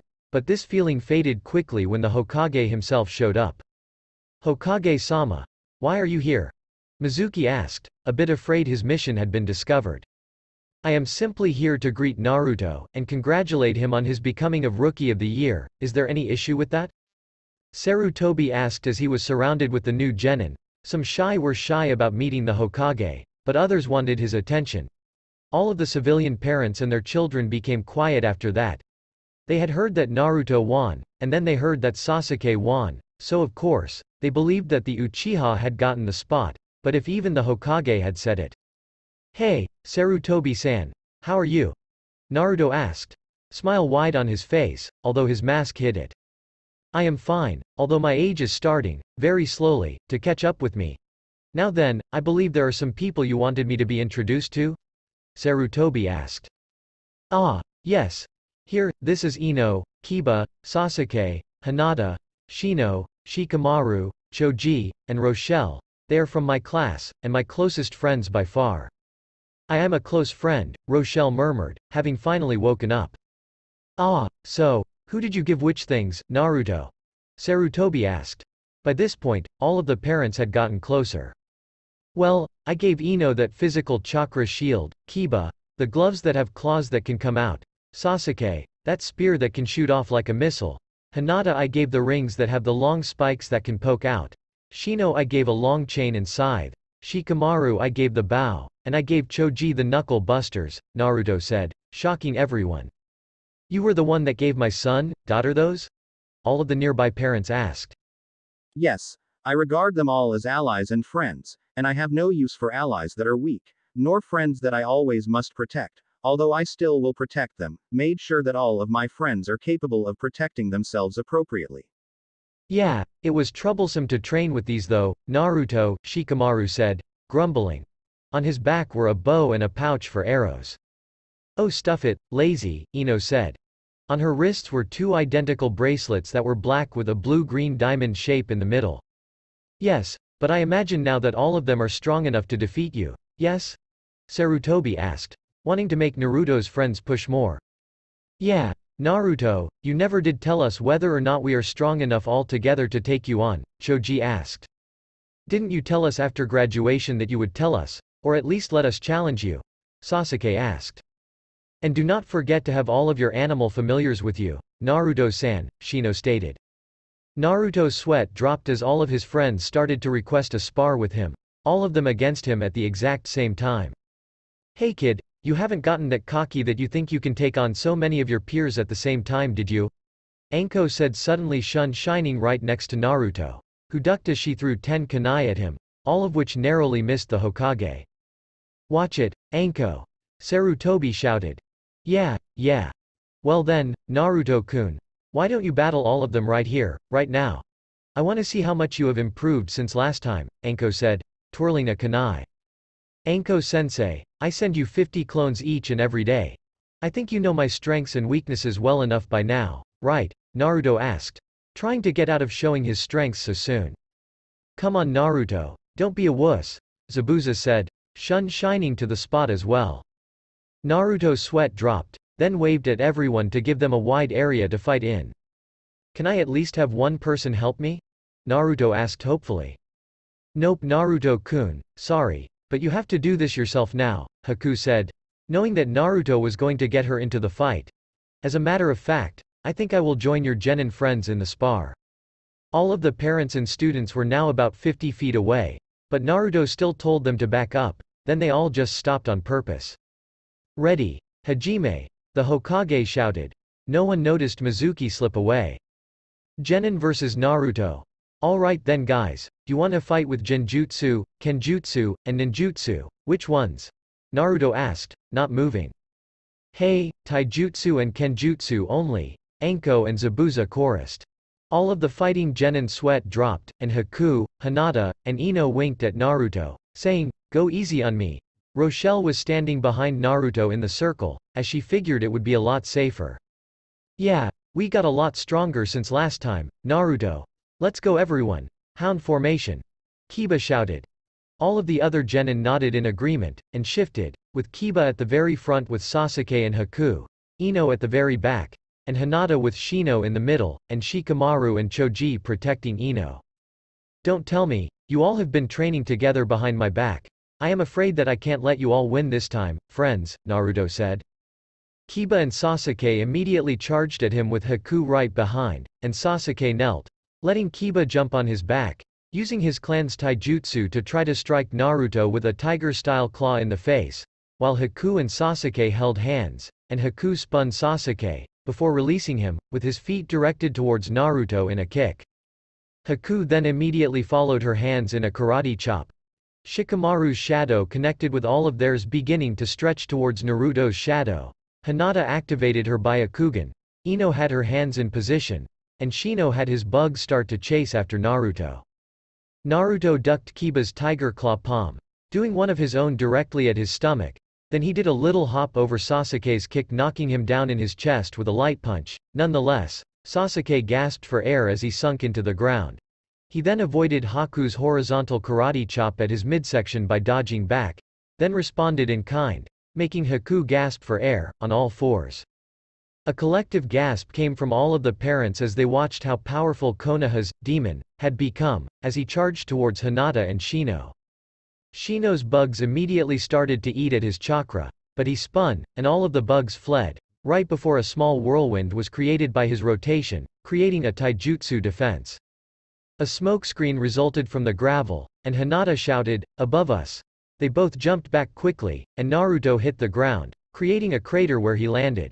He didn't even hesitate in taking a taijutsu battle with Hinata, who couldn't even land a blow, and he struck her squarely in the chest, sending her over on the side, he then did a quick kick to Shino, who got sent towards Hinata, head first, spinning like a torpedo.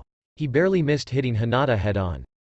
Ino shouted, he's in my range guys. And then, Shikamaru shot out his shadow to try and hold Naruto still while Choji enlarged his hands in case Naruto tried to charge them. Shikamaru's shadow connected with Naruto. But he continued to run towards the three, and at this point, most of the crowd gasped even more knowing that it was nearly impossible to break out of the Nara shadow technique. Troublesome, Shikamaru said, retracting his shadow and connecting it to Choji's. I almost have him, Ino said, trying to follow a weaving Naruto as he got closer with her hands. Hurry! Choji shouted, running forward to try and punch Naruto with his enlarged hands. The punch hit the ground, but Naruto jumped up and ran along Choji's arm, before doing a light punch to his stomach, which sent him reeling. Naruto then jumped over a reeling Choji, only a mere 10 feet away from Ino and Shikamaru now. Shikamaru then turned for some reason and punched the air behind him. Choji responded in kind, and barely missed Naruto, before passing out again. Shikamaru looked at Ino, who nodded, running in the different direction, and Shikamaru took out several smoke bombs and kunai, and started to spar with Naruto, who was obviously holding back. Wait, everyone, Naruto said, holding his hand up to Shikamaru to yield. All of the other genin soon got healed by Ino, who got taught a healing jutsu by Naruto. Ah my stomach, Kiba and Sasuke groaned, holding it. Listen. I gave you your weapons for a reason, right, and besides, this a kenjutsu, taijutsu match, so let's step it up a bit. Naruto said. The parents then gasped, realizing that they weren't fighting to their full potentials. The rest of the genin got up, grinning and completely unhurt, Although, Shino wasn't smiling. So you saw through the act, huh? Hinata asked, scratching her head and smiling. It was a good idea, but ineffective against me, now come at me with your full strength, because I am no longer going to hold back on taijutsu, besides my weights. Damn it. Well everyone, I guess we have to go full strength now, huh? Sasuke said, grinning. Everyone else nodded, and took out their individual gifts. Hinata took out of her pocket the ten rings, and put them on, claw-like needles immediately coming out. Kiba took out gloves, and tapped the left knuckle, making claws come out. Shino took out from his side his chain and scythe, beginning to swing it. Sasuke took off of his back his spear, and held it like it was a sword, pointing it at Naruto. Ino tapped her bracelets, and large black shields appeared on her wrists. Shikamaru took out his bow and arrows, notching one on the bow, and aiming it at Naruto, pulling it back. Choji took from his pocket a set of golden knuckle busters, which barely fit onto his large hands. Lastly, Haku took out ten senbons, and got ready to throw them at Naruto. These are some tough kids, Sarutobi muttered, staring at the kids. Well then, everyone, I believe that since you are all going your all in Kenjutsu and Taijutsu now that it is appropriate for me to retaliate in Kenjutsu. Naruto said, pulling his sword off of his back. Mizuki snuck over to the Hokage Tower, jumping on buildings to get there. With the gift his master had given him, he now knew exactly how many Anbu were following him, as well as how fast they were, and how strong they were. He greeted the secretary and Chunin guards, who didn't take much notice of him except a simple, hello. Once he reached the floor in which the Hokage resided, he casted a genjutsu on the area, a very, subtle one, and the Anbu that had been tailing him didn't realize that he was in the room. He opened the cabinet door that had the key for the scroll, and then, using the key, went over to the back of the room where there was a tiny key slot. He then slid the key in, and turned it. Immediately however, half a dozen chakra chains came out of the drawer, and Mizuki cursed, leaping back and getting ready for a fight. Ex Naruto looked slightly taxed as he dodged an arrow heading towards his face at super speed, then jumping to avoid Kiba and Akamaru as they tried to hit him with their claws, then hitting Hinata in the chest with the flat of his blade, and smacking Shino's chain scythe away, slicing Ino's shield and whacking away Sasuke's spear thrust. He dodged the senbon sent toward him also, as he got ready to fight again. Meanwhile, the spectators' awe for Naruto was becoming more and more pronounced, as they watched the blonde wonder hit here, then there, then over here again as he warded off his classmates. His stamina and kenjutsu teachers, Anko and Zabuza were also getting a bit impressed, Anko because he was still fighting after 30 minutes, and Zabuza because of how many weapons he was deflecting. Both knew, however, that he still was wearing weights that Guy had given him, and knowing Guy, Naruto was probably only going at about a tenth of his true strength, if even. Finally, all of the genin fighters leapt back from Naruto, panting heavily. Sasuke was the one to point his spear at Naruto and shout, Naruto! You said you would fight against us at your full power. Yeah, Naruto-kun, we can tell you're still holding back. So take us seriously already. Hinata shouted also, surprising her father, who didn't think she would or even could yell. Are we that weak that you won't take us seriously? All that training was for nothing then. Stop being so illogical and just fight us truly. Shino even said, raising his voice and startling the crowd. Darn it Naruto-kun, fight already. Do you all really want me to show off all of my true strengths so early? Naruto asked. His voice small and while all of his friends were panting heavily, their faces beaded with sweat, he hadn't even broken a sweat yet, or even had taxed breath. Of course we do, was his answer. Then please, wait one moment, Naruto said, calling out. Guy sensei. Do I have your permission? He yelled, knowing that Guy was listening from somewhere. Yes, you do. Let your bright flames of youth burn brightly, and that the shower of sloth be released, was his reply, and nearly everyone in Konoha heard him. Well alright then, Naruto said, grinning. I may as well tell all of you now, as you all know. I am wearing weights and gravity manipulators, Naruto said, bending over to his the bottom of his pants. Of course we know that, Naruto, Kiba shouted, Akamaru barking in agreement. Well, do you know how much I've been wearing? Naruto said, taking out something from his shoes. Ah, 50 pounds. Hinata guessed. Correct, on each arm, leg, and my midsection, Naruto stated. You were going that fast with that much weight on you. What the hell? How could you have even moved when you put those on? Kiba shouted. I have to admit, the first day I wore them, I actually fell to the ground and had to crawl home, Naruto stated, sweat dropping. That's an understatement, Zabuza muttered. The day Naruto put on all that weight, he couldn't even train any kenjutsu, he was simply too slow. But at the same time, you shouldn't be able to go too quickly, as the rest of your body isn't in tune with how fast your actual speed is, Shino stated. You see, when I was training before, I came up with a solution. I would every once a while take off my weights, then train with them for a day. This way, my body could still stay in tune with how fast I could actually go. That's actually pretty smart, Shikamaru grunted. Well then, allow me to show you my true power, if only for a moment, Naruto said, Vanishing from everyone but the Hokage and Junin's line of sight. Even the Chunin teachers were barely able to keep up, and Iruka had to say, W what is this? You see everyone. This is what the brat really can do. And he's still holding back, shouted Anko, and Zabuza agreed. In an instant, all of the genin fighters had been knocked out, and Naruto was putting his weights back on. Mizuki panted, as the chains finally went limp. He had been dodging them for an hour, before finally sealing them into a scroll, to later present to his master. He checked the time, to see that it was already 5 p.m., and so, the sun must have been setting, a good time to leave while he could. After sealing the chains away, he opened the drawer, and pulled out a huge scroll, and strapped it to his back. He opened the window, and leapt out, taking note of the Anbu units that were pursuing, and swiped his arm, drawing blood, before stopping and slamming the ground, shouting, Kuchiyose no jutsu. A huge poof appeared, and Mizuki was off.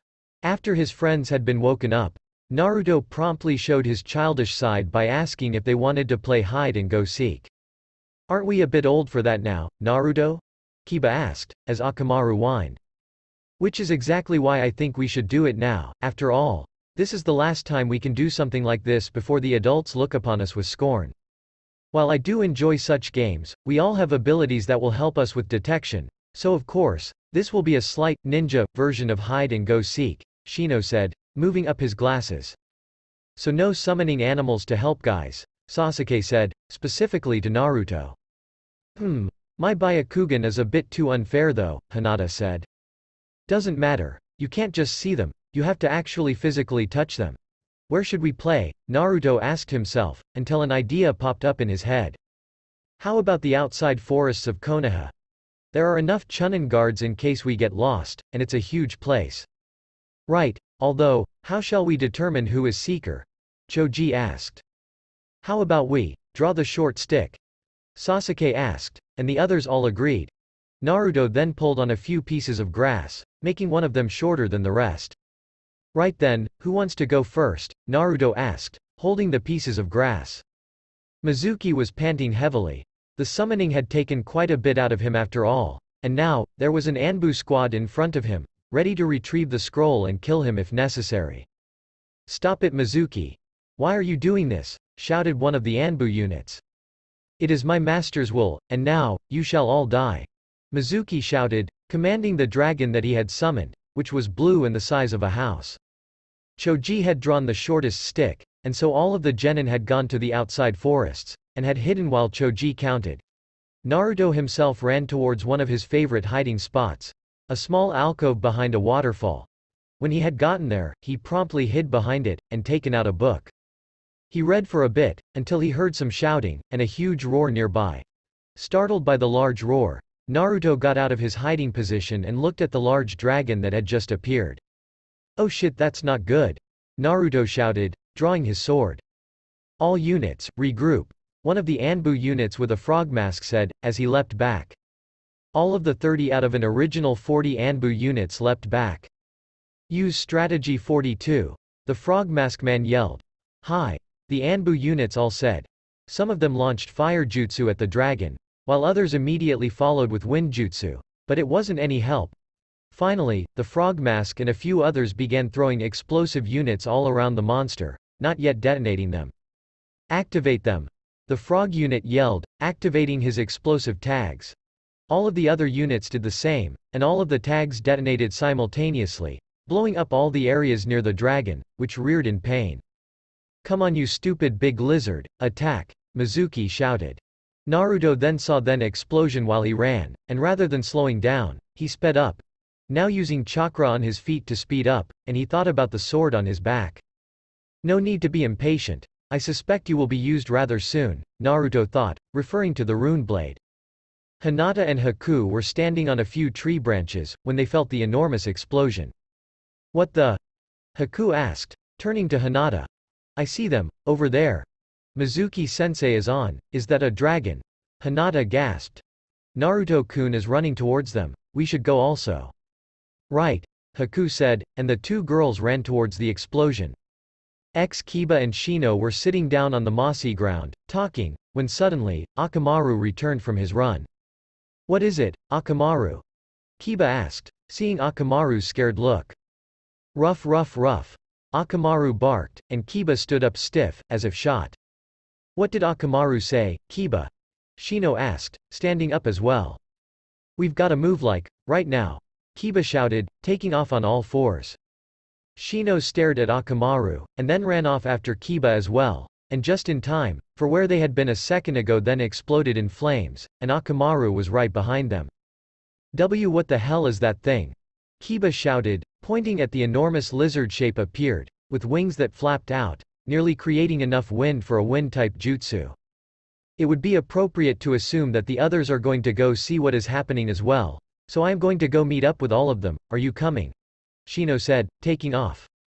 Sasuke was running away from Choji with Ino, and Shikamaru when he saw the explosion, and he caught everyone else's attention. Ino nodded, and got Choji to realize what was going on. Wordlessly, they all headed towards the explosion. Mizuki grinned in triumph, as the dragon he rode attacked the forces that were attacking him, and he felt joy as his enemies were crushed. All that remained was that annoying cat-masked Anbu unit. She with her short blade would dance around the dragon he had summoned, avoiding the blasts of wind and fire, and every once in a while, send a kenjutsu blast at Mizuki, who wondered at who in Konoha was so powerful, as he made the dragon bend to his will. He felt several chakra signatures approaching due to the gift his master gave to him, so he realized that he had to hurry up and finish the fight. When the cat-masked Anbu unit tripped up in the dance between Nin, Blade, and Dragon, resulting her in being hit with a glancing blow by the dragon's claw. Haha, and to think. I was nearly out of chakra. Yet you, pitiful Konoha Anbu, were not enough to stop me, Mizuki said, cackling afterwards. Until he went flying towards his dragon, after getting kicked in the face. You I mean, cat, are you alright? Naruto asked, holding the cat-masked ninja in his arms while he knelt. When she didn't respond, Naruto quickly made 20 clones and put them all next to the cat nin, turning towards Mizuki now, his rage covered by his mask. Naruto? What are you doing here? Mizuki asked, surprised. You would be shocked at what a person can learn when playing hide and go seek. Naruto said coldly, pointing a finger at the dragon standing behind Mizuki. Hmm. Mizuki asked, bewildered. Tell me, what have you done to that noble creature? Naruto asked, his voice becoming a bit heated. Why nothing, I am merely here doing an exam part and the person that was taking it, Mizuki said, trying to lie off Naruto. Shut the fuck up, Mizuki Teme, Naruto said, his voice becoming even more heated. You know, I have realized perhaps why you wear that mask, Mizuki started. Mizuki, is it because you don't want anyone to see your tears? Mizuki, I would understand your sadness, after all, everyone in Konoha hates you. Mizuki, I mean, why wouldn't they hate you? Do you want to know why? Mizuki, it's because you, are the Kyuubi. Mizuki finished, figuring that Naruto would break down and start to cry. Rather, Naruto laughed. He laughed and laughed and laughed, his hands on his knees at what Mizuki had said. At this point Mizuki was starting to fear. After all, shouldn't Naruto be sobbing now? Ha ha ha, you, ha ha ha, honestly think, ha ha ha, that I'm, ha ha the Kyuubi, Naruto said, still laughing his ass off. W well of course you are. Mizuki shouted back. Idiot, I'm the container, not the actual thing, otherwise, this entire place would have been leveled by now, dumbass, Naruto said, still sniggering. What did you call me? Mizuki yelled. Dumbass, because that is what you are, Naruto said. Don't try to put me down. Mizuki shouted, his eyes wild. You don't understand, do you little demon? I know you're a demon. A demon that should die with a kunai through your demonic heart. You should be stabbed multiple times with kunai in every single part of your body, your liver and other internal non-lethal organs slowly cooked, and your eyes should be carved out with a dull kunai. Well then, Naruto said, his mask now off, and his scarred eye and tattooed face shown. I think you need to learn some things, teacher. Naruto yelled, rushing forward at Mizuki. Ha, I'll beat you down in one blow, Mizuki said, getting ready. Naruto then vanished from sight. Hey Naruto, Mizuki said. I see you, Mizuki yelled, throwing several kunai at a spot, but they hit nothing. What? Mizuki asked, eyes narrowed for something, anything to appear.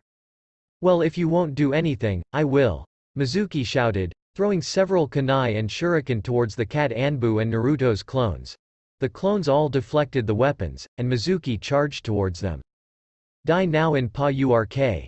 Mizuki yelled coughing out blood as a sword appeared through his heart. He turned shakily to where Naruto stood behind him, his sword now through Mizuki. How? Mizuki said shakily, coughing out more blood. I will let you dawdle on it as you die. Oh so slowly, Naruto said, slicing off Mizuki's fingers and then pulling his hair out by the roots, sure to not do a lethal attack. Gah! Mizuki yelled, as he coughed up more blood. Now may you die slowly, Naruto said, sheathing his sword and stepping back, when his fellow genin appeared from the trees that they had been hiding at. Is is it true, Naruto-kun, are you truly the Kyuubi, Ino asked, nervous. As I already said, Ino-chan, I am not the Kyuubi, I am just its container, Naruto said, before he realized he accidentally called her Chan. Ha! I win you too, give it up, Ino said, pointing a finger at Hinata and Haku, who both grumbled and handed over some money. The same thing happened between the guys, as everybody gave their money to Shikamaru, who just muttered, troublesome. Did you all bet on who I would call Chan first? Naruto asked, amused. Yep, and I won. Next bet is who gets called Hime, or kissed on the cheek, then on the lips, then who goes out with you first and then, Ino said, dawdling on and on. Shikamaru-san, you thought I would call Ino-san Chan first? Naruto said.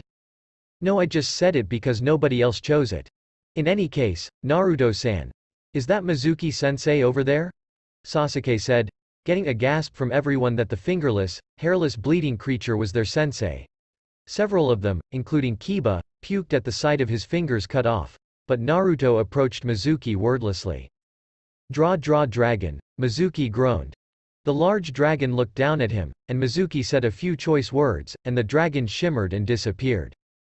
Naruto, completely surprised, leapt back a bit and bade his friends to do the same, as Mizuki stood, his hair and fingers regrouping, the hole in his chest fading away.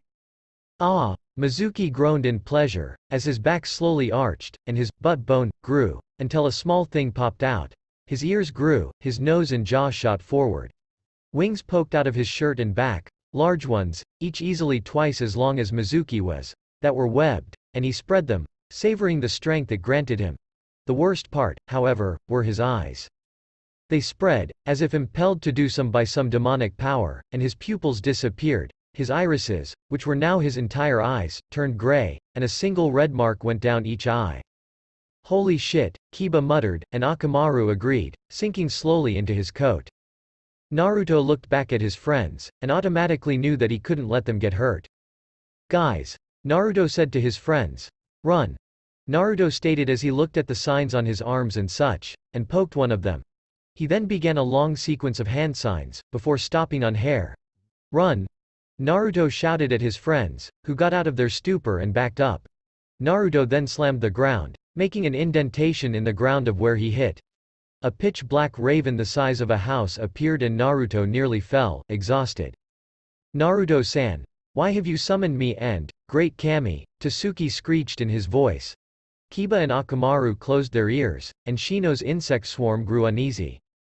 I apologize for summoning you so early into your clan and my relationship. But I believe you can tell now why I need your help, Naruto said, gasping for breath after using so much chakra to summon Tasuki. Yes, I understand. I assume you wish to move the battle then, to the skies?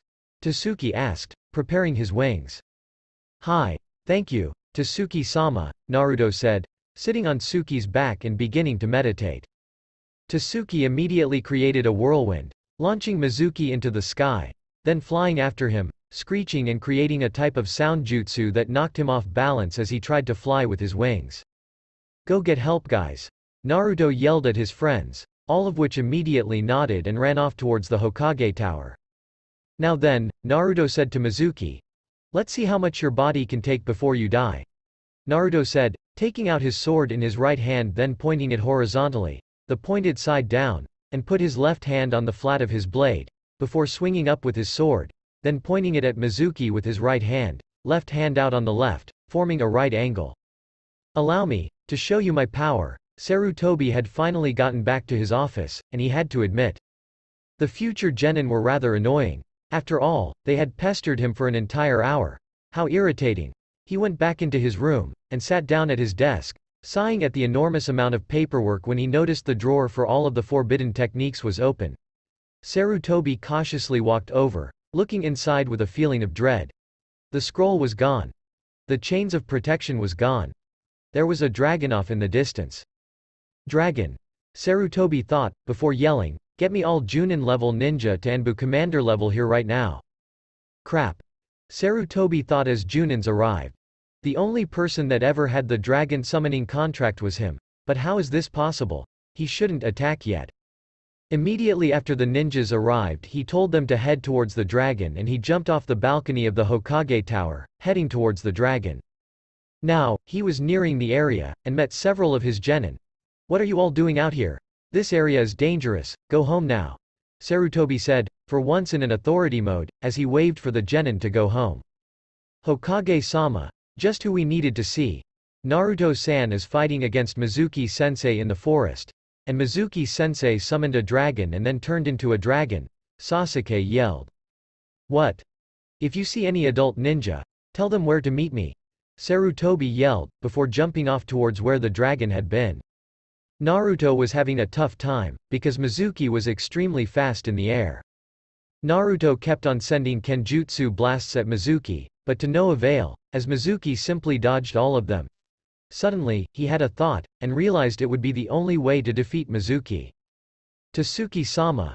Naruto yelled, in order to get his attention. I have an idea. Mizuki continued darting back and forth, having fun. I imagine that Master must know about this brat's power. He'll probably want to put a seal on him in the future.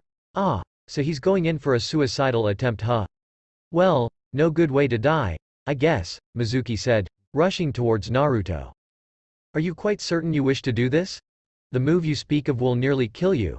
There's at least a 50% chance that the blow will hit a vital area, Tasuki said, doubtful. And if I don't do something, Mizuki will get away with stealing a forbidden scroll from the village, as well one of Sarutobi-san's personal scrolls. I will not forgive him. So just go with it, please, Naruto said, now standing. Alright. And I appreciate that amount of time that you have been my clan's summoner.